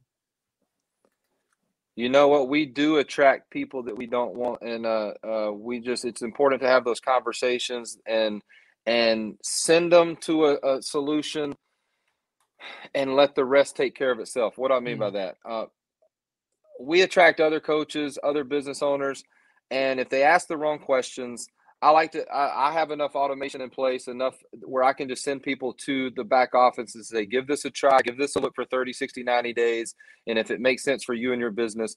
Because what I do and what any business owner should do is we should provide solutions that help another uh, our customer, uh, especially if they're a business owner, that should help them where they're at right now. What where where they're mm-hmm. at right now, and if we can't then we, we, we refer them to Ramon. We refer them to Sara McCord. We refer them to somebody that can help them right now. We don't want to just make money from them if we can't help them right now. So when I attract coaches, other business owners, I'm pretty confident I can help them right now if they're focused on building a list, you know, uh, building sales funnels, uh, you know, increasing their mess, uh, uh having better messaging in their sure. marketing, new marketing ideas, all that stuff. So um, I can have conversations with just about any business owner and give them at least come away with some fresh ideas. They might not become a client, but at least give them fresh ideas to where they feel good about the uh, the conversation or the relationship, even if that's all it ever is, is a 30 minute or a one hour consultation. Sure. Nate Forrest, this is great. And I think we have your website going to come up soon, I believe, but feel free to verbally give that out. Regina said, Thank you very much. And Nate Forrest is Survive and Thrive free gift at nateforrest.com. Love it, love it, love it. So definitely check out what Nate Forrest has at Nate forrest.com. And thank you, uh, Smart Hustle team in the background there for being Johnny on the ball or whatever example and getting that up. Thank you so much. So uh, Regina says, um, how do we manage all of it? It's like a part-time job. Um, it's a broad question, Nate. I understand that, but I think it's a common thing I hear from many small business owners. And again, we wouldn't need a social media club if it wasn't true, right? Because you hear the questions all the time. Your room is full of people, you and, and Tom Chanlin and Alexander and Brooke and everybody else this seems so overwhelming, Nate. Is the answer only just to hire somebody, get a consultant? Uh, are we just not smart enough to understand these tools? Anything you're seeing to help us demystify over wisdom, IG, Facebook, TikTok. Oh, we got to um, do reels, short form video. What do we do, Nate? This is a good question because I'm a business owner. I'm an entrepreneur. I'm going through that right now. I'm trying to dive in and, and, and, build out my YouTube channel. I'm trying to figure out how much time I should spend on wisdom. And I think the question was directed like build, building sales funnel sounds like a part time job. This is what I take pride in. I show the simplicity. I can show somebody how to build a one or two page sales page funnel in, in 30 minutes. Mm. And sometimes it's just as simple as branding you and your business on your pages so that when they go to your website eventually, some of you may already have a website, but let's give them clarity and understanding about our mission, our messaging, who we are before they get to the website. And if, right. so if they know, like, and trust us when they get to the website. And so I say that to say, yes, it can feel like a part time job. Just tackle what's in front of you right now. And I show business owners how to just just build pages one at a time starts with one branded capture page. It starts with attaching an email autoresponder to that page. And we have uh, tutorials uh, at nateforrest.com that show people step by step by step how to do this stuff one step at a time. We don't have to build a 10 a 10 step funnel that Russell Brunson has or maybe Ramon has a 5 page funnel. You don't need those starting off. You just need a place where people can get to know you and your mission statement, your your values and may, it might be a one minute video it might be a three minute video and then that has a button that goes to your website where they where they can buy your thing. So you the fun thing about funnels is you get to play with it and determine what they look like. Is there pictures? Is there videos? What does the process look like? You can play with it and it, and it changes all the time. And you can have you know you can have one or two funnels now that you have one or two funnels now you're marketing messaging which is mm. where the mm. money is made the money is made in your marketing messaging, not in okay, you have a solution. You have a you have a uh, you're an entrepreneur. You came up with the best solution, the best drink, the best weight loss drink, or the best way to throw a football. The solution doesn't make you money. It's the marketing of that solution. And so now you can create multiple campaigns. You can have an Instagram campaign. You can have a YouTube campaign. It can be educational videos. It can be entertaining videos, whatever it is. It can be an interview with Ramon Ray and you take those campaigns and you send those to the same one or two funnels. So you might only build one or two funnels this year. Maybe you build 10, but you only need one or two, and all your messaging goes to the same funnel. I hope that makes sense. It does make perfect sense, Nate, for sure. We got about four minutes to go, and they're bringing on. I don't know if you know Glenn Lundy. You may, if you don't know him, I'll introduce you to him. Uh, but let me write that name down. Yeah, Glenn. G L E N N. What? How lucky am I? I'm right in between Sara McCord and Glenn Lundy. I mean, I think I just made a million dollars just to be able to go live and tell people I was between Sara McCord and Glenn Lundy. I think you did. I think you did. But one another thing I want to talk to you about, Nate, or find out, you know, but is that when do we know it's time to hire someone? There's a lot of people who are trying to do it themselves, and I think that's fine. Some of the digital tools we have are very easy to use. But I know sometimes even my own business, it's like, know what? I could do this, but it's time to hire somebody else. Can you help guide us on when we know it's time to hire somebody? Because as we talk about how to grow people's solo businesses, that is a question. There's money considerations, there's time considerations, and I believe there's expertise considerations. Any guidance for how we know it's time to invest in hiring somebody to help me get this done? Each each time I catch myself getting overwhelmed, and I, like right now, I have things that I can't get to. I know, like right now, I need to hire a couple of people. Um, mm-hmm. I'm a small team. I only have two people that I pay to help me, so I'm a small mm-hmm. team of me and two people, and, and then every once in a while, I pay people to do tasks. Mm-hmm. But uh, I need to hire a couple more people right now to do to do things, to write, to help me uh, write more emails, to do more videos, to do editing on videos, and uh, so because my my next focus is a YouTube channel. So I think when you if you have the cash flow coming in and focus on the marketing activities that can create the cash flow. Maybe some of you listening, you have the cash flow, but if there's things, uh, be willing to spend that money coming in on help to scale. That mm. that's held me back for a long time. Is like, do I spend this money on my own? You know, do I invest it or do I invest it in my business? You know, by hiring new people. So I think it's just anytime you feel overwhelmed and there's things that you know will scale your business, hire somebody to do that thing. And uh, uh, if you catch yourself uh, not focusing on the creativity and the marketing, then uh, you know it's time to hire somebody to do the other stuff. Because as a business owner, you need to be all in on getting attention and, and marketing, which is kind of the same thing. Get attention. My football says get more attention. NateForrest.com. We threw these out at, uh, at Grow for God. It says get more attention because as a marketer, that's your number one focus. Where can you get attention? Ramon Ray's doing a summit because it gets attention from people that are looking to add value to their life. And uh, tomorrow he'll be on Breakfast with Champions, adding value, and uh, that gets attention. That's how I know who Ramon Ray is because he's full of energy and he makes funny noises. Sometimes he gets attention. So part of getting attention is just being you. My shirt says yeah. "Believe in yourself," but it says "Be you." So be yeah. you, but uh, add a little bit to you every day and get attention. Nate Forrest, thank you for saying yes to me. I know there's a lot of things you could be doing right now, but I am so grateful you said yes and spent some time. I wanted to introduce Nate Forrest to the Smart Hustle community at the Survive and Thrive Growth Summit. So thank you. Thank you for taking the time to be I'm here. I'm grateful to be here. I'm blessed to be here. I'm all in. Ramon, are you all in? Absolutely. You know it. NateForrest.com. Thanks for having me, man. Indeed, and Nate has a has a daily show, may not be him each time, but a daily show, social media show on Breakfast with Champions on Clubhouse and beyond. Breakfast with Champions live, but definitely check him out at nateforrest.com. He can help you grow your business. So for sure. Thank you, Nate. Appreciate you, brother. Hey, everybody, this is Ramon Ray. Thanks for joining us. We're on the final stretch of being here five hours live, five hours live at the Survive and Thrive Growth Summit. So many of you have hung out with us live for all five hours, and we know many, many people will be seeing this after the fact as we share this video to thousands and thousands in the Smart Hustle community and beyond. And Tara says to Nate, we love you, Nate. Absolutely. So I am so glad that you all are here today and join me uh, for this time and really to help you grow your business. Definitely check out what we're doing to help very small business owners grow your solo.com. And I'll talk more about that in a bit, but I want to make sure I give plenty of time to my friend, uh, someone I consider a mentor, someone I've learned from so much. And thank, thank Glenn for saying yes the second time, Ramon. First time I had him on a podcast, but I wanted to bring him live uh, to the Survive and Thrive Summit. So, Glenn, if you're ready to go, Come on up. Glenn Lundy, thank you so much for being here today. God bless you and your family. How are you, sir?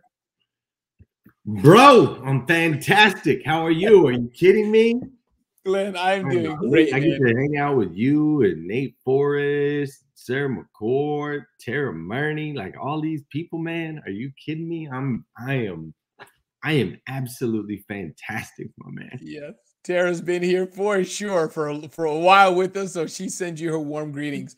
He's but Glenn, one I in wanted a, to one in a trillion, brother. One in a trillion. Indeed. I wanted to bring you, Glenn, to the Smart Hustle community, Glenn. Uh, I've Mm-hmm. followed this journey you've been on for the last several several months. You've been doing it for four years. Uh, and I just wanted to introduce you to the Smart Hustle community because I've been bringing people to the Breakfast with Champions. Glenn, what's it like to build a brand new media company where there's 80 or so uh, influencers and hosts pouring into people? Can you just talk to us about what that journey's been and why you're building it and why people should care? I think it's kind of like um I think it's kind of like getting married, getting divorced, having a um you know, putting putting together uh build building a new home and uh moving across the country all all all, all at all at the same all at the same time, man. It's the craziest up and down roller coaster I've ever experienced in my entire life. Ever, Ramon. It's it's nuts, man. I wouldn't wish this on nobody. Not a single person would I wish this on. With that said, it's one of the most impactful things I've ever done in my life in my career. And we are on a mission to help people change the way they start their day. Uh, I firmly believe that for the last 70 years, at least since the early 1950s, uh, the way that people have woken up has been uh, a series of programming, right? News is on from five o'clock in the morning till 11 o'clock in the morning.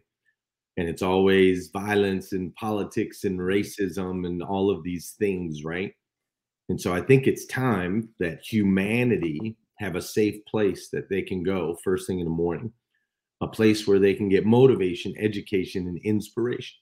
A place, place where they can get access to information that they wouldn't get anywhere else. Access to thought leaders to experts to incredible entrepreneurs and business owners and celebrities and influencers and all of those things and so we are on a mission to change the way people start their day and ultimately help them become the best versions of themselves that they can possibly be and along that mission, of course, we want to make sure that people feel seen, heard, and significant, right, Ramon? Yes.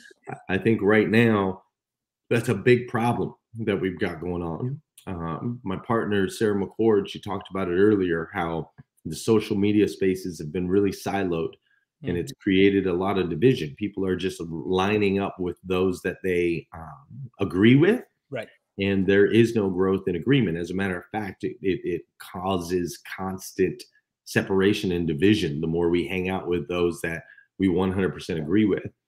And so, Breakfast with Champions is our opportunity uh, to change the narrative, to move things forward in a new and positive way, and to help people feel seen, heard, and significant, like I said earlier. But we do that through, like, it's from the inside out, Ramon Yes. it's one thing to be seen on your Instagram page with your filters and your makeup and so on and so forth. Um, but we want people to know that there's a seed that was planted inside them, that they were, that they matter, that their life has value and it has worth. And it's not about uh, a picture, it's not about a Lamborghini, it's not about any of those things. We want people, we want to see people for who they are, where they are, and do everything that we can to elevate them. No, and you're doing a very good job at it, uh, Glenn, for sure. Is there any concern? Whoa. Okay, I I'm clicked the wrong button there. Sorry. No, I, I clicked the wrong button. Is there any concern, Glenn, uh, as you build Breakfast with Champions, that um, that there's too much positivity? Meaning, we get comedy shows, but you know the news of the day is it doesn't say uh, donuts were delivered safely. Doesn't say politician didn't steal money. It's awesome, you know, Britney Spears and okay, is Michael Jackson dead or not? You get what I mean. so, do you find that this there's too much positivity and excitement, and now we want to go back to hearing that man bit dog? You know, man there was this um there was this guy uh, a long time ago they they wrote a book about him um, but ultimately the most popular human in the history of the planet and the most impactful human in the history of the planet uh, the book that they wrote about him has sold 3.6 billion copies uh, uh, globally which to give you an idea, the, uh, a comparison, the second best-selling book of all time is the Harry Potter series, coming in at about 700 million, which is a phenomenal job. It's nothing compared to 3.6 billion, right? So if you've never read that book, it's a book called the Bible, and it's about this guy Jesus. And Jesus literally shifted the trajectory of the world and all of humanity uh, through a message of hope and love. So to me, there's no such thing as too much positivity. There's no such thing as too much encouragement. There's no such thing as too much love, right? That's all that, that that's all positivity is. It's a version of love. It's a energetic component of love. Um, people have a hard time with that word love though, right? So we yes. say just be positive. Yeah. Uh, but really what we mean is is love one another, you know? And so what you touched on is actually the problem. The problem is that the headlines are always negative. Words have power, man. Words have power. And so it's real simple, Ramon. Like it's real simple. If I were a scientist mm-hmm. And I was going to do a test to get to a particular result, right? Or maybe I'm a ClickFunnels expert right. and I want an A/B test. I want an A/B test, right? I would look at these tests and I would say, okay, we've done this, this, this, this, this, mm-hmm. A, B, C, D, E, and the result is the whole freaking world's on fire. Yes. So how about we don't do that A, B, C, D, E because it clearly doesn't work. It clearly has not brought us together. It is divided more than united, right? right? It is separated. The wealth gap is the largest it's ever been in history. There are people with mental disorders, depression, anxiety. I mean, we are such an unhealthy species at this at the, in this period of time, right? So clearly the formula we've been running with doesn't work. It doesn't work.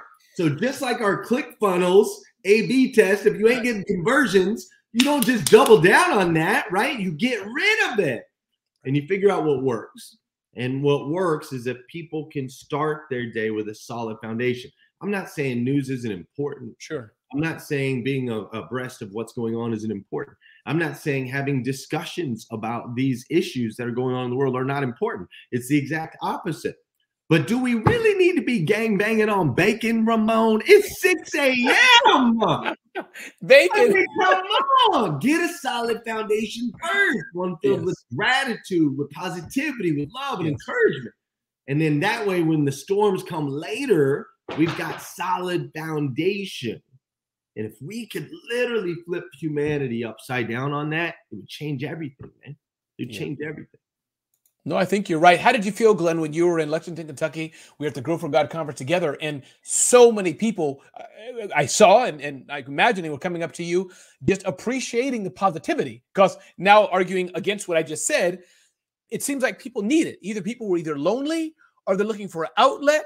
They wanted people like to touch and hug and want to be around people. How does that feel, Glenn, to see that vision? Uh, and, and, I guess my question is your dedication started four years ago in a closet, you know, part of Rise and Grind, and now it's this.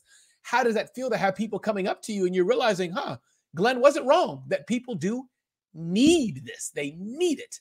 How does that feel, Glenn? It feels heavy, Ramon. Mm. Um, you know, Friday we did the last episode of Rise and Grind. We celebrated this weekend uh, in in Lexington, Kentucky, with hundreds of people. Sure. And there were tears, and there was laughter, and um, there was just this energetic magic that existed, you know, across across across the three days. And halfway through um, the second day, halfway through Saturday, mm. uh, this guy named Grant Cardone um, swung by mm-hmm. and, and and made a little visit. And right after he left, my son went on the stage and my son sung uh sang is that the right word mm-hmm. sang my, my son sang um, a beautiful song right yes.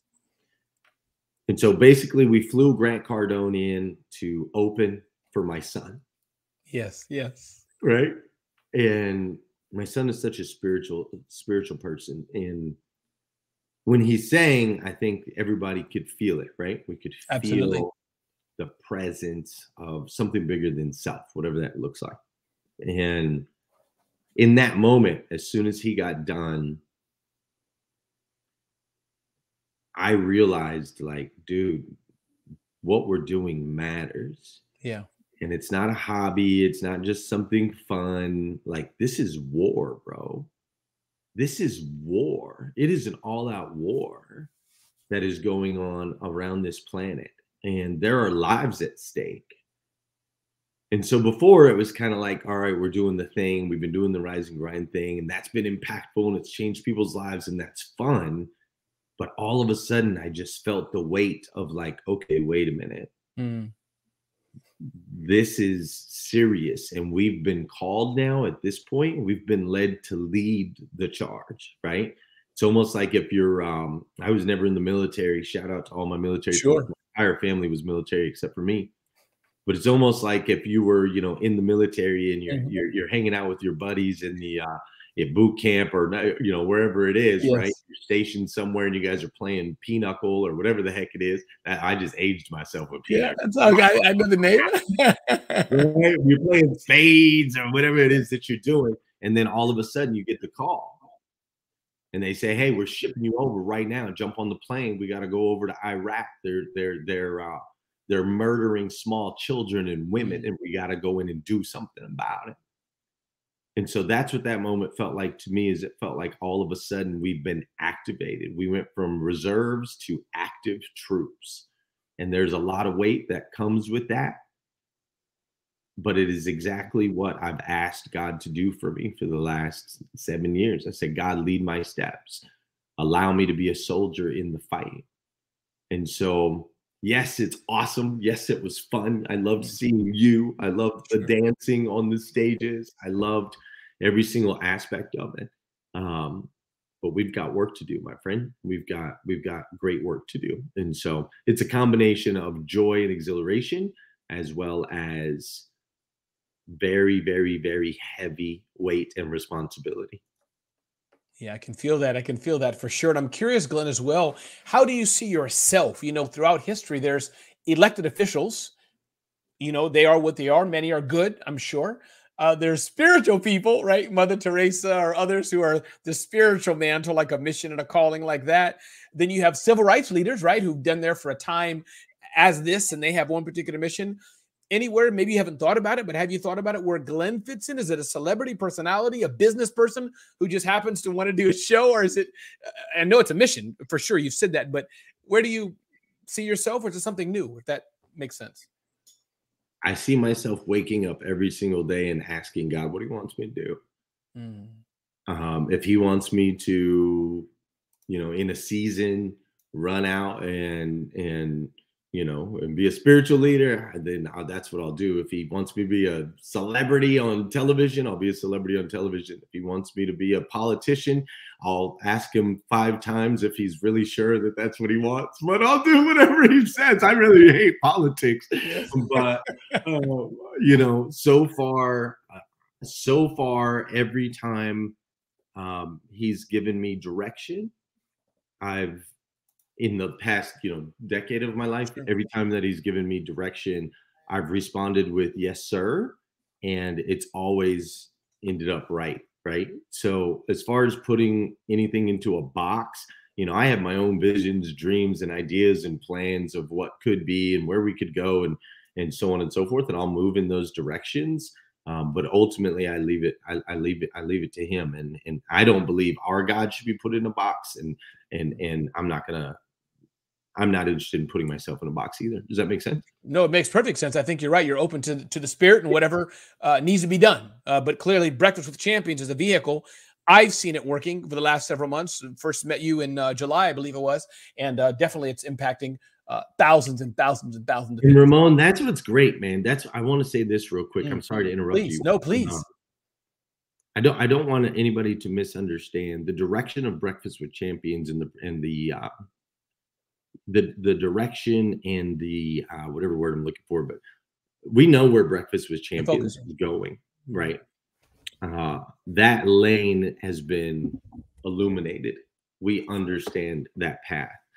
Uh, Glenn Lundy himself, what I am so grateful for is for the last four years, this has kind of been a, a, a solo mission Mhm, where mhm. Glenn was showing up and doing the show every day. And I had a group of people around me that was fighting with me, right? But it was kind of like a solo mission. Whereas now we have Breakfast of Champions, which is this massive con- con- uh, collaboration Yes. of just in- incredible humans, right? And so I I am in a position where I get to step back and say, maybe Glenn ends up on TV, maybe Glenn ends up in an office, maybe Glenn ends up wherever. Um, but Breakfast with Champions trajectory, that's what I'm looking for, Regina. Breakfast with Champions heading, heading into the space of 14 billion ear earlobes that exist ar- ar- around the planet. Uh, Breakfast with Champions is going to continue to lead and dominate in the areas of all things audible right? If you can if you can listen to it if you've got ears then we're going to end up in those ears wherever that is around the planet globally so that we can really whisper into the ears of people and let them know that hey we see you we hear you you are significant you are a child of god right? So i just want to make sure there's no misunderstanding there. It's not like glenn's going to wake up tomorrow and say oh breakfast with champions no more i'm running over in this Yeah. direction. No i've been given the opportunity now to stay more in flow with that path because I have so many powerful, powerful people around me in the Breakfast Champions world that can make sure this ship right here is going in the direct in the direction that it's meant to.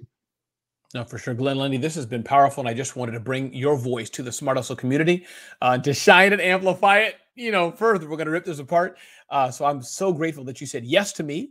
Uh, breakfast with champions live. I wake up now at 425 so I can have time with my God. Yes. and Glenn, I wanted to ask you. Uh, I brought your energy so far down because we got so serious. You were wanting like one of these, you know, highfalutin ding ding ding ding ding ding ding, and I like brought you. That'll be man. 7:30 tomorrow. man. Let's lift it back up, lift it back up, lift it back up. No, we are good. We are good. But Glenn, I want to tell you, listen, um, do you I, again? I, seriously, if you can't see, so you got to run. I respect time and family other commitments, but we have some superstars who are in the waiting room right now. Do you have ten more minutes to hang out with us and have a group discussion with some people you know, or you got to step away right now? If you do, no problem. Let me know. I'll you tell you the same thing I told your people when they emailed me. Okay, think? anything for Ramon. Well, thank you. I appreciate it. I just, but I do ask to respect that. You know, you may have. Okay, so in that case, team, uh, I hope everybody's ready. We're just going to have a discussion now. I see Amilya smiling, Nate smiling, and Brad smiling. Boom, here we go. this is a treat. Wow. All right, let's jump in. This is like a family reunion. This is awesome. Let's go. Brad. Brad Yeah. POV. What's up, Mr. Nate Forrest? Woo. I think we'll do is do this for uh for 15 minutes or so. We may not go too much longer than that. Amilya, let me know when you can hear us okay. Probably a wire or something like that there, but we will uh stand by. Oh, so my team will DM you in the back of the comments there. But I think what we can do, but my team let me know. A, I can bring the questions up. Uh, but I think what I'm also going to do is you have questions for Glenn or Amilya or Nate or Brad, put them in the comments. It's only going to be for a while. I want to respect all their times. And we do have some questions that came in already. So I may bring those up, but it's rarely that we get to have these four humans plus one together. And so if you have a question, ask it, and I will bring I will not bring you up, but I will ask it right there live. Other than that, though, if my team can put up some of the questions, actually I can do it in the banners. Hey Ramon, I just want to say thank you, bro, for Please. putting this whole thing together, man. Sitting here for five hours, pulling people together, serving humanity, bro. Yeah, Uh, Good stuff. really good. man, Really, really good. Yeah, the work that it takes. Like you're you're amazing, bro. You're amazing. So thank you so Appreciate much. I It's received that, to Be here. Thank you. Love you. And I appreciate it very much. Thank you. So I think, team, what we can do is uh, let me know real quick here. Shall I uh, bring the questions up in the comments, or do you all want to bring the questions up, Liz and uh, Jennifer and or Jamie? Uh, I can. Should I go ahead and do that? Just let me know in the private chat real quick here. Uh, I think they're trying to help Amilya, so I will do that. Let's see. Brian Hess, your office, bro, is sick. Okay, we can. Good. Fashionably late as usual, man. Here I am. Your office is sick, though, dude. For real. Thanks, thanks, man. How about how And about we start with Ramon? What's it like running a summit for four four years in a row?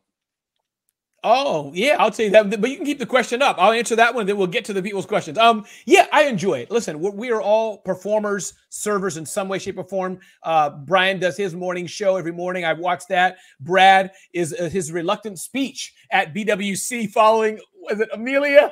That was amazing, Brad. Nate, you're, you're a performer, Glenn Lundy's been doing this for years. So I enjoy it. I could sit here for hours, except for biological issues, but I love it. But thank you, Nate. Christy Tally says, and we'll just go round robin or whoever wants to just shout out. Uh, we'll do it for till 8:30. We'll do that. How about that? We'll keep the time short. So, what is your best advice for growing a team and transitioning from solo entrepreneurship? Who wants to take that? Transitioning from solo entrepreneurship. I'll tell you, I'll tell you what I'm doing in this moment is developing two things that I've never had to develop before. It's the speed of trust and the speed of implementation. It's figuring out what are the tactics, the tactical moments that I need to execute immediately, and who are the people that I, I don't have to look left or right. You know, like I feel like when Glenn and Sara reached out to me, I feel like they were like, Brad, we want to link arms. Let's walk forward. And in Spark, we're doing the same thing. If they watch this on the replay, Zach and Ryan, you know I'm talking about you. It's just we've been doing this for a year now, two years now, and as it's time to move forward, how do you know who you can trust? Lean into them because there's going to be a wider circle. Glenn can speak to wider circles and circles and circles and circles. Brian and Nate can speak to it as well. And and when you when you think about the speed with which you can trust a really nuclear group of people, it makes implementation almost like a handoff in a relay. And man, it's been, I think, for for our for Spark, as we've moved past Brad and some 1099s, and now we look at teams. Um, that's been the that's been the game changer. Trust and implementation. I love it. One or two others can feel free to share that I'm gonna team. I'm gonna bring up the question from Savvy Seth. Anybody else want to add to that or feedback to Brad before we go on? Uh, yeah, I would just add to that that Please. delayed gratification uh, is the mm. key to transitioning. You know, right. uh, the big, the worst thing that a mm. startup entrepreneur can do is pay themselves too much uh, to try and keep up with other people. And it's an easy thing to do in today's world. Uh, for me and my business, uh, you know, what success we've created has been from delayed gratification. Every dollar we leave in turns to five, 10, 15, 20 dollars in a year or six months. Um, so just be patient uh, and that money will multiply. Yeah, I agree 1000%. And Christy I remember going from solo to team, and I remember the fear and concern of making that move. And I will, I will tell you that the moment the universe is crazy, right? So if you're used to or have created a pattern of generating at a certain level, when you hire somebody else, it creates a void that void then gets filled. So every mm-hmm. time I've added somebody to the team, all of a sudden that money I was afraid to give them because we weren't, you know, I wasn't sure. All of a sudden that it's like a vacuum. It just fills up, man. It literally just fills up, and you're right back to where you were before uh, profitability. And now there's two, and then there's four, and then there's eight, right? Uh, but you can get so much more done. You make a bigger impact. So if you're mission matters to you, the best thing that you can do is, like Brian said, have delayed gratification. Like Brad said, make sure you know who you can trust and add people to support what you've got going so you can scale further and faster. I love this. Next question I'm going to bring up, and Amilya, thanks for joining. I said we'll go for about 15 minutes to respect everybody's time here, but I'm just so tickled to have these five humans. It's amazing.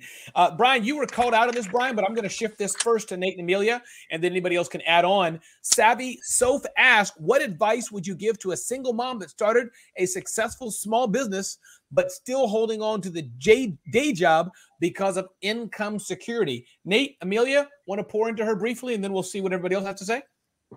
About leaving a single Ladies mom first. that has a has a small business, still holding on to a day job because of income uh, insecurity. Amilya, go for it. You know, I think it's it's to be unbelievably clear what needs to happen to quit the day job, right? You can't go in two directions at the same time because you do neither one well. And so, what can you stop doing, right, to really get as tight as you can, right, below your means? Take everything out to be able to say, my first step is to be doing my business full time. And so, as you gain in the growth of that business, like, well, how many deals do you need? How many calls does that mean you need to make? Who can help you? and then what can you at the same time right the hardest part of this is is the the releasing part right it's not the gaining part like we have the mindset i'll just sell more i get that but what do you stop doing is where the difficulty lies there's so much extra that people do that is just a waste of money and every dollar needs to be working for you every dollar and so even the small things, you know, become habits over time, right? I make my coffee before I leave. Can I afford a $6 Starbucks? Yeah, but the habit is in me for so long that I'm like, I'd rather take that $6 and have it go work out in the street for me, right? And so you really, really have to understand that the people that you see, I mean, Warren Buffett's a perfect example. I mean, look, look, look at how, what his daily allowance is on stuff. He still has money working is a bigger gain from him than any short term uh, win, right? This what, what Brian is saying, this what Glenn, Brad, everybody's saying here is that you really have to be committed to really pay attention that every time is working for you. Every resource is working for you. Every dollar is to its highest and best use.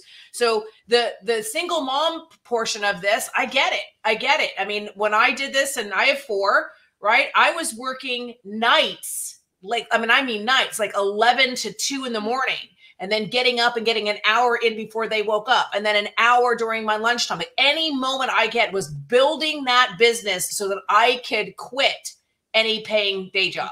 Same thing too when I transferred out of client work into what I do now was how do I how many clients can I stop so I can focus on the main objective? I love it. I love it. I love it. Anybody else want to add anything? One, one or two more persons, and we're going to move to the next. I, I can just say real quick. Please. Also, get creative on. Is there how can you increase your cash flow by maybe adding one extra product line, maybe some uh, training on something. I don't know what kind of business she's in, but how are you spending your time? If, like Amilya said, if your number one objective is to quit your job, find a creative way to increase your cash flow faster and then use that cash flow to uh, you know to pay the bills to do all the things so you can quit your job and and get creative consult with some people around you show up in breakfast with champions and ask the questions and find one or two ways to increase your cash flow outside of maybe where your business is right now uh, i show network marketers how to how to use tools how to how to sell affiliate tools affiliate marketing there's a thousand different affiliate marketing uh, cash flow generators. You can you can uh, throw Amazon links up in front of your videos. So there's so many different ways to increase your cash flow. Get creative. You might find one little thing that uh, is enough cash flow for you to quit your job way way sooner. I love it. We got 11 more minutes Ramon, to go. just put that kid to work, man. yeah, kid to work, dude. double, double, double up your income right there. Freeloaders. Freeloaders. Freeloaders. Come on, I, I would add to that. year old future speaker there. I was like, woo, he's training him young. Real quick, Ramon, I would I would say this, man. Pressure is a privilege. Don't mm. lean away from it. Mm. Um, you know, wow, wow. many many people look at it and say, I can't. Uh, don't be your own judge when it comes mm. to that stuff. Get a mentor that's going to keep you straight. You will lie to yourself. You can't lie to somebody that's a high performance mentor. They will it. figure you out. I love it. Brian Hess, thank you. Glenn Lundy, is this uh, similar? This is a preview of Breakfast with Champions Roundtable. What's the new offer that was launched today? Um, Circle. Yeah, the Champion Circle. Is this a preview of it? I mean, people can have access. This is kind of not it. I don't know exactly how to roll out, but isn't this kind of it? Like a preview of it? No, this, like this, this this is very much um, what it'll look like in the Champion Circle. Wow. And we bring together uh, amazing experts from all around the world. Uh, the only difference would be right now your audience can send in a little sure um, question, whereas they'll actually be able to jump in and and we can we can dive into their business. You know, like Nate was saying earlier, he's like, I don't know exactly what type of business they're in. We like we can ask those questions, right? What is your business? Where are you at? What is your revenue? What are you doing? That way we can really dive in and extract and, and help people level up. So yeah, we're super excited about that. Um, there's there's room, there's additional seats at the table. So if anyone wants to be a part of that, they can go to uh, championscircle.live, championscircle.live, and they can come join uh, that launch. It launches next Monday. Super excited about it. I love it. Absolutely. Another question came up. We got nine more minutes to go. Uh, I will be here a bit longer, but I want to expect all these superhumans, as Glenn Lundy says, time. How do I get out of my own way? Ask Andrew McEwen. And we do this limited. Who thinks they have a good answer for Andrew? How do I get at, please, Glenn Lundy, all yours, brother. Go. First thing I'll say is um, move. you want to get out of your own way? Move, dude. Like, move. I see too many people sitting on the couch watching Netflix saying, I can't get out of my own way. Get your ass up and move, right? I want to start there. It takes action, man. And then the second thing I want to share is a little trick like this. Can you see this on my phone right here? What does it say? Can you read it? Stop hiding on, hiding in the margins. margins. Oh. Yeah. It says stop hiding in the margins. So I was on a call with um and Brian mentioned this a bit ago, like getting getting people in your life that'll really freaking punch you in the face every once in a while, yeah. right? Because uh, I guarantee you get punched in the face, you'll move. You have you have no choice, right? Unless you're like Tyson or somebody like that, right? But I was on a call with Bill Hauser, and um, Bill Hauser uh, is a is a beast, and I was talking to him about my business, and uh, on the automotive side of my business, we have very little um, overhead, right? Like it's a it's a it's a consulting thing, so there's not a whole lot of expense structure. And my consulting business has been relatively flat for the last like six months or so. We have, we haven't added as many dealers as we were when we were first starting. And I said, Bill, you know, I, I haven't been adding as many dealers. What do you think? You know, um, you know, what am I doing? And, and he said, bro, you got to get out of your own way. I said, what are you, I said, what are you talking about? He said, dude, your margins are so huge that you're just, you're just comfortable. You're, you're hiding in the margins. You don't have to go add new dealers, right? Because your, because your expense structure is so profitable. He's like, dude, you got to get out of your way. You got to start freaking flipping that money, spending that money, getting rid of those cushions, getting uncomfortable, putting your back up against the wall, right? All of those things. And so a, a tip to Andrew, I believe it was, is mm-hmm. get some advice from somebody who cares about you enough to punch you in the face. Take that advice and stick it right there on your dang cell phone where you're scrolling on Facebook every day so that it smacks you in the face. I see that 500 times a day. Stop hiding in the margins. Stop hiding in the margins, and it gets me moving. Yes, sir. Brian Hess knows what's All up. of my goals are on my lock screen of my phone. Wow. Every single one of them. Mine too. Up a level my world. Wow. Yeah, my life board is the first thing that I see on it. And I think the other thing that's important is, you mm-hmm. know, take the emotion out of it. Like that drives me crazy when people are telling me about how they feel. I don't care how you feel. Do it. Right? Don't wait to feel like you want to. Don't oh, wait oh, yeah. for some mm-hmm. feeling. Don't wait for is this right? Don't we don't care right? Your business doesn't care how you feel. Money doesn't care how you feel. They're all resources and tools. Start treat treat it like a tool. That's it. Just you got to do it, and that's what happens. People wait because they're waiting for some awakening, you know, mm. some secret. No, the secret is to move. Even if you start moving in the wrong direction, life will give you that information, and you'll pivot and go there. But you, if you're not moving, you're just slowing a slow death. That's what you're, yeah. you're dying, and nobody's told you. Yeah, the only reason you're not moving is is fear. It's fear based. It's the fear of failure. It's the fear of being embarrassed, or it's uh, arrogance. I mean, at the end of the day, the only reason any of us never jumped was the uncertainty of where the leap would land, or the disbelief that we could land it. I mean, that's it. And so, like you know, right over here to to my left, your I guess you're right. I don't know. Is about five pages of chip scratch that I've got to turn into the marketing strategy for for Breakfast with Champions, right? And and it looks crazy to me and overwhelming and enormous. And if I didn't have someone like Glenn Lundy who said, "Yeah, but that crap's been in my head for years," and and and Brad, we need to execute now. So I'm I'm tabbing you. I'm ta- I'm tapping you in and saying, "Let's execute." And it's the same. It's the same goals that we had at Spark it was, hey, dude, it's it's time to execute. Let me let me tell you the number one thing I really I really fear more than anything. Um, sorry, I don't remember the name of the, of the young man that asked that question, Andrew. but Andrew, thank you. Um, God, you're so good at this, Ramon. Um, it's it's it's simply this, brother. you know, the one thing I fear most of all is my kids seeing someone who didn't try. Mm. That's good. I'm I'm okay if my kids see me fail. You know, the Hall of Fame is filled with people who strike out seven times out of ten. So There's nobody in the Hall of Fame who didn't get an at bat. Nobody. Nobody. And so I'm gonna I'm gonna I'm gonna get up there and I'm gonna swing and I'm gonna swing for the fences. And so I think the, the big Ramon, we talked about this earlier. Move or God move me. And I'm gonna walk in in the direction I believe is best until I trip and fall, and then I'm gonna fail better later. And so that I, I would think whatever it is that's holding you back, you know what it is. You can name it, name it. Don't put it on your home screen because it's what you're afraid of. Walk away from it and put what you're what you're most desire right there, man. Brad, I love that. One more question. I do want to respect. Three minutes to go. We will try to end right at 8:30. Probably won't be impossible. This will be the last question. I'll be here for 30 more minutes, but I want to let these amazing people go back to what they have to do.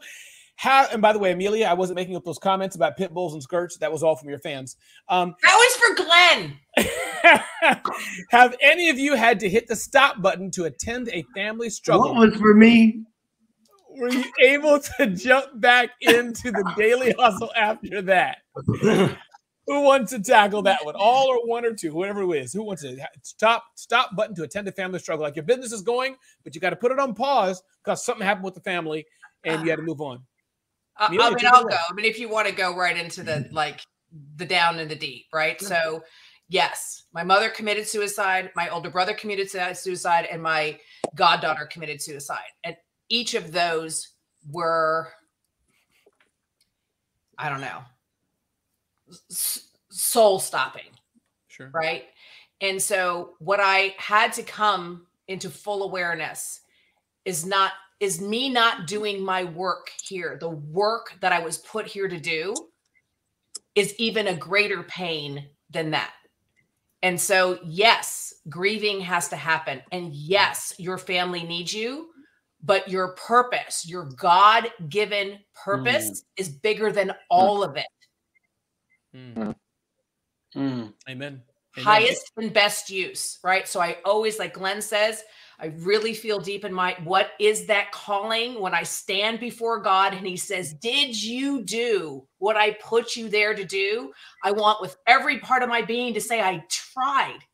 I did my very best. And I wasn't distracted by the monstrous things that you threw at me. Yeah.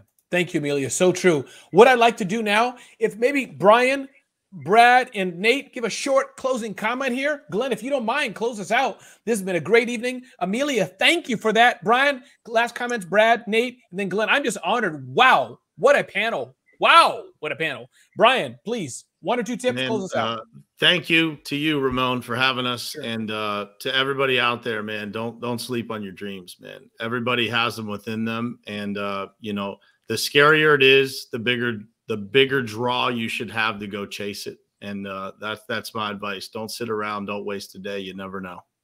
I love it. Brad Caldwell, talk to us, brother.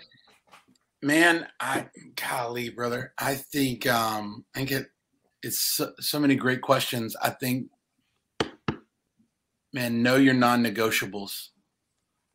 It's it's so much better to trip when you're alone than to trip when people trust you hmm. in in the journey you know now that now that spark has a team and now that i'm i'm, I'm partnered with you know i mean I, am I'm, I'm i'm playing in, in deeper waters than i've ever swam in before. And you know four or five months ago man my mom had a stroke right about the time sara asked me to speak at something called the breakfast with champions consortium. And oh i put my notes in my bag but i packed my bag trusting that the last two and a half years of my solo entrepreneur life, I had done the work. I was ready. I could execute. If I got eight minutes, 20 minutes, if I got to speak in between Dominique and Danelle and right before Amilya and Glenn over in the corner trying to figure out who I am, I can execute. I'm going to execute, but I'm going to I'm going to be true to who I am. Know who you are, friend. It's wonderful to be an entrepreneur um, it's better to know who you are as a man or a woman. I think that would be it, brother.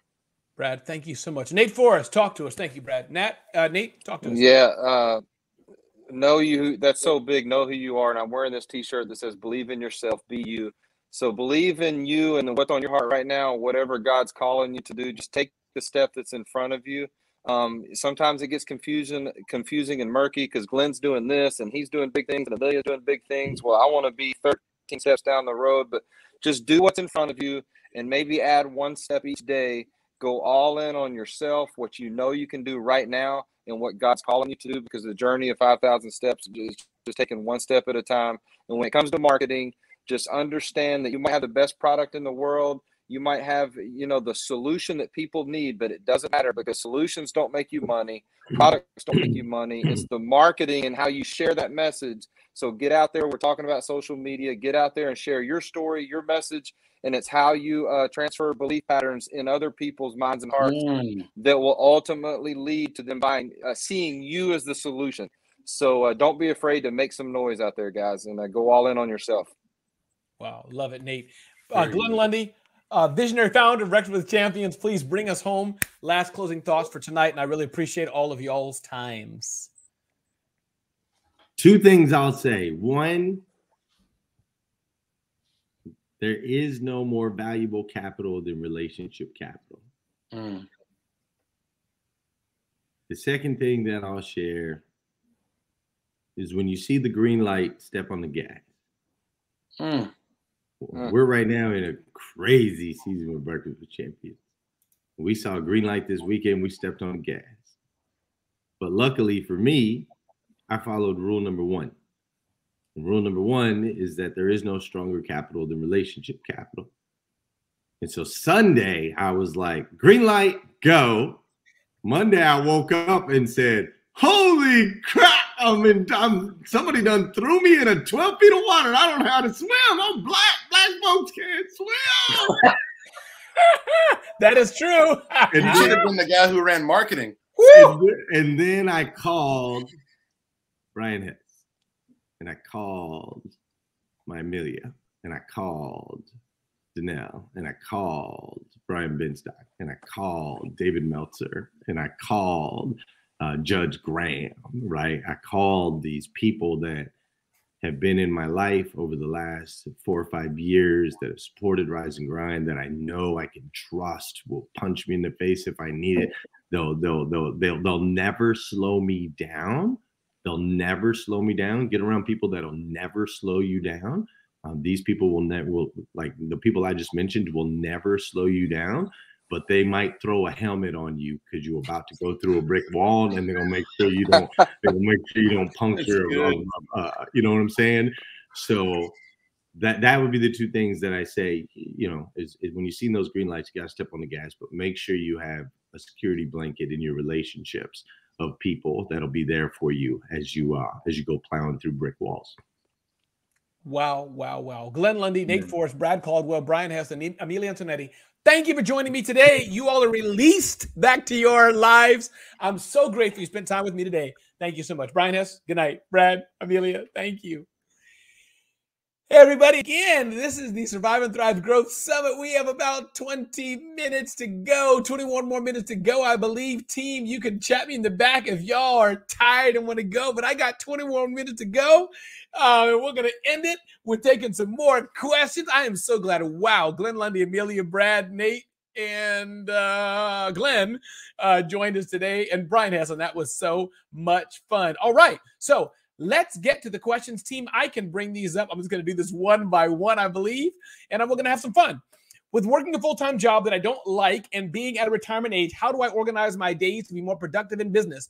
Wow, wow, wow, wow, wow. I know that feeling. I worked full time at the United Nations until I was fired. I worked there for many, many years, building two companies. As you all know, I've started four companies, sold two companies. No, they haven't been billion dollar empires, but I can definitely build a company to several hundred thousand dollars or more in revenue. And I've done it several times. So here's what I would say um, to organize your day A, wake up earlier, as Glenn Lundy says. Two, definitely use productive software. Three, you have to prioritize. Four, you have to be able to say No, that's it. You have your full time day job, which is providing you all of your income. That is most important. That is very important. So make sure you don't let that go until you're ready. And then your side business, you only can bite off what you can chew and take what you can handle. So that's my two cents on that. Moving back up is what I suggest you do. Moving up to the next one.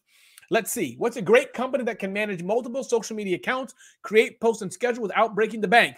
That's a great question. And that was by Satoria Low, Heart Matters Marketing. Thank you for the question. Listen, there's a number of great tools that work. Agorapulse, Buffer, uh, Zoho CRM, and I could list many, many more. TweetDeck, I think, is still around. So there's a number of tools that can help you with multiple uh, social posting. Um, uh, CoSchedule is another tool. So several tools you can use for sure. And uh, some of them are very, very low cost. Satoria, great question. And feel free to post that more on Smart Hustle Nation to get more ideas. Well, what is your best advice for transitioning from solo solopreneurship? We answered that question. Awesome. What is the most difficult obstacle that you had to overcome to move your business forward? That's a great question. I think the most difficult obstacle I've had to do in the last few years is one, the finances of smart hustle. I've been following profit first, and I've had to have direct alignment to the revenue generated and what return that's getting back to me. That was upside down for many years. That's why I was in a lot of debt, losing a lot of money until I right sided that. Now we're a profitable company, by God's grace, doing okay. Second of all, I was selling Ramon as the product for many, many years, which is okay, but I've tweaked that to offering services that are more comprehensive for our base, such as Grow Your Solo. So definitely you all want to check out Grow Your Solo uh, so we can pour more into you in the Smart Hustle community. Another question comes in What is the key way to attract clients in freelancing business? More so, what is the best thing to do when things slow down without clients? Well, first of all, what do you do when things slow down? Don't let them slow down. This is for sure. And one of the things that I do in my business, I'm a small business owner. I make sure I reach out to clients all the time. That's one. So my face, my name, my services are in the forefront of their brain when they have a need. Point number two, I produce so much content. If you're in the right market segment, you can help sing Ramon. So I have the large tech brands reaching out to Ramon all the time to do a variety of things. So my my funnel is always filled by God's grace. What is the key thing to attract clients in a freelancing business? Do great work. Do great work. And I do suggest you check out Seth Godin's course about freelancing. But if you're a freelancer, that means you only have a few set of clients that you can work with at any one time. So if you want to attract more clients like that, do great work and telegraph what you're doing to the world. Hey, my name is Becky. I just crafted a great handcrafted pin for Jane Doe. Tell everybody what you're doing. You got to be a little bit of self promotional. It's very, very important. What are the easiest automation tools to use for a small company? Love the question by Belinda Majube, BJM Speech Language Therapy. Thank you for asking that. What is the easiest automation tools? You'll find one question I don't like, but I'm going to answer it. I don't like questions that are absolute. There's no such thing as a tool that's easiest, and there's no such thing as a tool that's cheapest. It really all depends what tool is best for you. Some people, you need to use Kajabi, you need to use ClickFunnels, you need to use WordPress. Listen, I've used all those tools. It really depends on what your needs are, what works for you. But I will give you a few automation marketing tools that could work for your business. One is Keap, K E A P, Keap. That's a great tool I use. They've done some sponsorship with Smart Hustle. We have a relationship with them. So I personally like Keap. But there's a number of other tools you can use that may work for your business. And if you post it on Smart Hustle Nation, I'll provide you with a whole list of tools that you may want to use. But one I use is Keap. Their heart beats small business success. Next question comes in as we have 20 more minutes to go. Tips for introducing new inventions to products to companies for licensing. Love the question, Kimberly Walker, Skylight Home Decor. Few things I can think of mind. One, I recently or some years spoke at the U.S. Patent and Trademark Office in Washington, D.C. I spoke at their big, big, big, big, big conference. So the USPTO is a great source of information like that. Um, you know who's the former boxer who has like the waffle making machine, black guy with shaved head? George Foreman, that's who it is. He's related to a company, I believe, that does something like that. Invent Tech, Inventor something. You can Google it. And his company helps you license your products. I know that um, the Kevin Harrington, the former shark on Shark Tank, he has a company that does things like that as well. But Kimberly, if you post that in Smart Hustle Nation, I will do my best to provide that guidance to you. Woo! We got 19 more minutes to go. Tips for selling real estate with no money by Will Wagner, Citywide Transportation of Syracuse. Well, I highly suggest that you look at a video that Grant Cardone did. It's about 30 million hours long, but it's really, really good about some tips he said. Now, I'm not a real estate expert, by the way. I'm just answering questions as best I can from things I've learned. I don't know if it's good to uh, sell real estate with zero money. But what Grant Cardone talks about is that if you have $5,000, that means you could get a loan for $25,000. Now you have $30,000, and now you can invest in that to make money back. But you got to be careful. Real estate can be very tricky, but that's my two cents, what I'd say about that. And by the way, I'm a new investor in Cardone Capital, my first real estate investment. I invested money with that, Cardone Capital. So you may want to check that out. Key items you don't want to miss in the start by Adil Rizvi Global Tiers. Great question. Key items you don't want to miss in the start. I'm going to assume this means in the start of your business. Well, one, is your business legal? Have you started it on the right step? Two, do you have a separate bank account? Three, are you focused on your finances and cash flow and bringing in the money? Four, are you focused on your marketing, being very, very, very, very, very, very, very, very clear on who you're serving and who you're not serving? And five, do you have the right team that can help you grow your business? As I said, I started four companies, sold two companies, made a lot of mistakes a lot of mistakes in business and I have a lot to learn. But that's one thing I'm only recently learning as we grow the Smart Hustle team.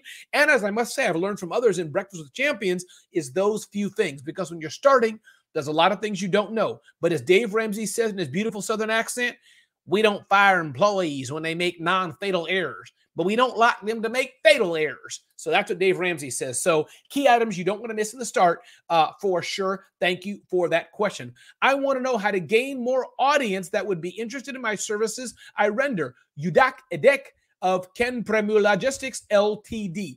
Awesome. So the question you're asking is, how do you get more attention? There's a company called Blend Tech. They're a blender company. They blend all kinds of crap, bricks, Corvettes, iPhones, all kind of things. They get a lot of attention. There's a lot of things I can tell you, but one thing you're trying to do if you want to get more people uh, interested in your services, take your services and see how you can integrate it in an interesting way. Let's say you're a Broadway singer. Maybe you go to all the historic districts in your town and sing, or whatever it may be. You feel me? So see how you take your products and services and blend them into something else. But that's a great, great question. And I do encourage you to um, uh, a follow up with us on Smart Hustle Nation. Let me look through the comments here real quick. Love the rapid fire. Thank you so much. Great, great, great, great, great. Any other questions you have, by the way, feel free, and we're going to put them in there. Our team can put them in there. Hootsuite, a little humor. Good, good, good, good, good, good, good. Okay, good. I'm glad that this is useful for you as I continue to answer the questions. All right. So, how do you stay in the mindset of your vision? Damian Gullion says this Cowtown insulation Ooh, the mindset, mindset, mindset. I gave a talk one day at South by Southwest about entrepreneurial depression, sharing my story of wanting to commit suicide and being very depressed for a number of years. Mindset is essential. It's everything. I'm going to recommend one book to you. Jon Acuff is a Nashville, Tennessee author, and he has a book called Sound Tracks. I highly suggest you get this book. It's called Soundtracks. It talks about what are the things that are in your mind that are blocking you from success. Soundtracks, a great book which can help you with the mindset because oftentimes the mindset that we have, the negative mindset we have, is because we have soundtracks playing in our mind. We have negative thoughts playing in our mind. So, how can we have the right mindset if we have the wrong input? I'm going to tell you this much.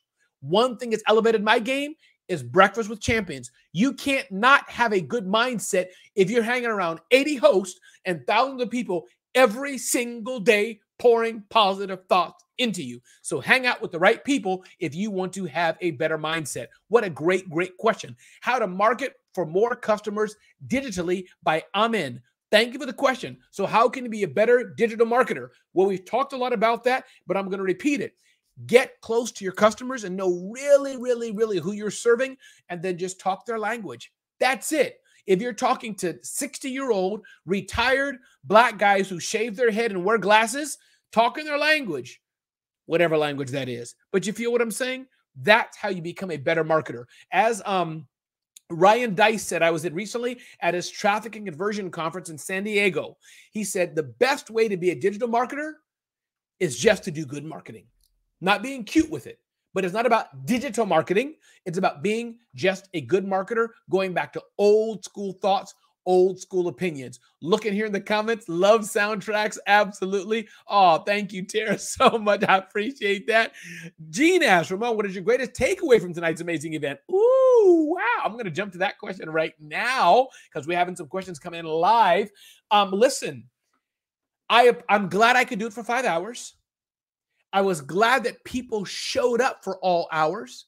It was encouraging, Gene, to see you and Tara and Lisa and Regina and so many others that were there and uplifting me as I did it. So that was my big takeaway. I was just glad to do it and serve. And so looking at some of the comments, Brian Hess, oh, Brian, I appreciate you, brother. Okay, Brian Hess is offering to help others. I'm going to connect you all to him socially. He has a show every day and he may answer some of these questions. Do you have any tips on things to look for when seeking a mentor? Mentorship is very important. One thing I can say you want people who are compatible with you, but definitely who tell you like it is. So mentorship for sure is very important. We are on Team Ramon. Oh, Regina, you can make me cry. Thank you so much, Regina. Receive and appreciate it. All right, let's get back to some of these questions. Uh, yes, how do you market a customer digitally? Moving on here. Question How do you keep the passion going for the work? Lori Gray says that Dreamtime Property Solutions. Let me tell you what keeps my passion. And I talked about this earlier. There's things I'm running from. I don't want to ever have to go back to a regular nine to five job. I like the independence of working for myself. What am I running to? I wake up every day thinking about four things as far as money is concerned. How do I make a little bit more money for today? Because I want to be at a better place and earn some more money for today. Two, how do I save up more money for retirement? I don't know about investing. I didn't learn that growing up. My father didn't go to a golf golf club, golf course, country club. I didn't learn anything about money. I didn't know about Dave Ramsey. Now I'm only learning that. So saving for retirement, saving for my children, and I want to save up money to give money away to others. So how do I keep my passion? That's how I keep my passion. I know what I'm driving towards and I know what I'm running from. Lori, thank you so much for the question. How do I grow my team and establish systems for my team to run without me?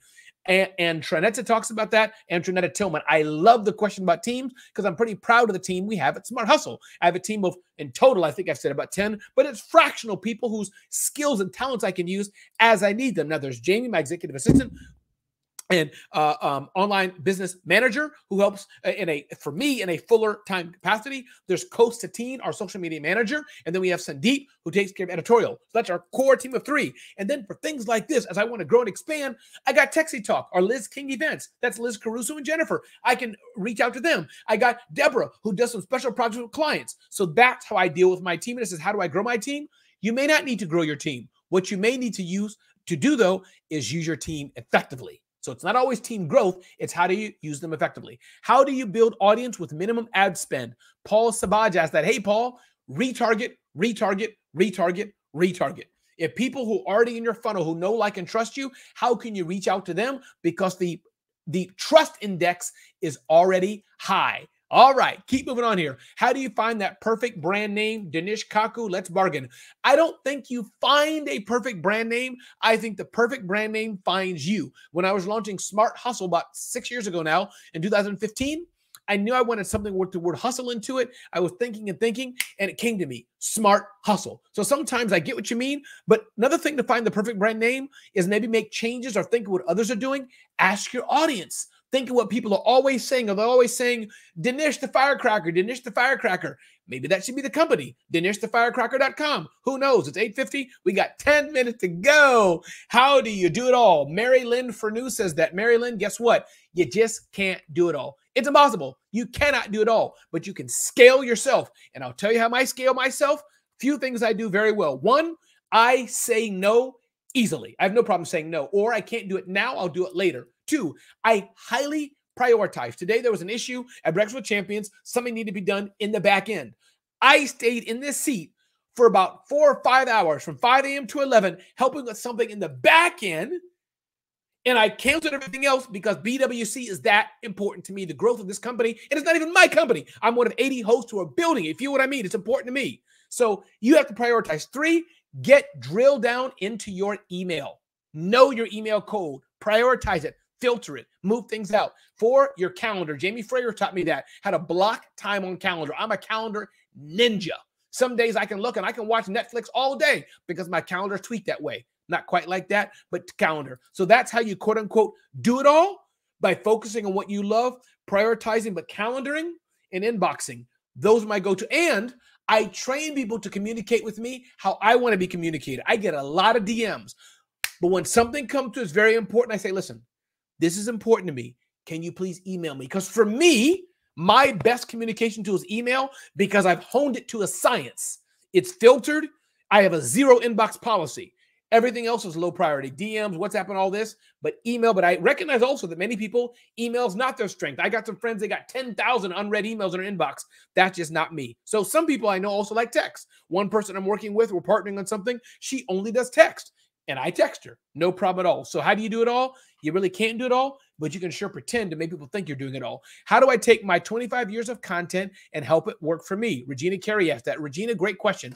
Here's my guess half of the content you have is probably worthless. Sorry, that's just how it probably is. Meaning you wrote something 25 years ago that said 10 ways to use MySpace to grow your business. Well, MySpace is gone.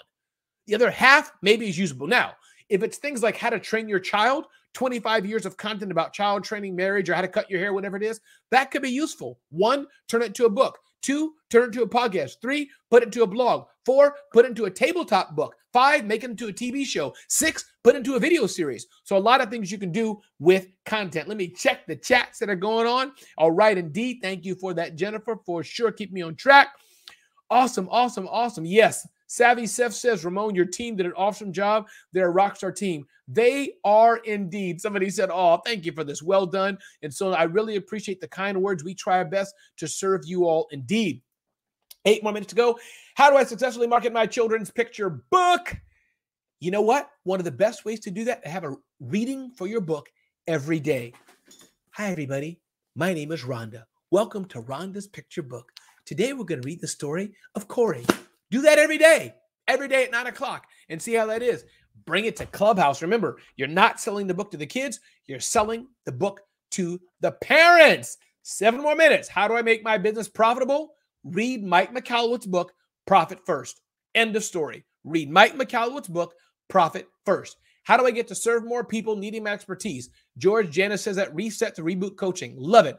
The way to serve more people reading your expertise, get my friend um, Marcus Sheridan's book, They Ask You Answer. If you answer every question that people had, you'll begin to serve more people because they will see you as a source of knowledge. How do I get in my own way? We answered that our question already. How do I find prospective customers who are in the one to twenty million dollar revenue range? That's a great question. If you're looking for places like that where there's a higher level of revenue range for small for businesses, one to twenty million in revenue, EO, Entrepreneur Organization, YPO is another one, Vistage is another, NAWBO is another. There's many organizations who have businesses focused on the higher dollar range of business. So you may want to check out those places. How do I discover my own voice? That's a great question. And I believe a business coach can probably help you. One person I suggest, Lolita. Lolita with a T, L O L I T A. She's part of the Breakfast of the Champions community. Look her up, Lolita. Tell her I said to go see her. She's one person who can help you find that voice that's inside that's breaking to get out. How can you integrate systems and design thinking into your program? Barry Shiat talks about that. Design thinking. The best way to implement design thinking into your business is to see Ram Castillo. Ram Castillo one of our hosts on Breakfast with the Champions. He's all about design thinking. See Ram Castillo. Great guy about design thinking. How can one keep oneself motivated when running a solo business? You know what? It's hard to run a solo business. And I highly suggest, Sandeep, get my book, Grow Your Solo, Grow Your Solo, Grow Your Solo. If you want help growing your solo business, it's not hard, it's not easy. But one thing you can do, surround yourself with people who can champion you on to excellence. How can I market inexpensively? Many things you can do. Social media has given you much of the tools you need to do that to market yourself inexpensively. We got three more questions here. How did you come up with the name Smart Hustle? Tracy, great question. I knew I wanted hustle in it because I sold smallbiztechnology.com and I was looking around somehow I came across Smart Hustle. I got my American Express card. I think I paid seven to fifteen thousand dollars for it. Forgot what it was. I paid it, I bought it, and we have a company. That's how I came up with it. Two more questions to go. How do I package and monetize a library of self growth, self development, health information obtained from my personal life journey? Ooh, I love that question. We have on Breakfast with the Champions an amazing person who writes books. Her name is Patricia Wooster. Patricia Wooster. Patricia Wooster. She's great at books. That's how I suggest if you have all this knowledge, turn it to a book, turn it to a podcast, turn it to a video, turn it to a blog series. That's how I suggest you monetize it. Last question as a one man shop with limited budget, how can I get marketing sales moving ahead to get the business going? If you're literally a one person business and you have no money, start doing Instagram videos once a day or TikTok, whatever you want. Once a day, do videos and talk to your core customer and partner with others to share those out in your local, local community. All right.